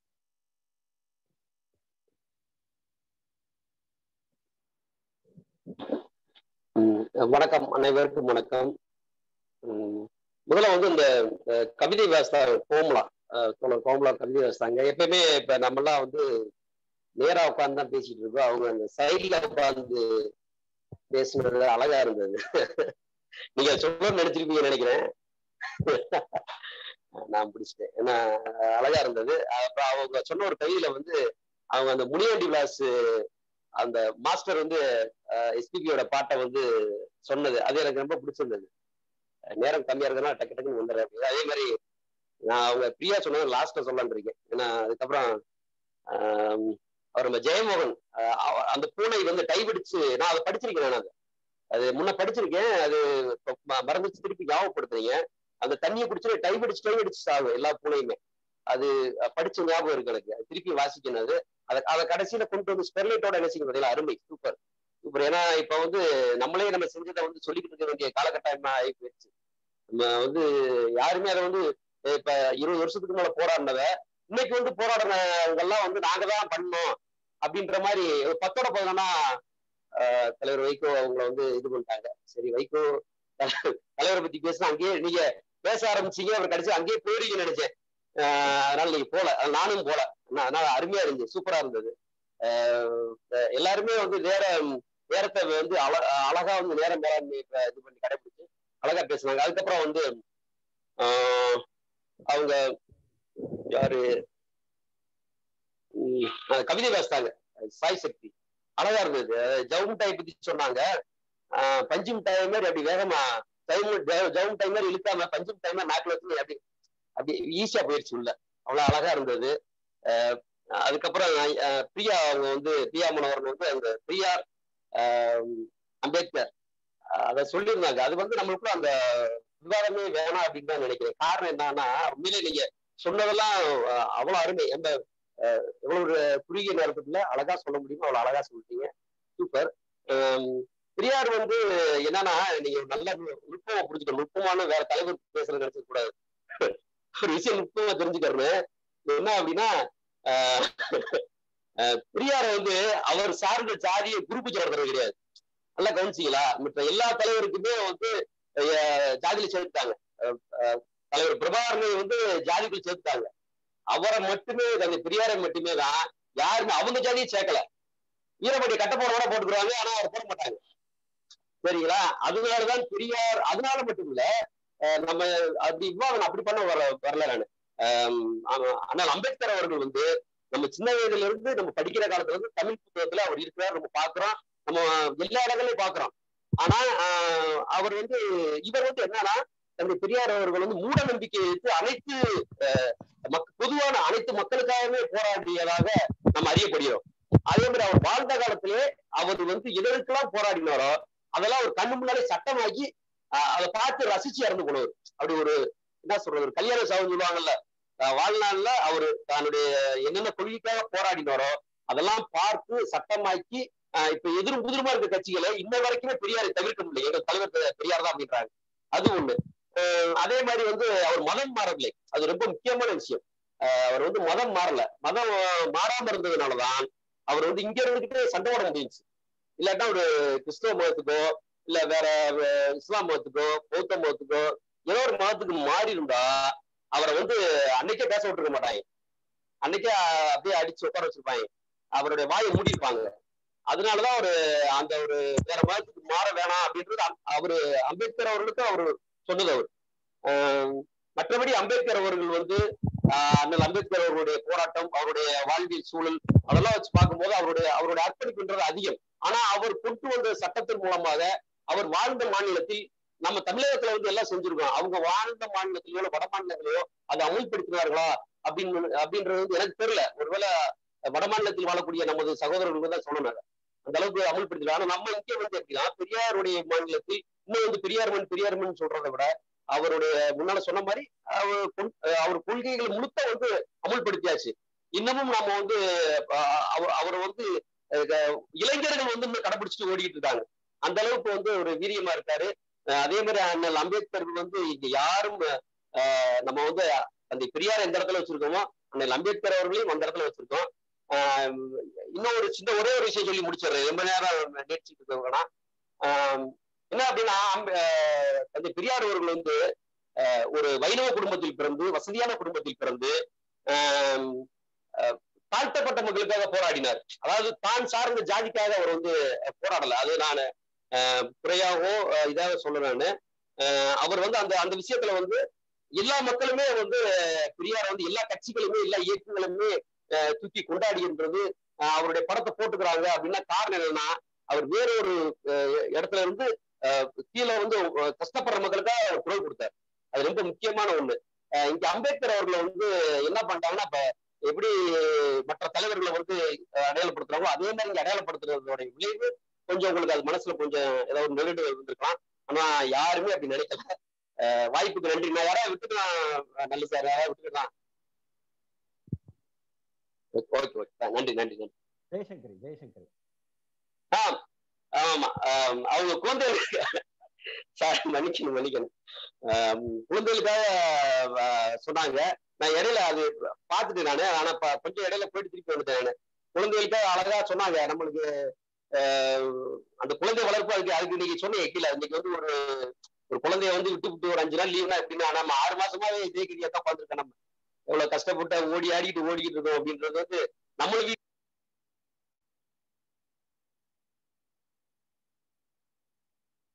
அவங்க அழகா வந்து அந்த குழந்தைகளுக்கான நிகழ்வை வந்து குழந்தைகளுக்கான விஷயங்களை வந்து அழகா சொல்லியிருக்காங்க. கட்டாயம் அந்த புத்தகத்தை வாங்கி படிக்க வேண்டும் என நான் நான் பார்த்தேன். கட்டாயம் வாங்கணும். வாங்கி படிக்க வேண்டும் என்ற ஆவலை ஏற்படுத்தியிருக்காங்க.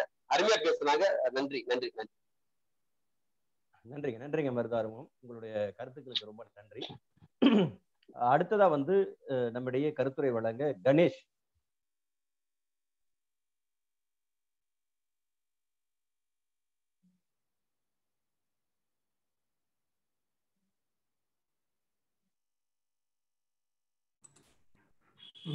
கேக்குதாங்க? ஆ கேட்குது சார். நான் ஆக்சுவலாக முகநூல் குரூப்பில் தான் அது மூலியமா தான் உங்களுக்கு தெரிஞ்சது எனக்கு. அதுக்கப்புறம் உங்கள் வாட்ஸ்அப்பில் சேர்ந்தேன். ஸோ அதில் பார்த்து தான் சரி ஜாயின் பண்ணலாம்னு சொல்லிட்டு. எனக்கு ஒரு மூணு கருத்து இருக்கு. நிகழ்ச்சி எல்லாமே நல்லா இருந்தது. இவர் சொன்ன மாதிரி தான் மருது சொன்ன மாதிரி தான் பெரியார் வந்து அம்பேத்கருக்கு எழுதின கடிதத்தில் அப்பயே சொல்லிட்டாரு.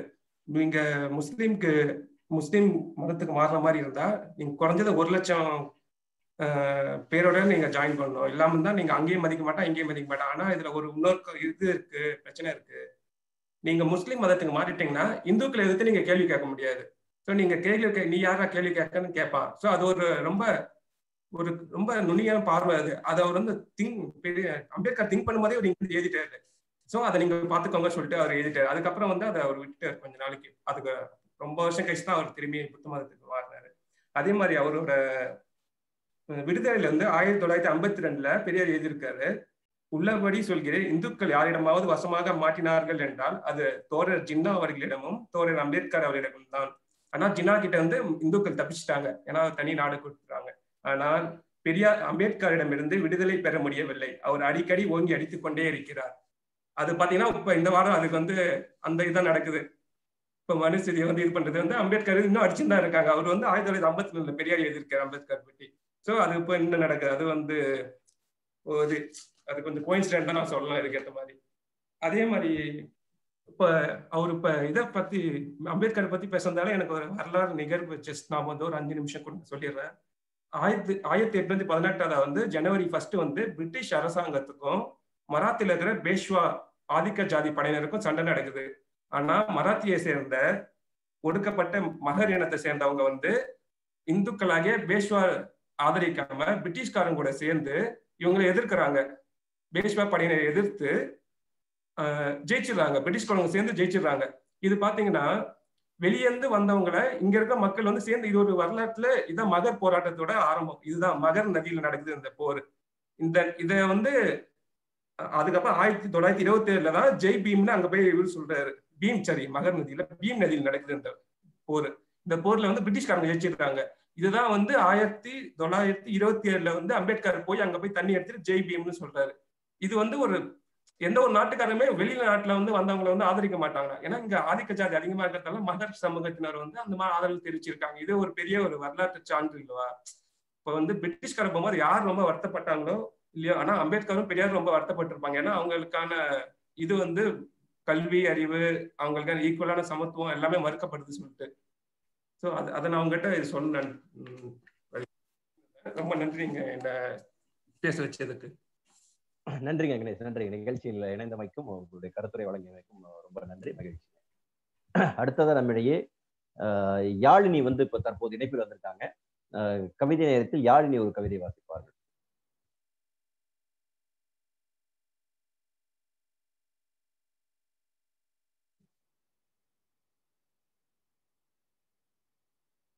யாழினி? இணைப்பு கிடைக்குதா? ஹலோ வணக்கம். வணக்கம் யாழினி வாசிங்க உங்க கவிதையை வாசிங்க.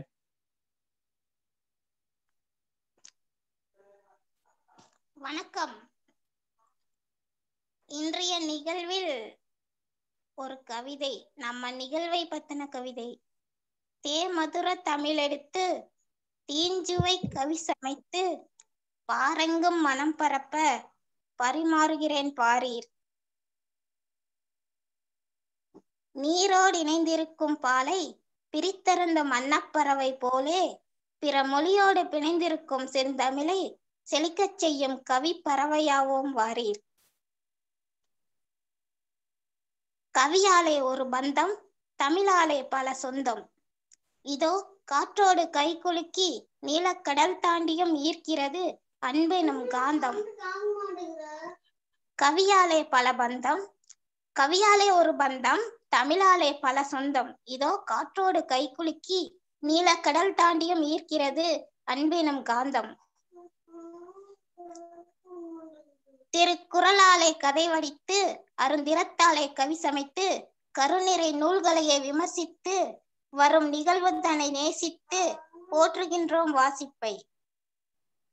தெள்ளு தமிழ் சிறப்பது வானுயர வளரவே பேச்சிலும் வீச்சிலும் ஏட்டிலும் பாட்டிலும் காட்டிலும் கார்பரேட்டிலும் முதன்மையாய் கொண்டாடுவோம் கேளீர். நன்றி.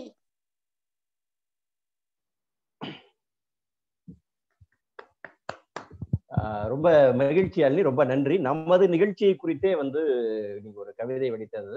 ரொம்ப சிறப்பு ரொம்ப நன்றி. அதுல இன்னொரு முக்கியமான செய்தி என்னன்னா பல மொழி கலப்பில் இருக்கக்கூடிய தமிழை பிரித்தெடுத்து போற்றி வளர்ப்போம் அப்படின்னு சொன்னது ரொம்ப அற்புதம் ரொம்ப மகிழ்ச்சி ரொம்ப நன்றி. அடுத்ததா நம்மிடையே கருத்துரை வழங்க காசி அவர்கள். காசியை தொடர்ந்து பொற்குடி சுகாஷினி.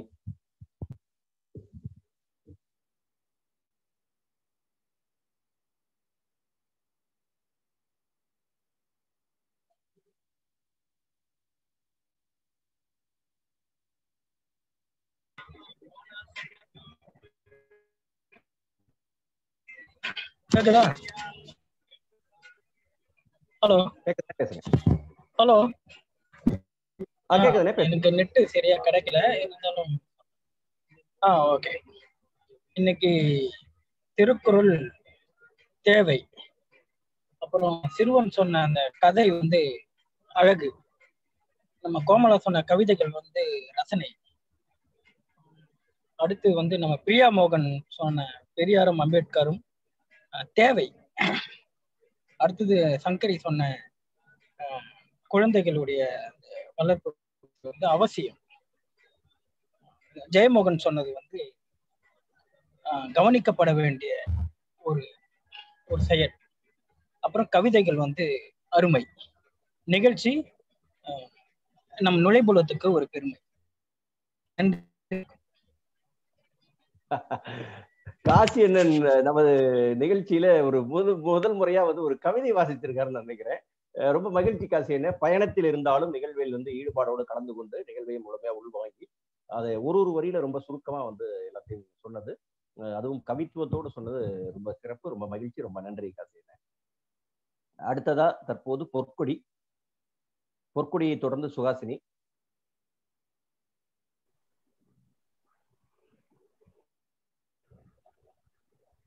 வணக்கம் அனைவருக்கும். இந்த நிகழ்ச்சி வந்து நாலு விதமா ஒரு ஒவ்வொரு விதத்துல நம்மள அத போக வச்சுட்டாங்க இன்னைக்கு. முதல்ல ரெண்டு குட்டி பசங்க ரொம்ப அழகா கதை சொன்னாங்க. ஃபர்ஸ்ட் கோமலா டீச்சர் அவங்க வந்து கவிதையை ரொம்ப நையாண்டியோடைய ரசிச்சு முதல் முதல்ல கவிதையை ரசிக்கும் போது என்ன ஒரு ஃபீல் வரும் அப்படிங்கறத வந்து ரொம்ப அழகா அவங்க வாசிச்சாங்க. கவிதைகளும் ரொம்ப அருமையா இருந்துச்சு. அடுத்து பிரியா பேசுனது வந்து இந்த விஷயம்லாம் வந்து நான் இப்ப தெரிஞ்சுக்கிட்டேன். பெரியார் எல்லாம் வந்து நான் படிக்காம இருக்கிற விஷயங்கள் வந்து நிறைய நம்ம நுழைபடத்துல வந்த பிறகு தெரிஞ்சுக்கிறது வந்து எனக்கு இன்னும் நிறைய இருக்கு. இது ஆரம்பமா வச்சுக்கிறேன் இதெல்லாம் வந்து ரொம்ப அழகா சொன்னாங்க அவங்க. அடுத்து சங்கரி பேசுறது வந்து குழந்தைகளை எப்படி வளர்க்கணும் அப்படிங்கிறது வந்து இன்றைய தேவை எப்படின்றத வந்து ரொம்ப நல்லா சொன்னாங்க. இந்த எல்லாத்துக்குமே தேவை நம்ம அடுத்த தலைமுறையை உருவாக்குறது மட்டும்தான் அப்படிங்கறத வந்து எவ்வளவு எல்லாம் பண்ணணும் அப்படிங்கறத வந்து அவங்க சொல்றாங்க. ஒரு அம்மாவா அவங்களுடைய மனசுக்குள்ள பயத்தை இருக்கிறத வந்து நல்லா இருக்கிறாங்க வளர ஒரு வளர்க்குற குழந்தைய வச்சுட்டு இருக்கிற ஒரு அம்மாவோட கவலை எப்படிலாம் இருக்கும்ன்றது வந்து அவங்களுடைய பேச்சுல இருக்கு. ரொம்ப அருமையானது. அடுத்து வந்து ஜெயமோகன் அவர்கள் பேசின குவில் க- கட்டுரை வந்து ஒரு கட்டுரையிலேயே இவ்வளவு யோசிக்க வச்சுட்டாரு நம்மள. அதுல வந்து மொத்தம் எழுபதோ நாற்பதோ சொன்னாங்க. சரியா நினைவில்லை எனக்கு. அத்தனையும் படிக்கிறப்போ நமக்கு என்ன ஆகும் அப்படிங்கறத வந்து நினைக்கும் போதே எனக்கு இருக்கு. அதெல்லாம் இருந்தாலும் எல்லாத்தை விட எனக்கு எனக்குள்ள ஒரு எப்பவுமே ஒரு கேள்வி வருது. ஏன் இப்படி அழிச்சிட்டு அவங்க எல்லா பணத்தையும் வச்சுட்டு என்ன பண்ணுவாங்க? இப்போ அவங்க இருக்கிற வரைக்கும் சேஃப் அப்படின்னு நினைச்சு இன்னொரு இடத்துல போயிட்டு ஒரு எல்லாத்தையும் அழிக்கிறாங்க எல்லாம் பணம் சேர்த்துக்கிறாங்க. அவ்வளவு பணம் சேர்த்து என்ன பண்ண போறாங்க? அந்த- அந்த இடமும் அழிஞ்சிடும் இல்லையா இப்போ? அவங்க இடம் அவங்க வரைக்கும் சேஃப்னு ஒவ்வொருத்தரும் சுயநலமா யோசிக்கிறாங்க.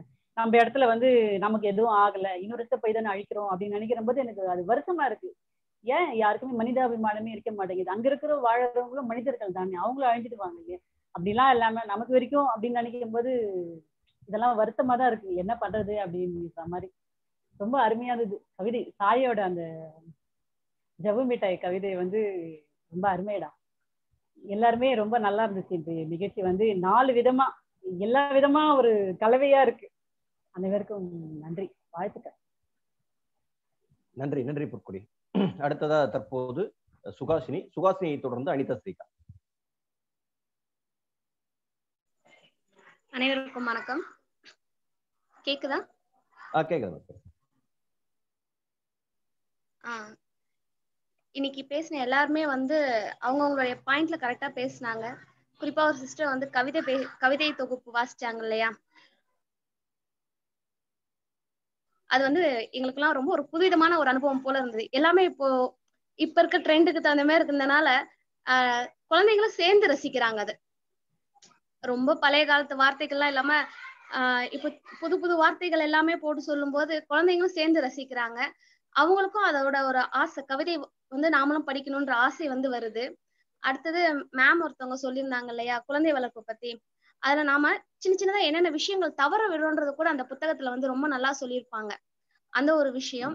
அதுக்கப்புறமா வந்து நம்ம பிரியா மேம் சொன்னாங்க. அவங்க வந்து எப்பயுமே ரொம்ப சூப்பரா தான் பேசுவாங்க. இன்னைக்கும் அதே மாதிரி ரொம்ப ஷார்ட் அண்ட் ஸ்வீட்டா என்னென்ன பாயிண்ட் நமக்கு வந்து புரிய வைக்கணுமோ அது எல்லாத்தையும் கரெக்டா சொல்லி கொடுத்துட்டு போயிட்டாங்க. ஜெயமோகன் அண்ணாவும் சரி சூப்பரா அவருடைய கட்டுரையை வந்து எவ்வளவு அழகா நமக்கு வந்து புரியுற மாதிரி சொல்ல முடியுமோ எல்லாத்தையுமே சொன்னாரு. ரொம்ப நல்லா இருந்தது இன்னைக்கு நிகழ்வு. வாய்ப்பளித்தமைக்கு நன்றி. நன்றி தற்போது சொல்லுங்க. தேங்க்யூண்ணா நன்றி நன்றி தற்போது அனிதா ஸ்ரீகாந்த். எல்லாருக்கும் வணக்கம். முதல்ல நான் சாயுன அந்த ஜவு ஜவ்வு மிட்டாயை பத்தியே சொல்லிடுறேன். ஏன்னா எங்க ஊர்ல ஏழு மணிக்கு அந்த ஜவ்வு மிட்டாய் வண்டி வரும்போது ஒரு இருபத்தஞ்சு பைசா ஐம்பது வீசாவை தூக்கிட்டு நானும் என் தங்கச்சியும் ஓடி வாங்குவோம். சக்தி சொன்னது நல்லு சொன்ன மாதிரி பம்பாய் மிட்டாய். ஜவு ஜவ்வு மிட்டாய் வந்து சக்கரை பாகில் இடையில தேங்காய் பத்தை எல்லாம் போட்டு பண்றது ஏலக்காய் எல்லாம் போட்டு அதுக்கு ஒரு தனி ருசி. அது இப்ப வரதே கிடையாது. பம்பாய் மிட்டாயாவது ஏதாவது பொருட்காட்சி கட்சியில நம்ம பார்த்து வாங்கிடலாம். ஆனா ஜவ்வு மிட்டாயை இது வரைக்கும் நான் குழந்தைகளுக்கு கதையா தான் சொல்லியிருக்கிறேன் இன்னும் சா குழந்தைகளுக்கு நான் வாங்கி கொடுத்தது கிடையாது. அதனால கொஞ்சம் நாங்க அந்த நிகழ்வு நினைவுக்கு போயிட்டு வந்துட்டோம். அப்புறம் யாழினி சொன்னது ரொம்ப அருமையா இருந்தது. நம்மளோட நுழைப்புறத்தை பத்தியே அவங்க சொன்னது ரொம்ப அழகா இருந்தது. அப்புறம் கோமலக்கா சொன்ன கவிதை. அதை வந்து நான் ரொம்ப ரொம்ப ரொம்ப ரொம்ப ரசிச்சேன். அப்புறம் கடைசியா சொன்ன அந்த கவிதை வந்து ரொம்ப மனசுல பதிஞ்சுது. அப்போ நல்லு சொல்லியிருந்தாரு ஒருவேளை இப்ப போலியோ இப்ப இருக்கா இல்ல? அவர் வந்து அந்த கவிதை எழுதினவர் வந்து சின்ன வயசுல பார்த்த ஒரு காட்சியா இருக்கலாம்னு. சின்ன வயசுல வந்து ஸ்மார்ட் போன் கிடையாது. அவர் ஸ்மார்ட் போன் பத்தி தான் பேசியிருந்தாரு. ஒருவேளை சின்ன வயசுல அந்த நம்ம கையில கொண்டு போற ரேடியோ வச்சு பாட்டு கேட்டு ஒருவேளை அந்த குழந்தை அப்படி ஆட்டி இருக்கலாம் சந்தோஷமா இருந்திருக்கலாம் அப்படிங்கறத சொல்லிக்கிறேன். அப்புறம் சங்கரி சொன்னது வந்து ரொம்ப சூப்பரா இருந்தது. அதுல ஒரே ஒரு கருத்தை மட்டும் நான் சொல்ல விரும்புறேன். சங்கரி சொல்லியிருந்தாங்க ஒவ்வொரு குழந்தைக்கும் வந்து அவங்களோட அம்மாவும் பெத்தவங்க தான் வந்து அந்த குழந்தையோட ஆர்வம் என்ன அந்த குழந்தைக்கு என்ன பிடிக்கும் அப்படின்னு தெரிஞ்சுக்கணும் அப்படின்னு அந்த புத்தகத்துல எழுதியிருக்கிறதா சொல்லியிருக்காங்க. ஆனா ரெண்டரை வயசுல ஒரு குழந்தைய கொண்டு வந்து பள்ளிக்கூடத்துல சேர்க்கறாங்களே அப்ப அந்த குழந்தைக்கு அந்த ரெண்டரை வயசு வரைக்குமே அவங்களால அந்த குழந்தைய பாத்துக்க முடியலையா? என்னுடைய கேள்வி அதுதான். ஏன்னா எல்லாரும் வந்து ஒரு அவசர உலகத்துல இருக்காங்க. ஹஸ்பண்டும் வேலைக்கு போகணும் ஒய்ஃபும் வேலைக்கு போகணும். அப்ப அந்த குழந்தைய யார் பாத்துக்குவா? இன்னொன்னு என்ன எதிர்காலத்துக்கு சேர்த்து வைக்கிற அவர் சொன்ன மாதிரி அந்த மாதிரி நம்ம குழந்தை நல்லா படிக்கணும். அந்த சிலபஸ்ல படிக்கணும் இந்த சிலபஸ்ல படிக்கணுங்கிற ஒரு ஒரு அதிகப்படியான ஒரு ஆர்வம்.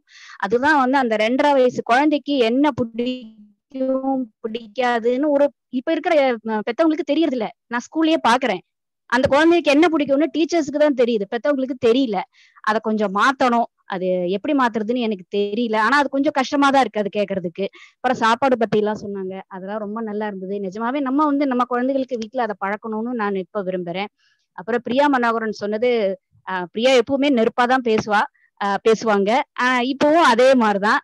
நானே ஒரு இதுல பதிவுல அம்பேத்கர் சகாப்தம்னு போட்டதுக்கே என்ன வந்து நீங்க அந்த ஜாதியான்னு கேட்டாங்க. அதுக்கு பதில் கொடுத்துட்டேன் நானு. அதாவது அப்ப ஒரு ஜாதிய தலைவரா தான் அவரை பார்க்கறாங்களே தவிர ஒரு போராட்டக்காரராவோ ஒரு நம்ம இதுக்காக பாடுபடுறாங்களோன்னு இன்னும் யாரும் பாக்குறது இல்ல அது கொஞ்சம் கஷ்டமா தான் இருக்கு. பெரியாரை பத்தி சொல்லணும்னா எனக்கு அவரை பத்தி பேச முடியல. ஏன்னா அந்த அளவுக்கு ஒரு இது.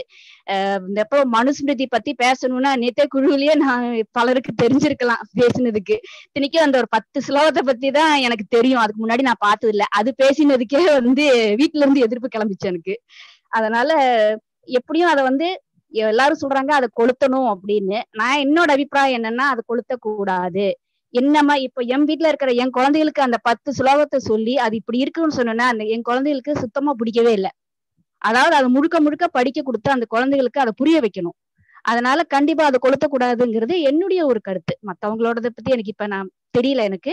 என்னுடைய கருத்து அது. இப்படி படிக்க கொடுத்து அவங்க எப்படி நம்மள இது பண்ணியிருக்காங்க நம்மளை எப்படி அடிமைப்படுத்தி வச்சிருக்காங்க கேவலப்படுத்தி வச்சிருக்காங்க அப்படிங்கறத வந்து இப்ப இருக்கிற ஜெனரேஷனுக்கு நம்ம வந்து தெரியப்படுத்தணும். அப்புறம் அந்த ஜெனரேஷன் கையில நம்ம முடிவை கொடுத்துடணும். உங்களால என்ன பண்ண முடியும்? இதுக்கு எதிர்ப்பா நீங்க என்ன செய்யணும்? அப்படின்னு அந்த குழந்தைங்க கையில நம்ம கொடுக்கணும். ஏன்னா நம்ம அடுத்த ஜெனரேஷனை நம்ம தான் இனிமே ஸ்ட்ராங் ஆக்கணும். அதுல நான் கொஞ்சம் தீவிரமா இருக்கேன். அப்புறம் இவர் ஜெயமோகன் பேசினது எனக்கு ரொம்ப அதை கேட்கும்போது இப்போ அந்த வந்து அந்த கொரோனா பிரச்சனை தான் எனக்கு கண்ணு முன்னாடி வந்துட்டு போகுது. வீட்டுக்குள்ளேயே உட்காந்து ஒரு கிருமி கண்ணுக்கு தெரியாத ஒரு கிருமி எப்படி பாடுபடுத்துதுன்னு அதே மாதிரி அந்த ஒரு தொழிற்சாலையோட கழிவு எப்படி அவங்களெல்லாம் இம்சப்படுத்தி இருக்கோம்னு கண்ணு முன்னாடி இப்பவும் பார்த்துட்டு தான் இருக்கோம் நம்ம. அதுவும் ரொம்ப அருமையா இருந்தது. அப்புறம் அவ்வளவுதான். இல்லை எனக்கு வாய்ப்பு கொடுத்ததுக்கு ரொம்ப நன்றி. நன்றி அனிதா. நீங்க வந்துட்டு முன்னாள் பம்பாயிலே இருந்து இந்த பம்பாய் மிட்டாய் பத்தி ரொம்ப அருமையா பேசுறீங்க. அப்புறம் இந்த நீங்க சொன்னபடிதான் வந்துட்டு அந்த டங்கா மாதிரி ஊதாரி பாட்டு ஒரு நாலஞ்சு வருஷத்துக்கு முன்னாடி வந்து சரியா? அப்ப வந்து அந்த காலம் சரிதான். அதாவது நான் சொன்னது என்னன்னு பாத்தீங்கன்னா இப்ப ஒரு கடந்த ஐந்து ஆண்டுகளில் போலியோ இல்லாத நாடாக நம்ம உருவாகி. இந்த ஆண்டுகளில் அஹ், இந்தியா முழுக்க எங்கேயுமே போலியோ வந்து பதிவாகவில்லை. அதை வச்சுதான் வந்து டபிள்யூஹெச்ஓ வந்து போலியோ இல்லாத நாடுன்னு சொல்லி அறிவிச்சிருக்காங்க. அப்ப அந்த சிறுவன் வந்து நான் சொன்னது அந்த சிறுவனுக்கான வயது. அப்ப இன்னும் கொஞ்சம் வந்து அதாவது குழந்தையாக கிடைக்கிறான் சிறுவன் சொல்லியிருப்பாரு. அப்பதான் அந்த பையனுக்கு வந்து வயசு வந்து சிறுவனா இருக்கக்கூடிய வயசு ஆனா ஒரு குழந்தை போல கிடக்கிறான்னு சொல்லியிருப்பாரு. அஹ் ரொம்ப நன்றி. உங்களுடைய கருத்துக்களுக்கும் ரொம்ப நன்றி. அஹ் அடுத்ததா வந்து அஹ் நம்மிடையே கருத்துரை வழங்க அதாவது தன்னுடைய ஏன்னா இப்ப நிகழ்ச்சியில பேசினவங்களும் ஒரு சில வார்த்தைகள் பேசினாங்க இல்லையா? கோமலா நம்மிடையே சில கருத்துக்களை பகிர்ந்து கொள்வார்.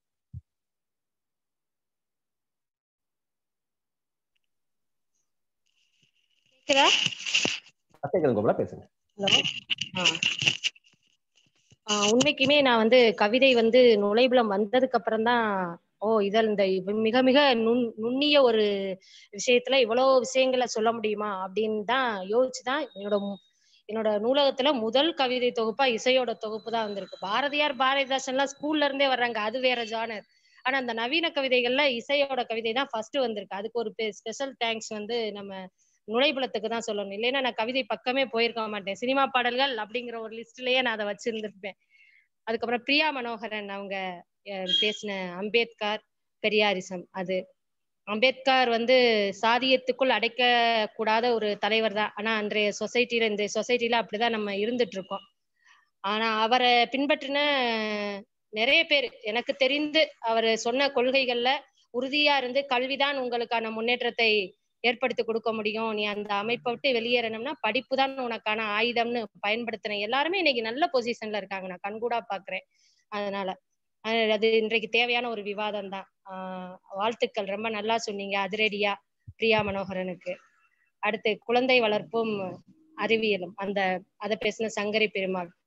அது சார் சொன்ன மாதிரி நல்லு சார் சொன்ன மாதிரி அது குழந்தைகள் வளர்ப்புங்கிறது வந்து ஒரு ஒரு பெரிய கலை. அது வந்து இன்னைக்கு தேவையானதும் கூட இன்றைய சூழல்ல ஆறு மாதமாக பள்ளிக்கூடத்திற்கு போகாம உள்ளுக்குள்ளேயே வீட்டுக்குள்ளேயே இருக்கக்கூடிய குழந்தைகளுக்கு செல்போனும் தொலைக்காட்சியும் தவிர வேற எதுவும் இல்லை.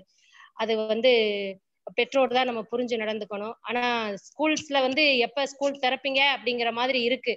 எங்களுக்கே இருக்க பிடிக்கல. எப்படிதான் வந்து பிள்ளைங்க இருக்காங்களோ அப்படிங்கிற நிலைமை இருக்கு. பிள்ளைங்களோடய பழகுன எங்களுக்கு பிள்ளைங்க எல்லாமே ரொம்ப கஷ்டமாவும் இருக்கு. குழந்தை வளர்ப்புல வந்து ஒவ்வொரு பெற்றோரும் தெரிந்து கொள்ள வேண்டிய ஒரு புத்தகமா அதை இன்ட்ரடியூஸ் பண்ணாங்க. அதுக்கப்புறம் வழக்கம் போல நம்ம ஜெயமோகனோட ஏழாம் மொழி சூடியல் சூழியல் தொடர்பான ஒரு கட்டுரை. அவரு சொல்றதுக்கு அவரு எப்படி சொல்றதுன்னே தெரியல. அவர் பேசுற ஒவ்வொரு வாரமும் அவர் பேசுறத கேட்கையில ஜெயமோகனுக்கு வந்து ஒரு கிரேட் சல்யூட் தான். அவரு தொடர்ந்து செயல்பாட்டாளராகவும் இருக்கிறாரு. பிரியாவும் அவங்களும் தொடர்ச்சியா தன்னோட தளத்துல வந்து இயங்கிக்கிட்டே இருக்காங்க பேசுறதோட இல்லாம அப்படிங்கிறது ஒரு சிறப்பான ஒரு விஷயம். வாழ்த்துக்கள் ஜெயமோகன். அப்புறம் கவிதைகள் சொன்ன சாய் சக்தி திருக்குறள் கதைகள் சொன்ன எல்லாருக்குமே வந்து யாழினி எல்லாருக்குமே என்னுடைய வாழ்த்துக்கள். மிக அருமையாக சென்று கொண்டிருக்கிறது. இருபத்தி மூணு வாரங்களாக இந்த லாக்டவுன் காலத்துல ஒரு மிகப்பெரிய ஒரு சக்சஸ் இந்த நுழைபலம் குழு. அதனால வாழ்த்துக்கள் நல்லு சார். ஸ்பெஷல் தேங்க்ஸ் உங்களுக்கு அப்புறம் அட்மின்களுக்கும். நன்றிங்க நன்றிங்க கோமலா ரொம்ப நன்றி. முக்கியமா வந்து நல்ல வேலையா நான் சொல்லல அந்த கோணத்தை நான் ரொம்ப ரசிச்சேன். அதாவது நீங்க அந்த சைடா வந்து வச்சிருந்தது அதை ஏன்னா கவிதை வாசிக்கிறதுக்கு ரொம்ப ஏற்புடையதான கோணமா இருந்தது. நீங்க நூல் வாசிக்கிறதுக்கு இந்த பக்கம் இருந்தது. அது நல்ல வேலையை நான் சொல்லலை. ஏன்னா காசி அண்ணனும் மருதும் வந்து எப்பவுமே சொல்லுவாங்க. நான் சொல்ல நினைக்கிறதெல்லாம் அவர் சொல்லிடுறாரு. நல்ல வேலையை நீங்க சொல்லாம இருந்தப்ப அவர் சொல்றதுக்கு ஒரு வாய்ப்பா இருந்தது. மகிழ்ச்சி. அதை போலவே அந்த கவிதைகளை வாசிக்கும் போது நீங்க எந்த அளவுக்கு ரசிச்சிங்கிறது உங்களுடைய அஹ் முகம் காட்டுச்சு. அதாவது அகத்தின் அழகு முகத்தில் தெரியுங்கிறத அந்த உங்களுடைய பாடி லாங்குவேஜும் உங்களுடைய முகத்துல வந்த எக்ஸ்பிரஷன்ஸும் ரொம்ப அற்புதமா வெளிக்காட்டுச்சு. அது ரொம்ப அது ஏன்னா அந்த கவிதை வந்து உங்களை எந்த அளவுக்கு ஈர்த்திருக்கு அப்படிங்கிறத நான் என்னால உணர முடிஞ்சது. ரொம்ப மகிழ்ச்சி. நுழைப்புலம் வாயிலாக நீங்கள் வந்து ஒரு கவிதை வாசிப்பாளராக மாறுறது ரொம்ப மகிழ்ச்சி தற்போது ஜெயமோகன். ஜெயமோகனை அடுத்து பிரியா மனோகரன் நிறைவு செய்யலாம். வணக்கம். நான் கவிதையிலிருந்து ஆரம்பிக்கிறேன். ரொம்ப அவங்கள வந்து நான் க- தனிப்பட்ட முறையில் கேட்டேன். இந்த தடவை நீங்க வாசிங்க அப்படின்ட்டு. உடனே சரி அப்படின்னு சொல்லி ரெண்டு கவிதை புக் போட்டிருந்தாங்க. நான் ஒரு கவிதை புக்கு போதுமே அப்படின்னா ரெண்டுமே அந்த தலைப்பே எனக்கு ரொம்ப கவர்ந்துருச்சு ரொம்ப நல்லா இருந்துச்சு. சரி ஓகே அப்படின்ட்டு அதுல ஒரு கவிதை போனை வந்து கீழ்பாக்கத்துலயும் வச்சேன் மேல் பாகத்துலயும் வச்சேன். நடுவில் பையில வைக்கிறப்போ எனக்கு இதயமே இருந்துட்டு, ரொம்ப ரசிக்க முடிஞ்சது.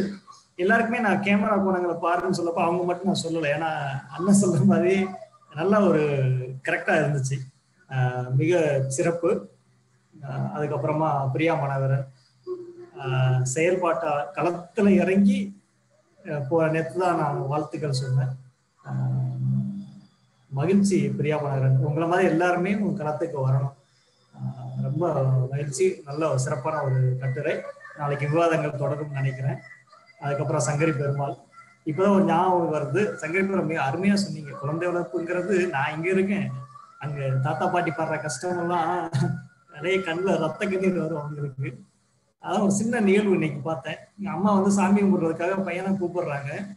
அந்த பையன் சொல்றான் அம்மாட்ட சாமியை நேரம் வச்சுட்டு நான் கும்பிடுறேன் அப்படின்ட்டு. உங்க அப்பாவோட ஜீடு தாண்டா இருக்கும் அப்படின்ட்டு. ஸோ அந்த பொருட்டு பார்க்குறப்போ ரொம்ப அருமையாக இருந்துச்சு. அழகா சொன்னீங்க. வாழ்த்துக்கள். நான் எப்பயும் போல சாய் சக்தி கவிதைகள் யாழினி ஸ்ரீ அருமையாக சொன்னீங்க. திருக்குறள் சௌபர்ணிகா அதுக்கப்புறம் தீக்ஷன் எல்லாமே நல்லா சொன்னீங்க. எல்லாருக்கும் வாழ்த்துக்கள். நன்றி நன்றிங்க ஜெயமோகன் நன்றிங்க. அதற்கு முன்பாக இப்போ பிரியமானவர்களுக்கு முன்பாக சாய் சக்தி நிகழ்ச்சி பத்தி உங்க கருத்து ஏதாவது பகிர்ந்துக்கலாம்.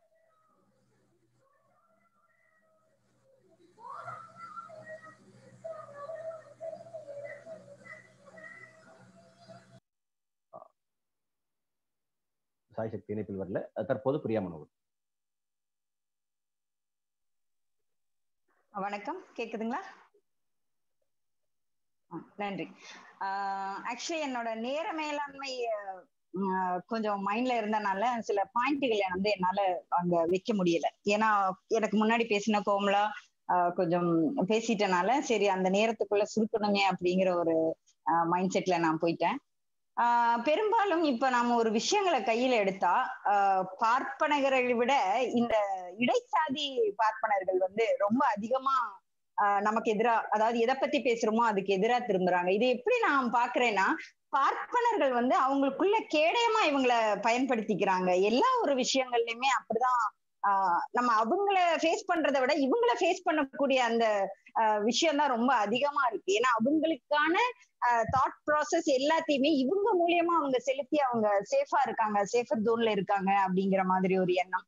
ஆஹ் அதனால அதை ரொம்ப முக்கியமா நான் சொல்ல விரும்பினது இந்த இடைமாற்றம் வராமல் ஒரு மாற்றம் அப்படிங்கிறது வந்து ஆஹ் கொஞ்சம் சாத்தியப்படாத ஒரு விஷயமா தான் இருக்கு. அதனால நம்ம குழுவிலேயே வந்து ஒரு விஷயங்கள் பேச ஆரம்பிக்கிறதுக்கு முன்னாடியே நீங்க வந்து பார்ப்பனர்களை ஏன் சொல்றீங்க அப்படிங்கிற ஒரு விஷயம் இருக்கு. அது ஏன் திரும்பவே மாட்டேங்கிறாங்க? திரும்பி ஏன் தன்னை அந்த கேள்விகளை கேட்டுக்க மாட்டேங்கிறாங்கிற ஒரு எண்ணம் எனக்கு இருக்கு.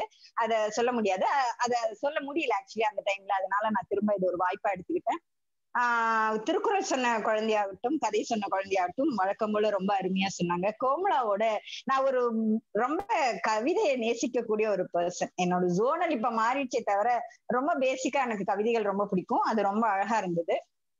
அடுத்து சங்கரி பெருமாள். சங்கரி பெருமாள் வந்து குழந்தை வளர்ப்பு அதுல நிறைய சொல்லியிருக்காங்க. ஆஹ் நானும் அந்த கட்டத்தை சேர்ந்த குழந்தைகளை வச்சுட்டு இருக்கனால நிறைய விஷயங்கள் தெரிஞ்சுக்க யூஸ்ஃபுல்லா இருந்தது. அடுத்ததா ஜெயமோகன். ஜெயமோகன் வந்து என்ன இன்னொரு ஜோனல்ல எப்பவுமே மண்டையில கொட்டிட்டு இருக்க மாதிரியே இருக்கும். நீங்க இதை பத்தி பேச மாட்டேங்கிறீங்க அப்படிங்கிற ஒரு தாட் அவ எடுக்கிற அந்த புக் எல்லாமே என்ன அப்பப்போ ஒரு பிஞ்ச் பண்ற மாதிரியே இருக்கும். நிச்சயமா அதை கையில் எடுக்கணும். அப்புறமா இந்த கவிதை ஷாய் சக்தியோட கவிதை அது எப்பவுமே ஒரு ஸ்பெஷலா இருக்கும். எனக்கு அது எந்த விஷயங்கள் அவங்க எடுத்தாலும் அதுல ஒரு விஷயங்கள் ஞாபகம் வரும். என்னோட வண்டி எடுத்துட்டு நான் போயிட்டு இருக்கேன் போயிட்டு இருக்கும்போது இந்த பம்பாய் மிட்டாய்ன்னு சொல்லுவோம் இல்லையா? அப்ப அந்த அந்த அந்த ஆளை நான் பாக்குறேன் ரொம்ப வருஷம் கழிச்சு அவரை பாக்குறேன். அவரை பார்த்துட்டு நான் ஒரு ஒரு அரை கிலோமீட்டர் போயிட்டேன். ஆனாலும் எனக்கு வந்து என் மனசுக்குள்ள அந்த சின்ன வயசுல இருந்த அந்த உந்துதல் வந்து என்ன ஏன் இப்ப கட்டிக்கிட்டா என்ன வாட்ச் அப்படின்னு சொல்லிட்டு திரும்பவும் நான் வந்து வண்டியை திருப்பிட்டு வந்து அவர்கிட்ட அந்த வாட்ச் கட்டிட்டு கன்னத்துல கொஞ்சமா எடுத்து இப்படி வைப்பாங்க. கடைசியில. அது வந்து நான் ரொம்ப ரசிச்சேன் என்னோட குழந்தை நாட்கள்ல. அது திரும்பவுமே அவர் ஒண்ணு வாங்கி அவர் வச்சாரு. ரொம்ப வயசானவர். அவ்வளவு ஹாப்பியா இருந்தது.